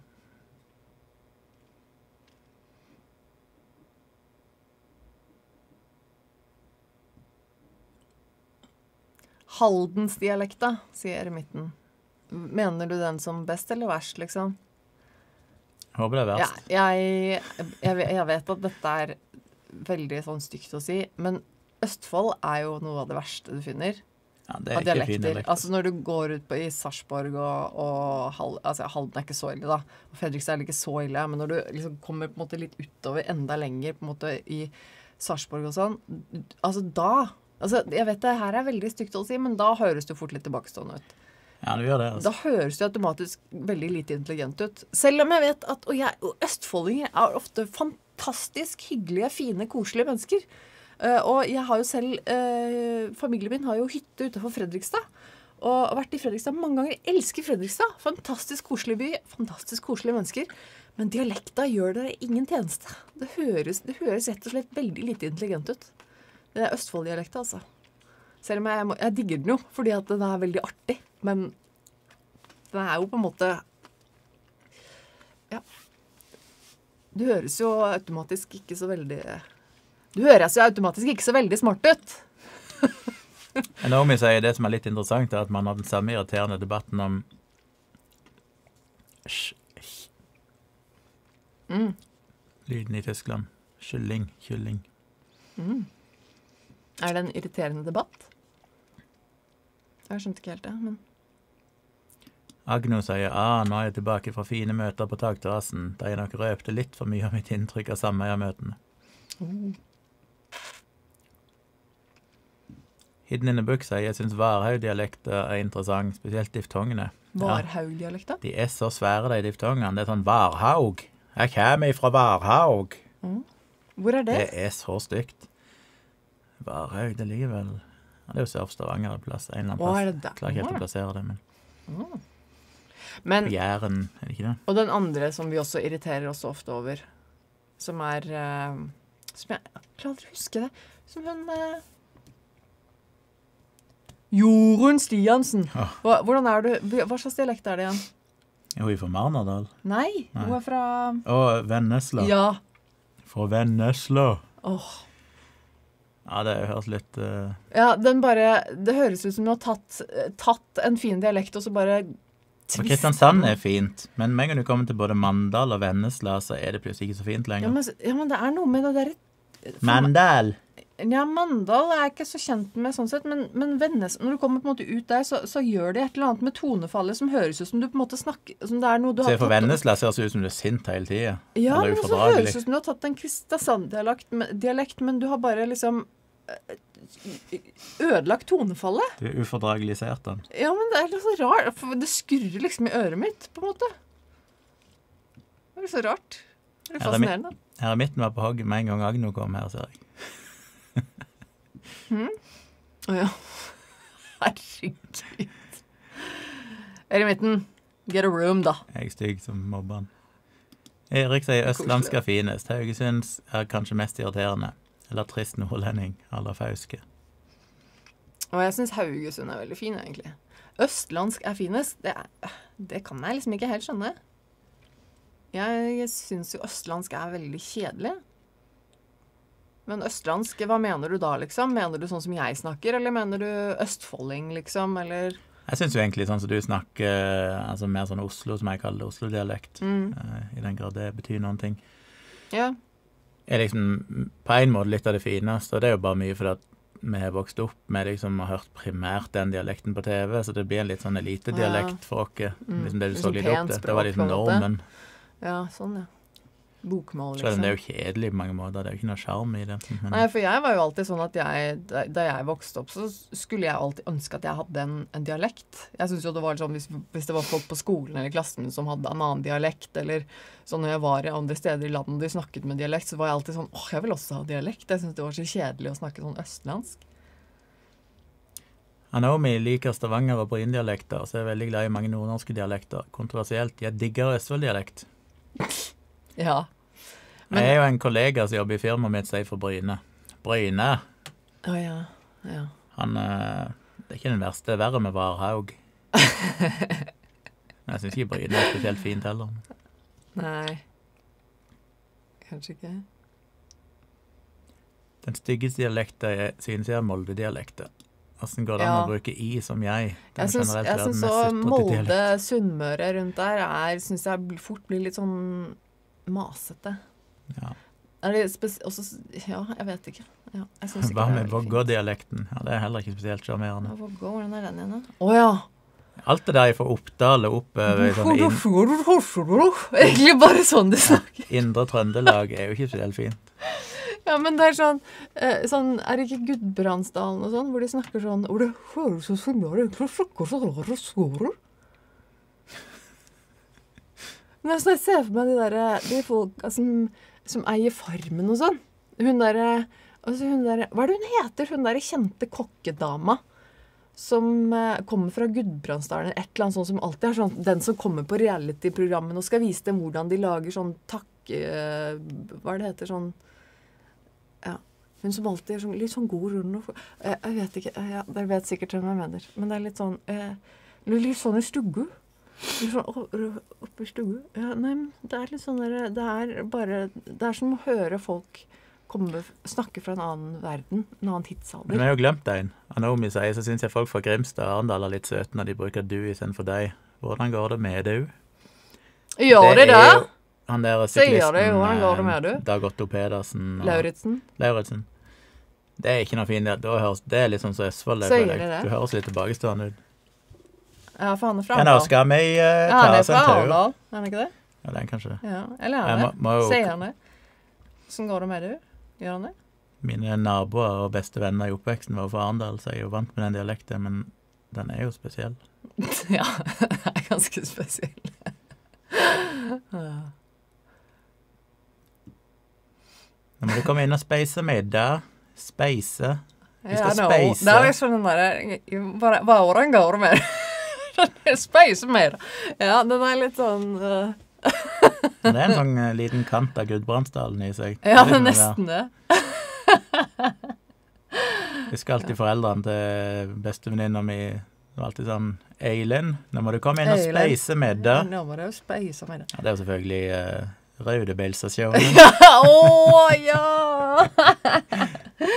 På Raudebilstasjonen. Å, herregud. Harald Ei og Bård Duft. Elsker dere. Det er ikke rart de fant ut de måtte lage kødder med den dialekten. Men altså, tenk deg da at uh, Altså, jeg har alltid vært så stor fan av Harald Eia siden jeg var ganske liten. Harald Eia har liksom alltid vært den store. Han og Bård, men det var liksom mest Harald. Og tenk deg da at uh, ikke bare har jeg møtt Harald Eia, men nå har jeg til og med vært med på show med Dialogisk hvor dere hadde Harald Eia som gjest, hvor jeg liksom fikk være sammen med Harald Eia. Ja, Det var gøy å ha han som gjest, men det var jo gøy når jeg jobba i Folkeopplysningen i fjor. For da jobba jeg jo i Teddy TV i Monday. Mm. Og bare det er jo der liksom Harald Eia gikk i gangene der, og i pausene så slo jeg av en prat med han og sånn. Gikk var han rundt på Raudebilstasjonen? det var surrealistisk, for han har jeg alltid sett så ekstremt opp til Ah. i helt siden liksom jeg var ganske ung, føler jeg. Og så plutselig så jobber jeg sammen. Ja, er ganske jobba ikke sammen med han, men jeg jobber i samme firma. Ja, men det er gøy. Spesiell fyr, altså. Hva tenker dere om oss nordlendinger, da? Helt ærlig, sier Karoline. Jeg sa jo det, jeg syns det er stort sett nordlending Ja, Nordlandsk Jeg- Jeg føler feil å si nordlandske, for det er jo Nordland er jo et Ja. fylke. Eller hva iallfall. Er det et fylke fortsatt? Jeg husker ikke. Men uh, dialekter fra Ja. nord syns jeg generelt sett er fint. jeg vil, eller sånn, ja. Helt OK. Jeg tror Hvis ikke ikke jeg blir har for noe mye mening om sånn det, 'skal ut på sjarken og feske torsk'. Ja. Det Men- blir litt for mye. ja, men generelt så syns jeg den er helt ålreit. Uh, fin. Eh, Verken eller, egentlig. Men, men veldig ofte så liker jeg nordlendinger. Jeg har jo altså Jeg har liksom gode assosiasjoner med folk jeg har møtt som er fra Nordlandet, for å si det sånn. da. Uh, som ofte er veldig sånn hyggelige folk. Jeg digger jo Dag, for eksempel. For meg er han veldig sånn nord nordlandsk. Og han er jo et av de beste menneskene. Så Og en har mista jeg Roy som patron fordi jeg mobber Ålesund-dialekter. Men broren hans bor i Ålesund. Broren min bor i. Ålesund, så jeg er bare litt overload, kanskje. Han er jo, Min bror har jo lagt om til delvis Ålesund. Har han det? Ja, Ja, ja. Det er litt morsomt. Han snakker Ålesund-sirdalsk. Det er ganske gøy. Terje sier at alle har en dialekt ingen snakker bokmål. Fikk meg en ny thumbs down her inne med det var Roy. Det er dårlig. Han driver her i midten av Agno og flørter hardt. Kan ikke dere get the room? Nå syns jeg at Nei. Herlighet. Det var en som sa at ingen som snakker bokmål, så sier jeg i midten ingen snakker nynorsk heller. Men noen kommer faretruende nært. Jeg husker alltid min far sa det, for jeg syntes nynorsk var litt vanskelig. Mm. Og han sa alltid det at eh, ja, men jeg skjønte ikke at det var vanskelig. Hvis jeg var i tvil, så var det bare å prøve å tenke hva det ville bestemor ha sagt. Ja, ja. Så jeg er litt usikker om det egentlig hjalp så mye, men jeg prøvde alltid det. Hvis jeg var usikker på hvordan skriver jeg dette her, så bare prøvde jeg å høre for meg bestemor mi si det. ja. For det ville nok vært temmelig Temmelig likt. I norsk. Ja.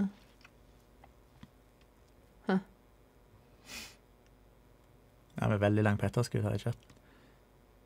Ja, det ble veldig mye Veldig mye. Plutselig kom vi fort, og da Men vi snakket jo så lenge om dialekter at vi havner jo 20 minutter på etterskuddet. Ja. Men no, det er noen ganger det går veldig, veldig fort. Og så plutselig så blir det stille. Altså, det er alltid farlig å skrolle fort, og plutselig så er det tomt, og så kommer det ikke noe mer. Så er det sånn, shit, det skulle jo bare Men da går det an å gå opp igjen.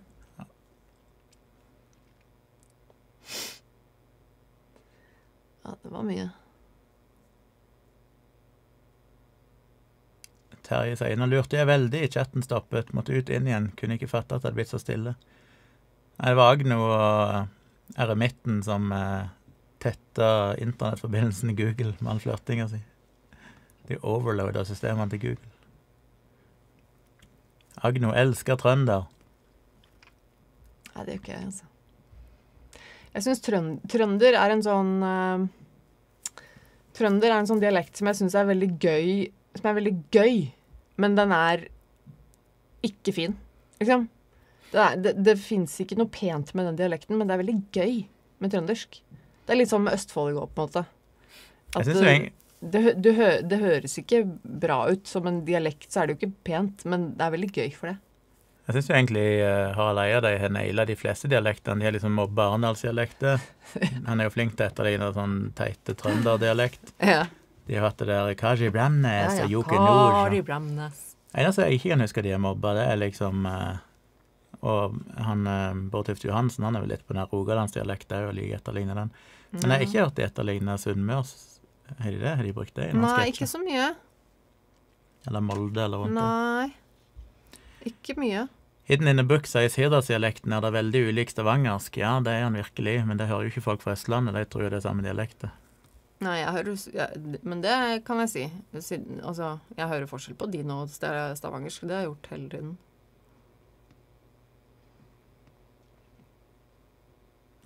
Agno sier jeg takler ikke Toten-dialekt, men så ble jeg sammen med en en gang, og da ble det bedre. Nei, egentlig alt når du kommer litt nord for Oslo, og så hele den langs svenskegrensa opp mot Trøndelag Ja. og litt inn i landet, er egentlig ikke spesielt bra. Kan vi ikke ta noen patrons igjen etter Nei. dette her? Ingen seere, ingenting. Eremitten sier jeg jobbet i student-TV i min tid. Der var det en jente fra Østfold som var programleder. Hun fikk antyde at hun burde legge den fra seg. Samtidig var det folk fra Vestlandet som fikk skryt for stemmen sin i sakene de lagde. Mm. Erik sier ikke at det er en dialekt, men jeg syns egentlig ikke svensk er så fint. Tror jeg liker dansk bedre. Virker som alle andre mener motsatt. Ja, jeg tror nok jeg mener motsatt. Den svenske svensk er finere enn dansk. Jeg jeg Men- litt, men- litt mer glad i dansk om mine eldre dager. Men jeg elsker dansk bare fordi at det er så absurd og rart. ja, er, Og så morsomt. Men det er jo et veldig Altså, jeg vil si dansk er et ganske stygt språk. Det er veldig sånn Ganske absurd, men, men jeg elsker jo Jeg elsker det jo likevel, liksom. Det er jo helt Karoline sier fantastisk stygt. her i Norden må jeg si at vi nordmenn og islendingene har de fineste språkene. Islandsk også er litt eh, Det er rart. Det styggeste nordiske språket er jo finsk. Det er ikke noen tvil om. Det er et merkelig språk.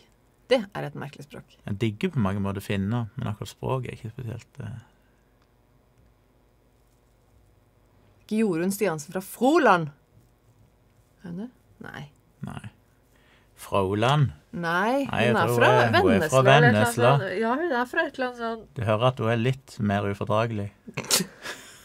Ja, hun er det. er. Frolendinger det er ikke, det er ikke en ufordragelig dialekt, den er bare plagsom. Men du høres ikke ufordragelig ut når du er fra. Herregud.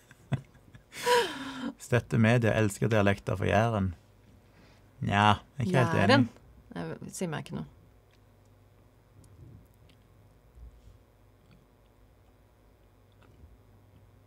Agno sier kan dere spå meg for 2021, les, leksynske, gi meg helt seriøse råd, jeg kan saksøke. Nei, det gidder jeg ikke.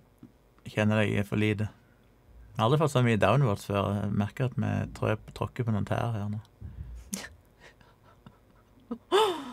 Det er ikke noe personlig mot noen, dette her, folkens. Lover. Hidden in the book sier men man har mange østlandsdialekter. Solung er veldig forskjellig fra folk i Oslo. Jeg hadde den Mm. største delen av oppveksten i Solør, men fikk tyn fordi jeg snakket pent. Mm. Ja, men det er jo sånn, jeg er jo født og oppvokst her på Østlandet. Jeg hører jo forskjell på folk som er fra Asker og Oslo, eh, eller fra Drammen, eller fra, Altså, jeg, hø jeg hører jo forskjellen. Det er ikke at det er kjempestor forskjell, men det er liksom noen små sånne Små sånne ting som Ja. Men dialekter er jo så gøy. Det er jo fantastisk med dialekter. Uansett hva slags dialekt man har. Det er jo, det er jo bare kjempegøy.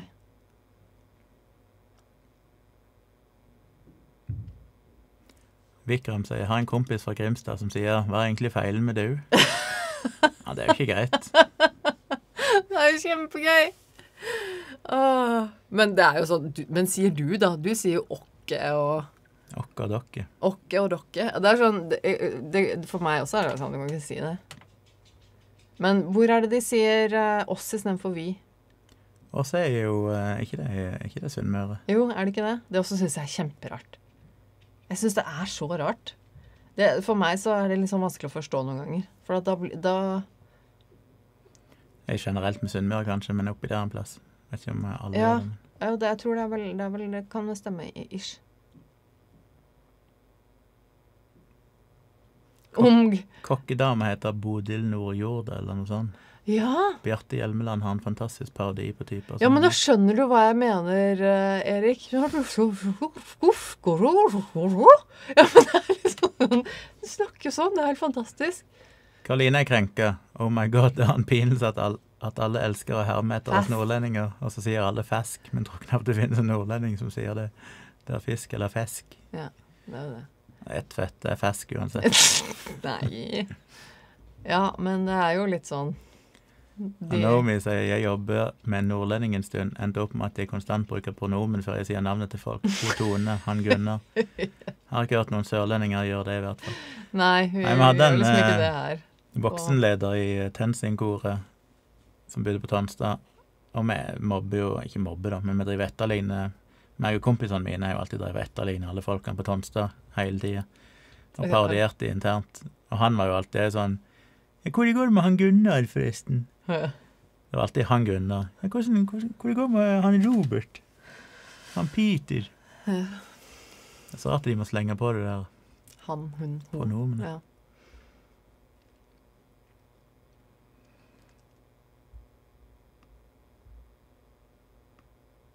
Jeg bare scroller litt her, for det er så mye. Kari Kari Bremnes. Bremnes. Kari Bremnes. Kari Bremnes.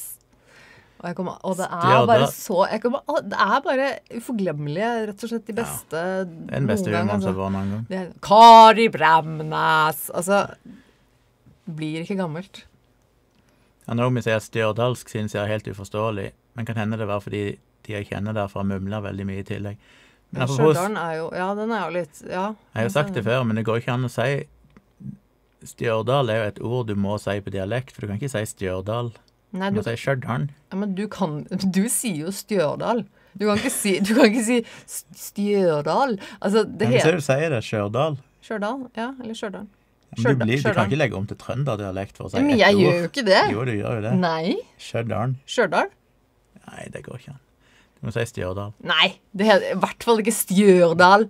Det er så langt unna. Stjørdal. Stjørdal? Jeg er ikke fra Vennesla heller. Ja, men det høres jo helt sånn Stjørdal. Nei, du kan ikke si det.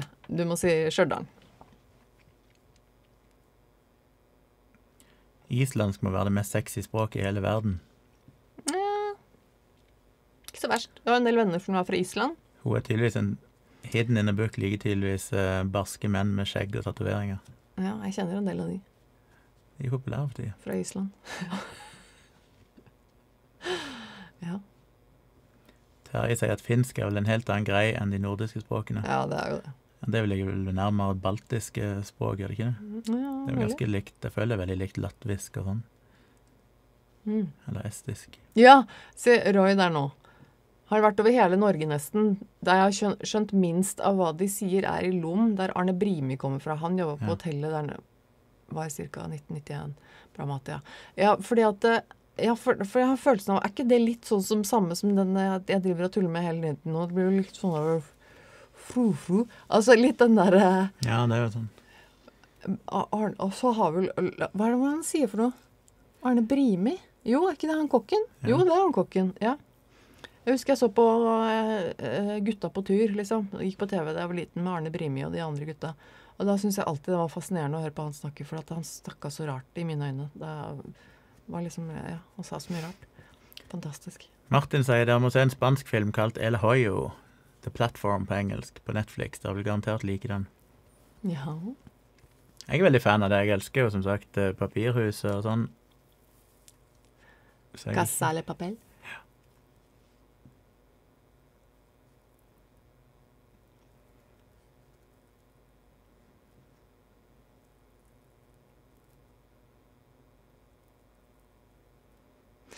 Hidden in the Book sier noen steder på Østlandet sier man 'hvem' istedenfor 'hvilken'. Det er forvirrende, det.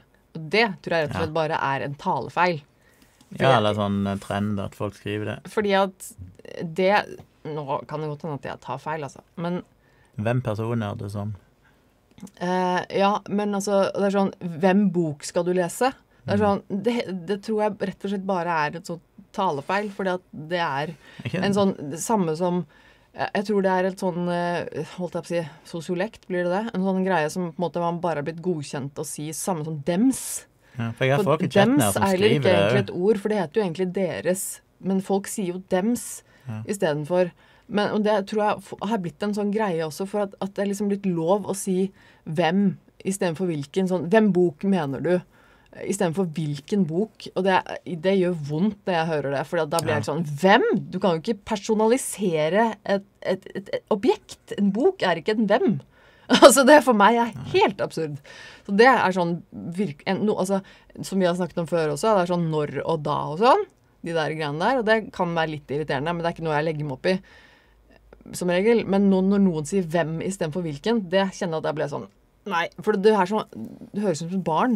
For meg så blir det sånn øh, som et lite barn som sier feil, på en måte. Jeg må si, Roy påpeker nå må dere skjerpe dere, vi sier vi og ikke oss. Og det er sikkert sant. Eh, Du må litt lenger nå, du må, for jeg- blander det med ei lærerinne jeg hadde. jeg, Nå er ikke jeg med helt med. Jeg snakker om at Ålesund, og så jeg sier oss istedenfor vi.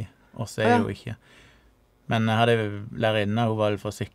Nei, ikke Sykkylven, ifra Jo, Sykkylven. Ja, det var jeg fra. Ja, men det er jo Er ikke det rundt der? Det er jo samme Ja, men det er litt lenger nord. Å ja, ok. Det sier er de veldig iallfall dårlig oss. på ge- geografi. Oss er altså. jo Ja. Ja. Jeg syns jo bare det er veldig ikke husker så langt ifra Ålesund før de sier oss. Jeg syns det er så forvirrende. Jeg synes Kjempeforvirrende. eh, Terje sier har andre land like mye dialekter på såpass lite område? Det har jeg alltid lurt på, for det at du skal jo bare noen kilometer av gårde, så kan dialekt endre seg ganske kraftig. Ja.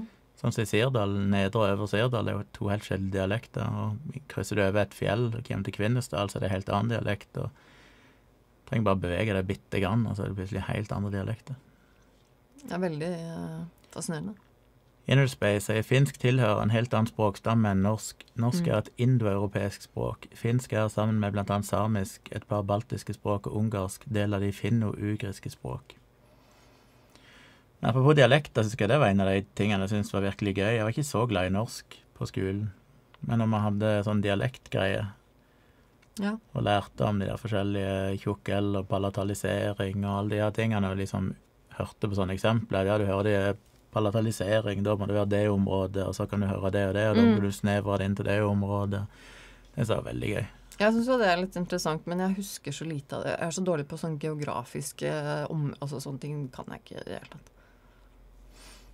Stette media sier og si oss istedenfor vi er nok mest ut på bygdene rundt om Sunnmøre. Ja. Sunnmøre. Vi gjør det i hvert fall ikke i Ålesund, ikke engang jeg som snakker veldig bredt. Mm.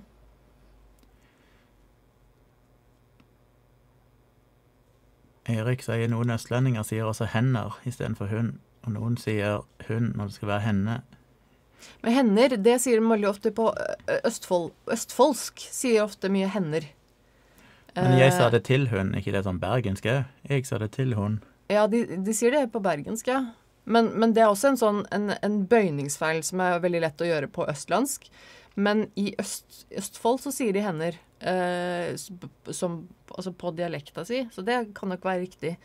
Men eh, det med hun og henne er også en sånn, der, sånn feil som mange Åh, som jeg også blir gal av. At folk som er på en måte herfra, fra Østlandet, Oslo-ish, som sier liksom hun istedenfor henne. Og det er altså åh.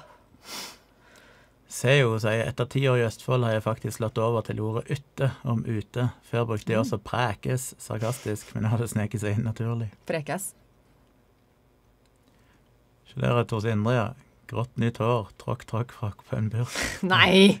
Det er Stian som skriver. Tråkker! Nei, nei, nei. nei. Slutt. Ikke på live. Det gjør seg ikke. Nå prøver jeg å være litt seriøs her. Har du lagt inn på en? Nei, slutt nå. Er du? Karoline sier før trodde jeg alltid Gunnar mente dere når han sa okke. Så ble jeg så Ja. forvirret. Jeg sier dere om dere, sikkert derfor. Ja, Det er mange som har sagt det, at de tror dere er dere. Ja. Hæ? Det er jo det. Dere. Altså du bare hører dokke og åkke feil. ja. Ja, for at du sier jo dokke og åkke, Mm. mens hun hører kanskje liksom bare Ja. dokke.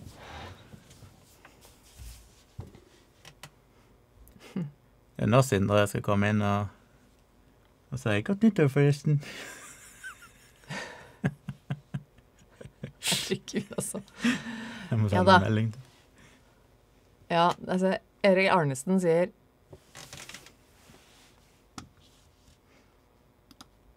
Mamma bor i Stjørdal. Kan bekrefte at de sier Stjørdalen med ordentlig ø. Ja. Kan ikke si Stjørdal. Det- Nei, selvfølgelig hvis du bor der, men jeg mener vi som bor andre plasser. Men du kan, men kan du, ikke si Stjørdalen bare fordi de sier det der. men, men du Du sier jo ikke Sirdal fordi du skal snakke om Sirdal. Du sier jo Sirdal. si Sirdal. Ja, Ja, er jo men jeg, sier, men, jeg, men jeg sier jo ikke Stjørdalen. Jeg sier jo Stjørdal. Altså Stjørdal, liksom. Stjørdal. Det er jo Stjø- Eller Stjørda- Stjørdalen. Nei, det blir også rart. Stjørdal. Stjørdal kan jeg si. Men du sier For det er jo en slyd. Men ja, det er kanskje Jeg vet ikke. I don't know.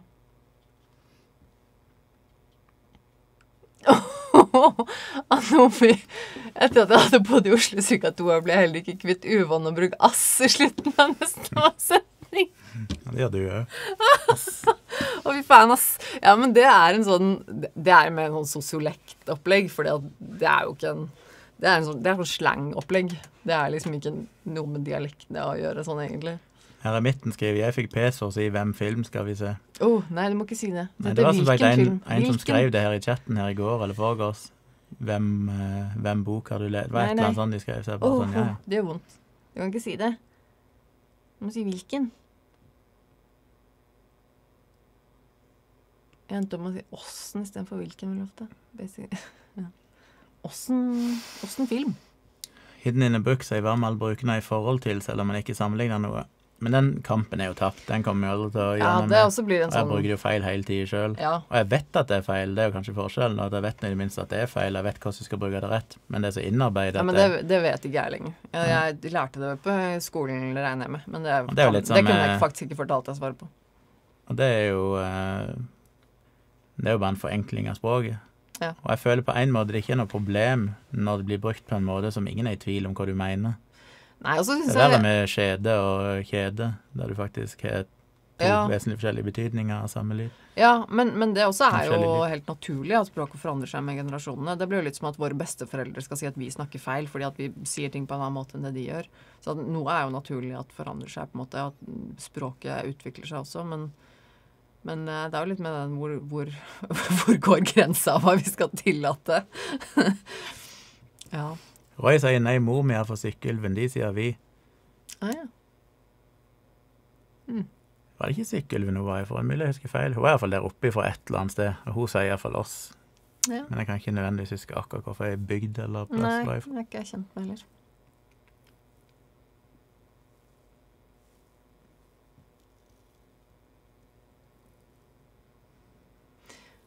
Ja, Martin Hansen sier i Ex on the Beach sier de henne hele tiden, ikke hun. Men det er en sånn, der, det er en sånn motegreie. Også sånn at det, det høres bedre ut og veldig sånn fisefint å si henne istedenfor hun. Stian sier Oppdal sier oss istedenfor vi. Ja, de òg sier det, selvfølgelig. Ja, å å ja. ja. Ja, det er sant. Ja, men det forvirrer meg alltid. For, for, hadde lærer, for, meg blir for meg som har min dialekt, så blir jo det helt feil. For det blir en helt annen betydning, på en måte. Eller sånn Vi hadde en lærer som kom ifra Hva er det han Sputnik kom ifra igjen? Sputnik? Aner ikke. Ja, ifra ah, Sputnik, han kom ifra Vet jeg har nesten ikke hvem er. Ja, sånn gammel country Ja, jeg det sier- ja. artist. Verste musikken. Nå skal vi skilles, Johanne, skilles, Johanne. Ja, men det Altså, nei. Som jeg hadde klassekamerater som digga. Det sier jo litt om plassen jeg kommer ifra. Når det er en Mm. klassekamerat som kjøper Sputnik-kassetter og digger det for full maskin. Uh. Mm. Men han sa jo, han hadde sånn dialekt, og han sa eh, Han brukte ordet hot. Hot er det hot, Istedenfor hva, så var det hot. Hot er det egentlig eh, dikkan, og dere, det var dikkan. Uh. Hot er det dikkan vil. Eller vi. Hot er det dikkan vi. Det Hæ? det hadde jeg ikke, skjønt. Det var en krevende dialekt å forstå, men Ja, det det hadde- jo hadde fra Indre Telemark en eller annen plass. Ja. Drangedal, ja. Drangedal kommer Sputnik ifra. Ja. Han kom ifra det området. Hort er det dikkan vi? Nei, det hadde jeg ikke skjønt. det Nei, det er nok kanskje den vanskeligste dialekten å skjønne, tror jeg. Det er når du kommer virkelig inn i det Ja, det var sikkert en av de jeg snakket med på telefonen, av bilbergerne, som jeg bare sånn Nå skjønner jeg faktisk ikke hva du sier. Hot er det dikkan vi? Hvordan uttaler dere Skien? Jeg uttaler Skien som Skien. Til og med jeg lært. Til og med jeg sier Skien. Jeg sa nok Skien da jeg var liten, Ja, men, da, men da visste jeg jo ikke bedre. Kan vi også bli enige om at i Norge har vi barn, ikke kids, som i kids er i dag? Jeg føler meg litt skyldig der. Jeg sier kids ofte, altså. jeg sier kids, Som et fordi slangord for barn, liksom. Jeg sier kids. Ja, så er det ofte, Jeg bruker det oftest når jeg ikke husker navnet til ungene til venner og bekjente. Kidsa. Så sier jeg bare sånn Ja, hva går det med kidsa dine? Men jeg sier ikke sånn Men da er det noen spesifikke jeg refererer til. Jeg bruker ikke det som en sånn generell term som å snakke om kidsa i dag. Nei, det gjør ikke jeg heller. Eh, nei, det gjør jeg ikke. Men eh, hvis jeg skal omtale noe Ja, da er det iallfall sånn halviron, eller halv, ja, ironisk. Halvflåse. Ja. Men jeg kan si liksom kidsa til broderen, for eksempel. Det kan jeg si. Ja, midten sier jo ærlig talt, Tone, om du sier ekke, skakke osv., må vel hvem film, skal vi se, være greit? Nei. Fordi ække, det er en forkortelse av er ikke. Og skakke er en forkortelse av skal ikke. Men hvem og hvilken er to helt forskjellige ord og to helt forskjellige betydninger. Så det er ikke det samme i det hele tatt. Nei.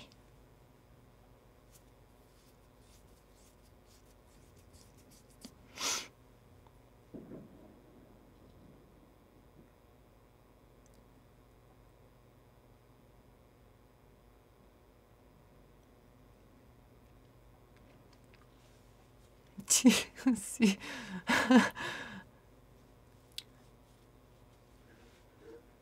Vi er ikke så nærme bånd. Vi er ganske nærme bånd nå, er vi ikke det? Sputnik er fra Drangedal, ja. Prøver å holde jeg klarte heldigvis å huske det før det ble Drangedal. sagt. Ja.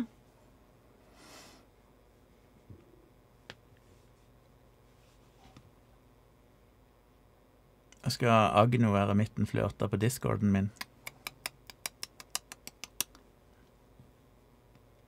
Får kicke de.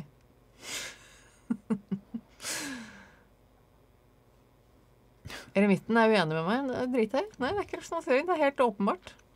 Martin spør hvordan taklet dere bortgangen til Leif Hagen? Hvem er det?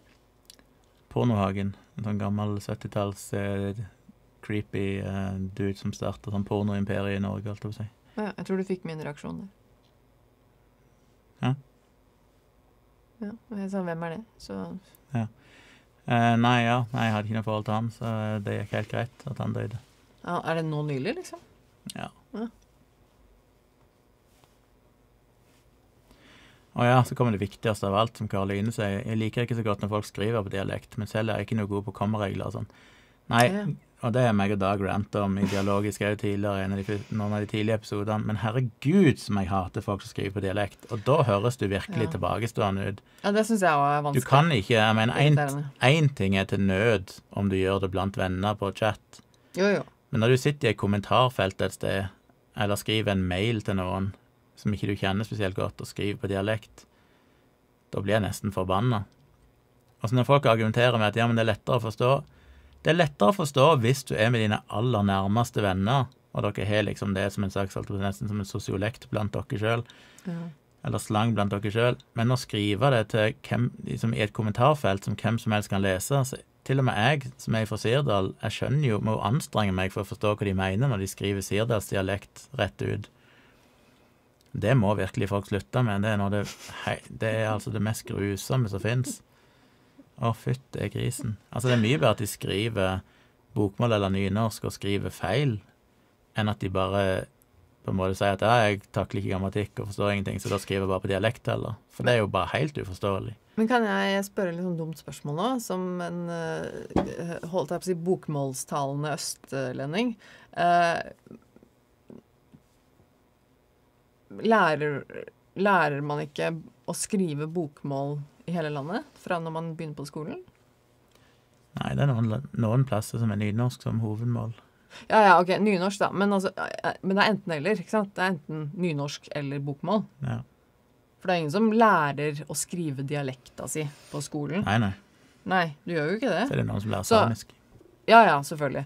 Men hvis jeg tenker sånn Sånn i forhold til det du snakka om med å skrive på dialekta si, så er det jo på en måte ikke fordi at folk ikke kan skrive Nei. bokmål.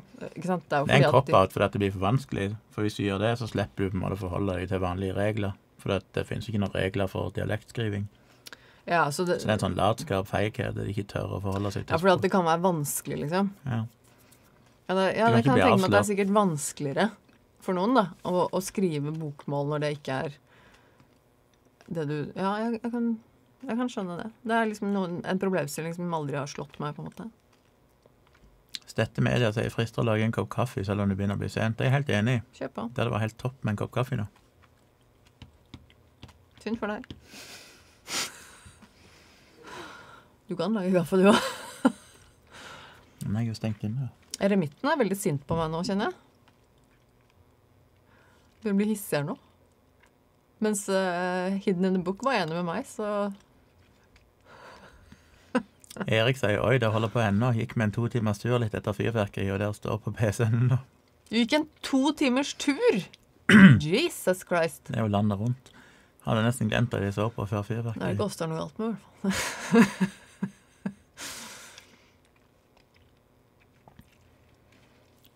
Hidden in the book er enig. Å lese dialekter er ikke enkelt. Nei, jeg syns også det er vanskelig. Er det ikke bare at det er vanskelig? jo, jeg tenkte jo at det var fordi at jeg er østlending, så jeg er selvfølgelig vant til bokmål. Det fins bare to skriftspråk i eh, Norge, bortsett fra eventuelt samisk. Jeg vet ikke hva reglene er der, men ellers Ja. er det jo bokmål og nynorsk.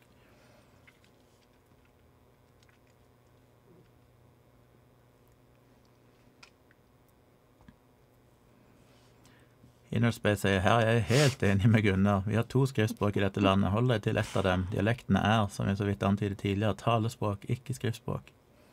Ja, i hvert fall, ja, som du sa, Gunnar. Når man skal skrive noe til som ikke er mora di eller bestevenninna di, liksom. Så Hidden in the book sier, men jeg skjønner at folk som sliter med dysleksi, skriver på dialekt fordi bokmål eller nynorsk blir over, uoverkommelig. mm. Men det kan jeg nok. tenke meg at det, at det er vanskelig for Men det er jo ikke en hovedårsaken til at folk skriver på dialekt. Jeg mener, alle Jeg er nesten ikke venn med noen og følger ikke med, men de få gangene jeg ser venn, altså sånn, spesielt jenter fra heimkommunen min skriver ting på Facebook og sånn, så skriver alle på fuckings dialekt. Det er så irriterende. Yes.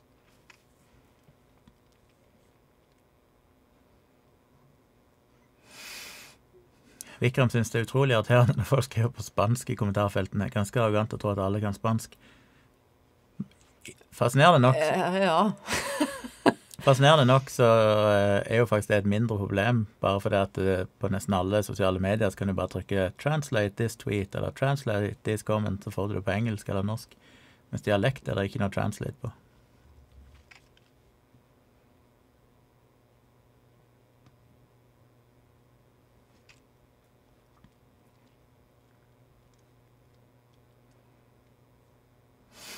Erik mener følg anglisismepolitiet på Twitter. Anglisismer bør man slå hardere ned på. Det er jeg derimot uenig i. Eller prinsipielt så er jeg sikkert enig, men det er bare fordi jeg har engelsk mor, så er jeg blitt veldig sånn til å bruke en del sånn engelske engelsk-norske ord. Sånne ord som, eller vendinger som egentlig er engelsk, som er tatt i for engelsk. Men det gjør jeg selv også. Men jeg tenker at det må være helt greit å gjøre når man snakker. Men som et talespråk blir det jo selvfølgelig noe annet.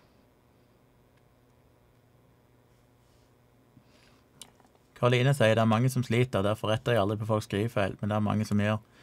Og det er jeg helt enig i. Jeg, eh, jeg gjorde kanskje det for mange, mange år siden, men det er veldig lenge siden jeg har kommentert folk sine skrivefeil, for det er jo Det blir alltid en sånn hersketeknikk. Det blir å liksom fokusere på feil ting i en diskusjon alltid.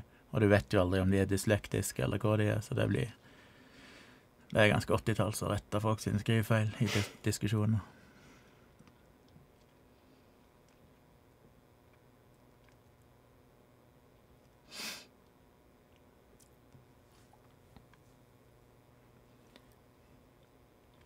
Hidden in the book sier eksen min skriver til meg på bokmål fordi hun ikke vet fordi hun vet jeg ikke liker dialektskriving, men hun skriver på dialekt til venner som er fra Sandnes.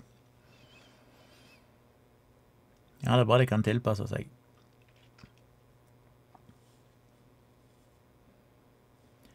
Før internettet ble mainstream, var det ikke like nødvendig å uttrykke seg skriftlig hvis man ikke hadde en jobb som gjorde det nødvendig.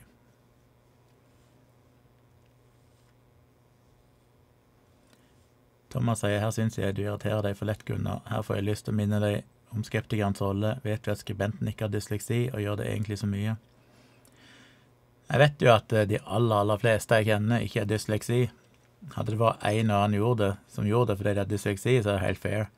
Men dette er jo ikke, det ikke det det handler om. Det handler jo om at det er blitt en trend, at det er normalen blant store grupper mennesker å skrive på dialekt. Og hovedgrunnen til det er at jeg tror det bare føles mer sånn avslappa. Jeg kan skjønne det, at det føles mindre formelt på et vis, kanskje. Det er litt som at jeg bruker altfor mye sånne ellipser. Jeg bruker tre punktum etter nesten hver setning når jeg chatter sånn. Ikke i mailer når jeg skriver formelle ting, men alltid i en chat. Nesten alt jeg skriver, så er det sånn tre prikker etterpå. Fordi det føles så mye mindre strengt. Det føles mye mer laidback og liksom bare la ting henge hele tida. Jeg vet jo at det er veldig feil, jeg vet det er noen som hater det.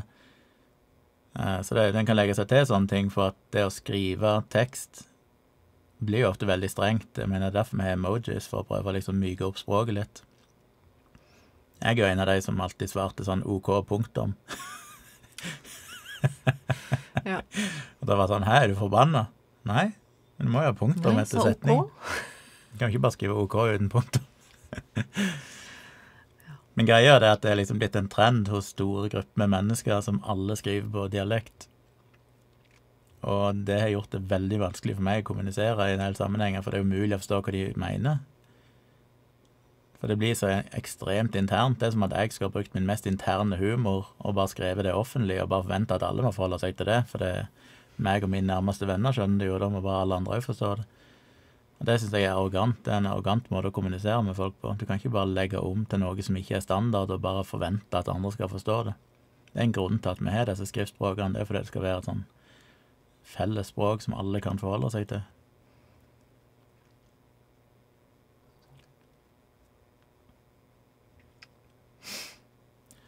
ser jo, så jeg reagerer faktisk på da og når, men skjønner at jeg er mindretall her. Ja, det er min eh, fanesak òg, og jeg gjør det til og med feil sjøl. Stadig vekk så tar jeg meg sjøl i å si når når jeg mener da. Men jeg reagerer alltid når andre gjør det. Jeg irriterer meg sånn når jeg hører andre føye. når jeg var liten, så Nei, da du var liten. Ja.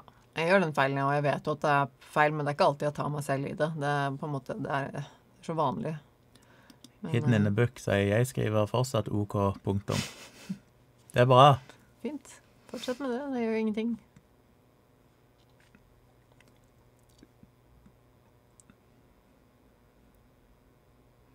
Innerspace sier altså vi ble alle avkrevd en norskeksamen før internett var et faktum. Hva er det folk påstår her? At folk i dette landet ikke kunne skrive norsk før internett? Altså tullball. Ja, jeg, det eneste jeg tenkte på i stad, var den Jeg tror, det var Anemi som skrev det i stad, at man ikke var nødvendig å øh, i like stor grad å uttrykke seg skriftlig. Eh, og da ble jeg sånn, det var jo omvendt. Før internett så var jo det utrolig viktig å uttrykke seg, kunne uttrykke seg skriftlig, fordi at da skjedde jo alt skriftlig. Da var det jo Altså, alt var jo på papir. Men ja. Kan jeg misforstå.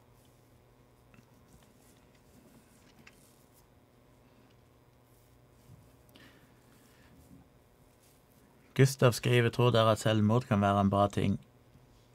Det høres ut som du åpner for en eh, lang diskusjon, filosofisk diskusjon. Um, det er jo ikke et spørsmål jeg liker at dukker opp her, på en måte. Jeg blir jo litt sånn OK, hvorfor spør du om det? Jeg vil si nei. Jeg har ikke lyst til å svare på det. Ikke mer på hvem for, Jeg kan men gjerne snakke om sånt. flertallet. Jeg har snakket om, mye om selvmord i podkast og overalt, men, men eh, jeg, så generelt så er ikke det et spørsmål jeg kan si ja eller nei til. Det er vel relativt ja, Nei, det er et altfor komplisert spørsmål, men det Mm. går bra med Gustav. Ja, det er det viktigste.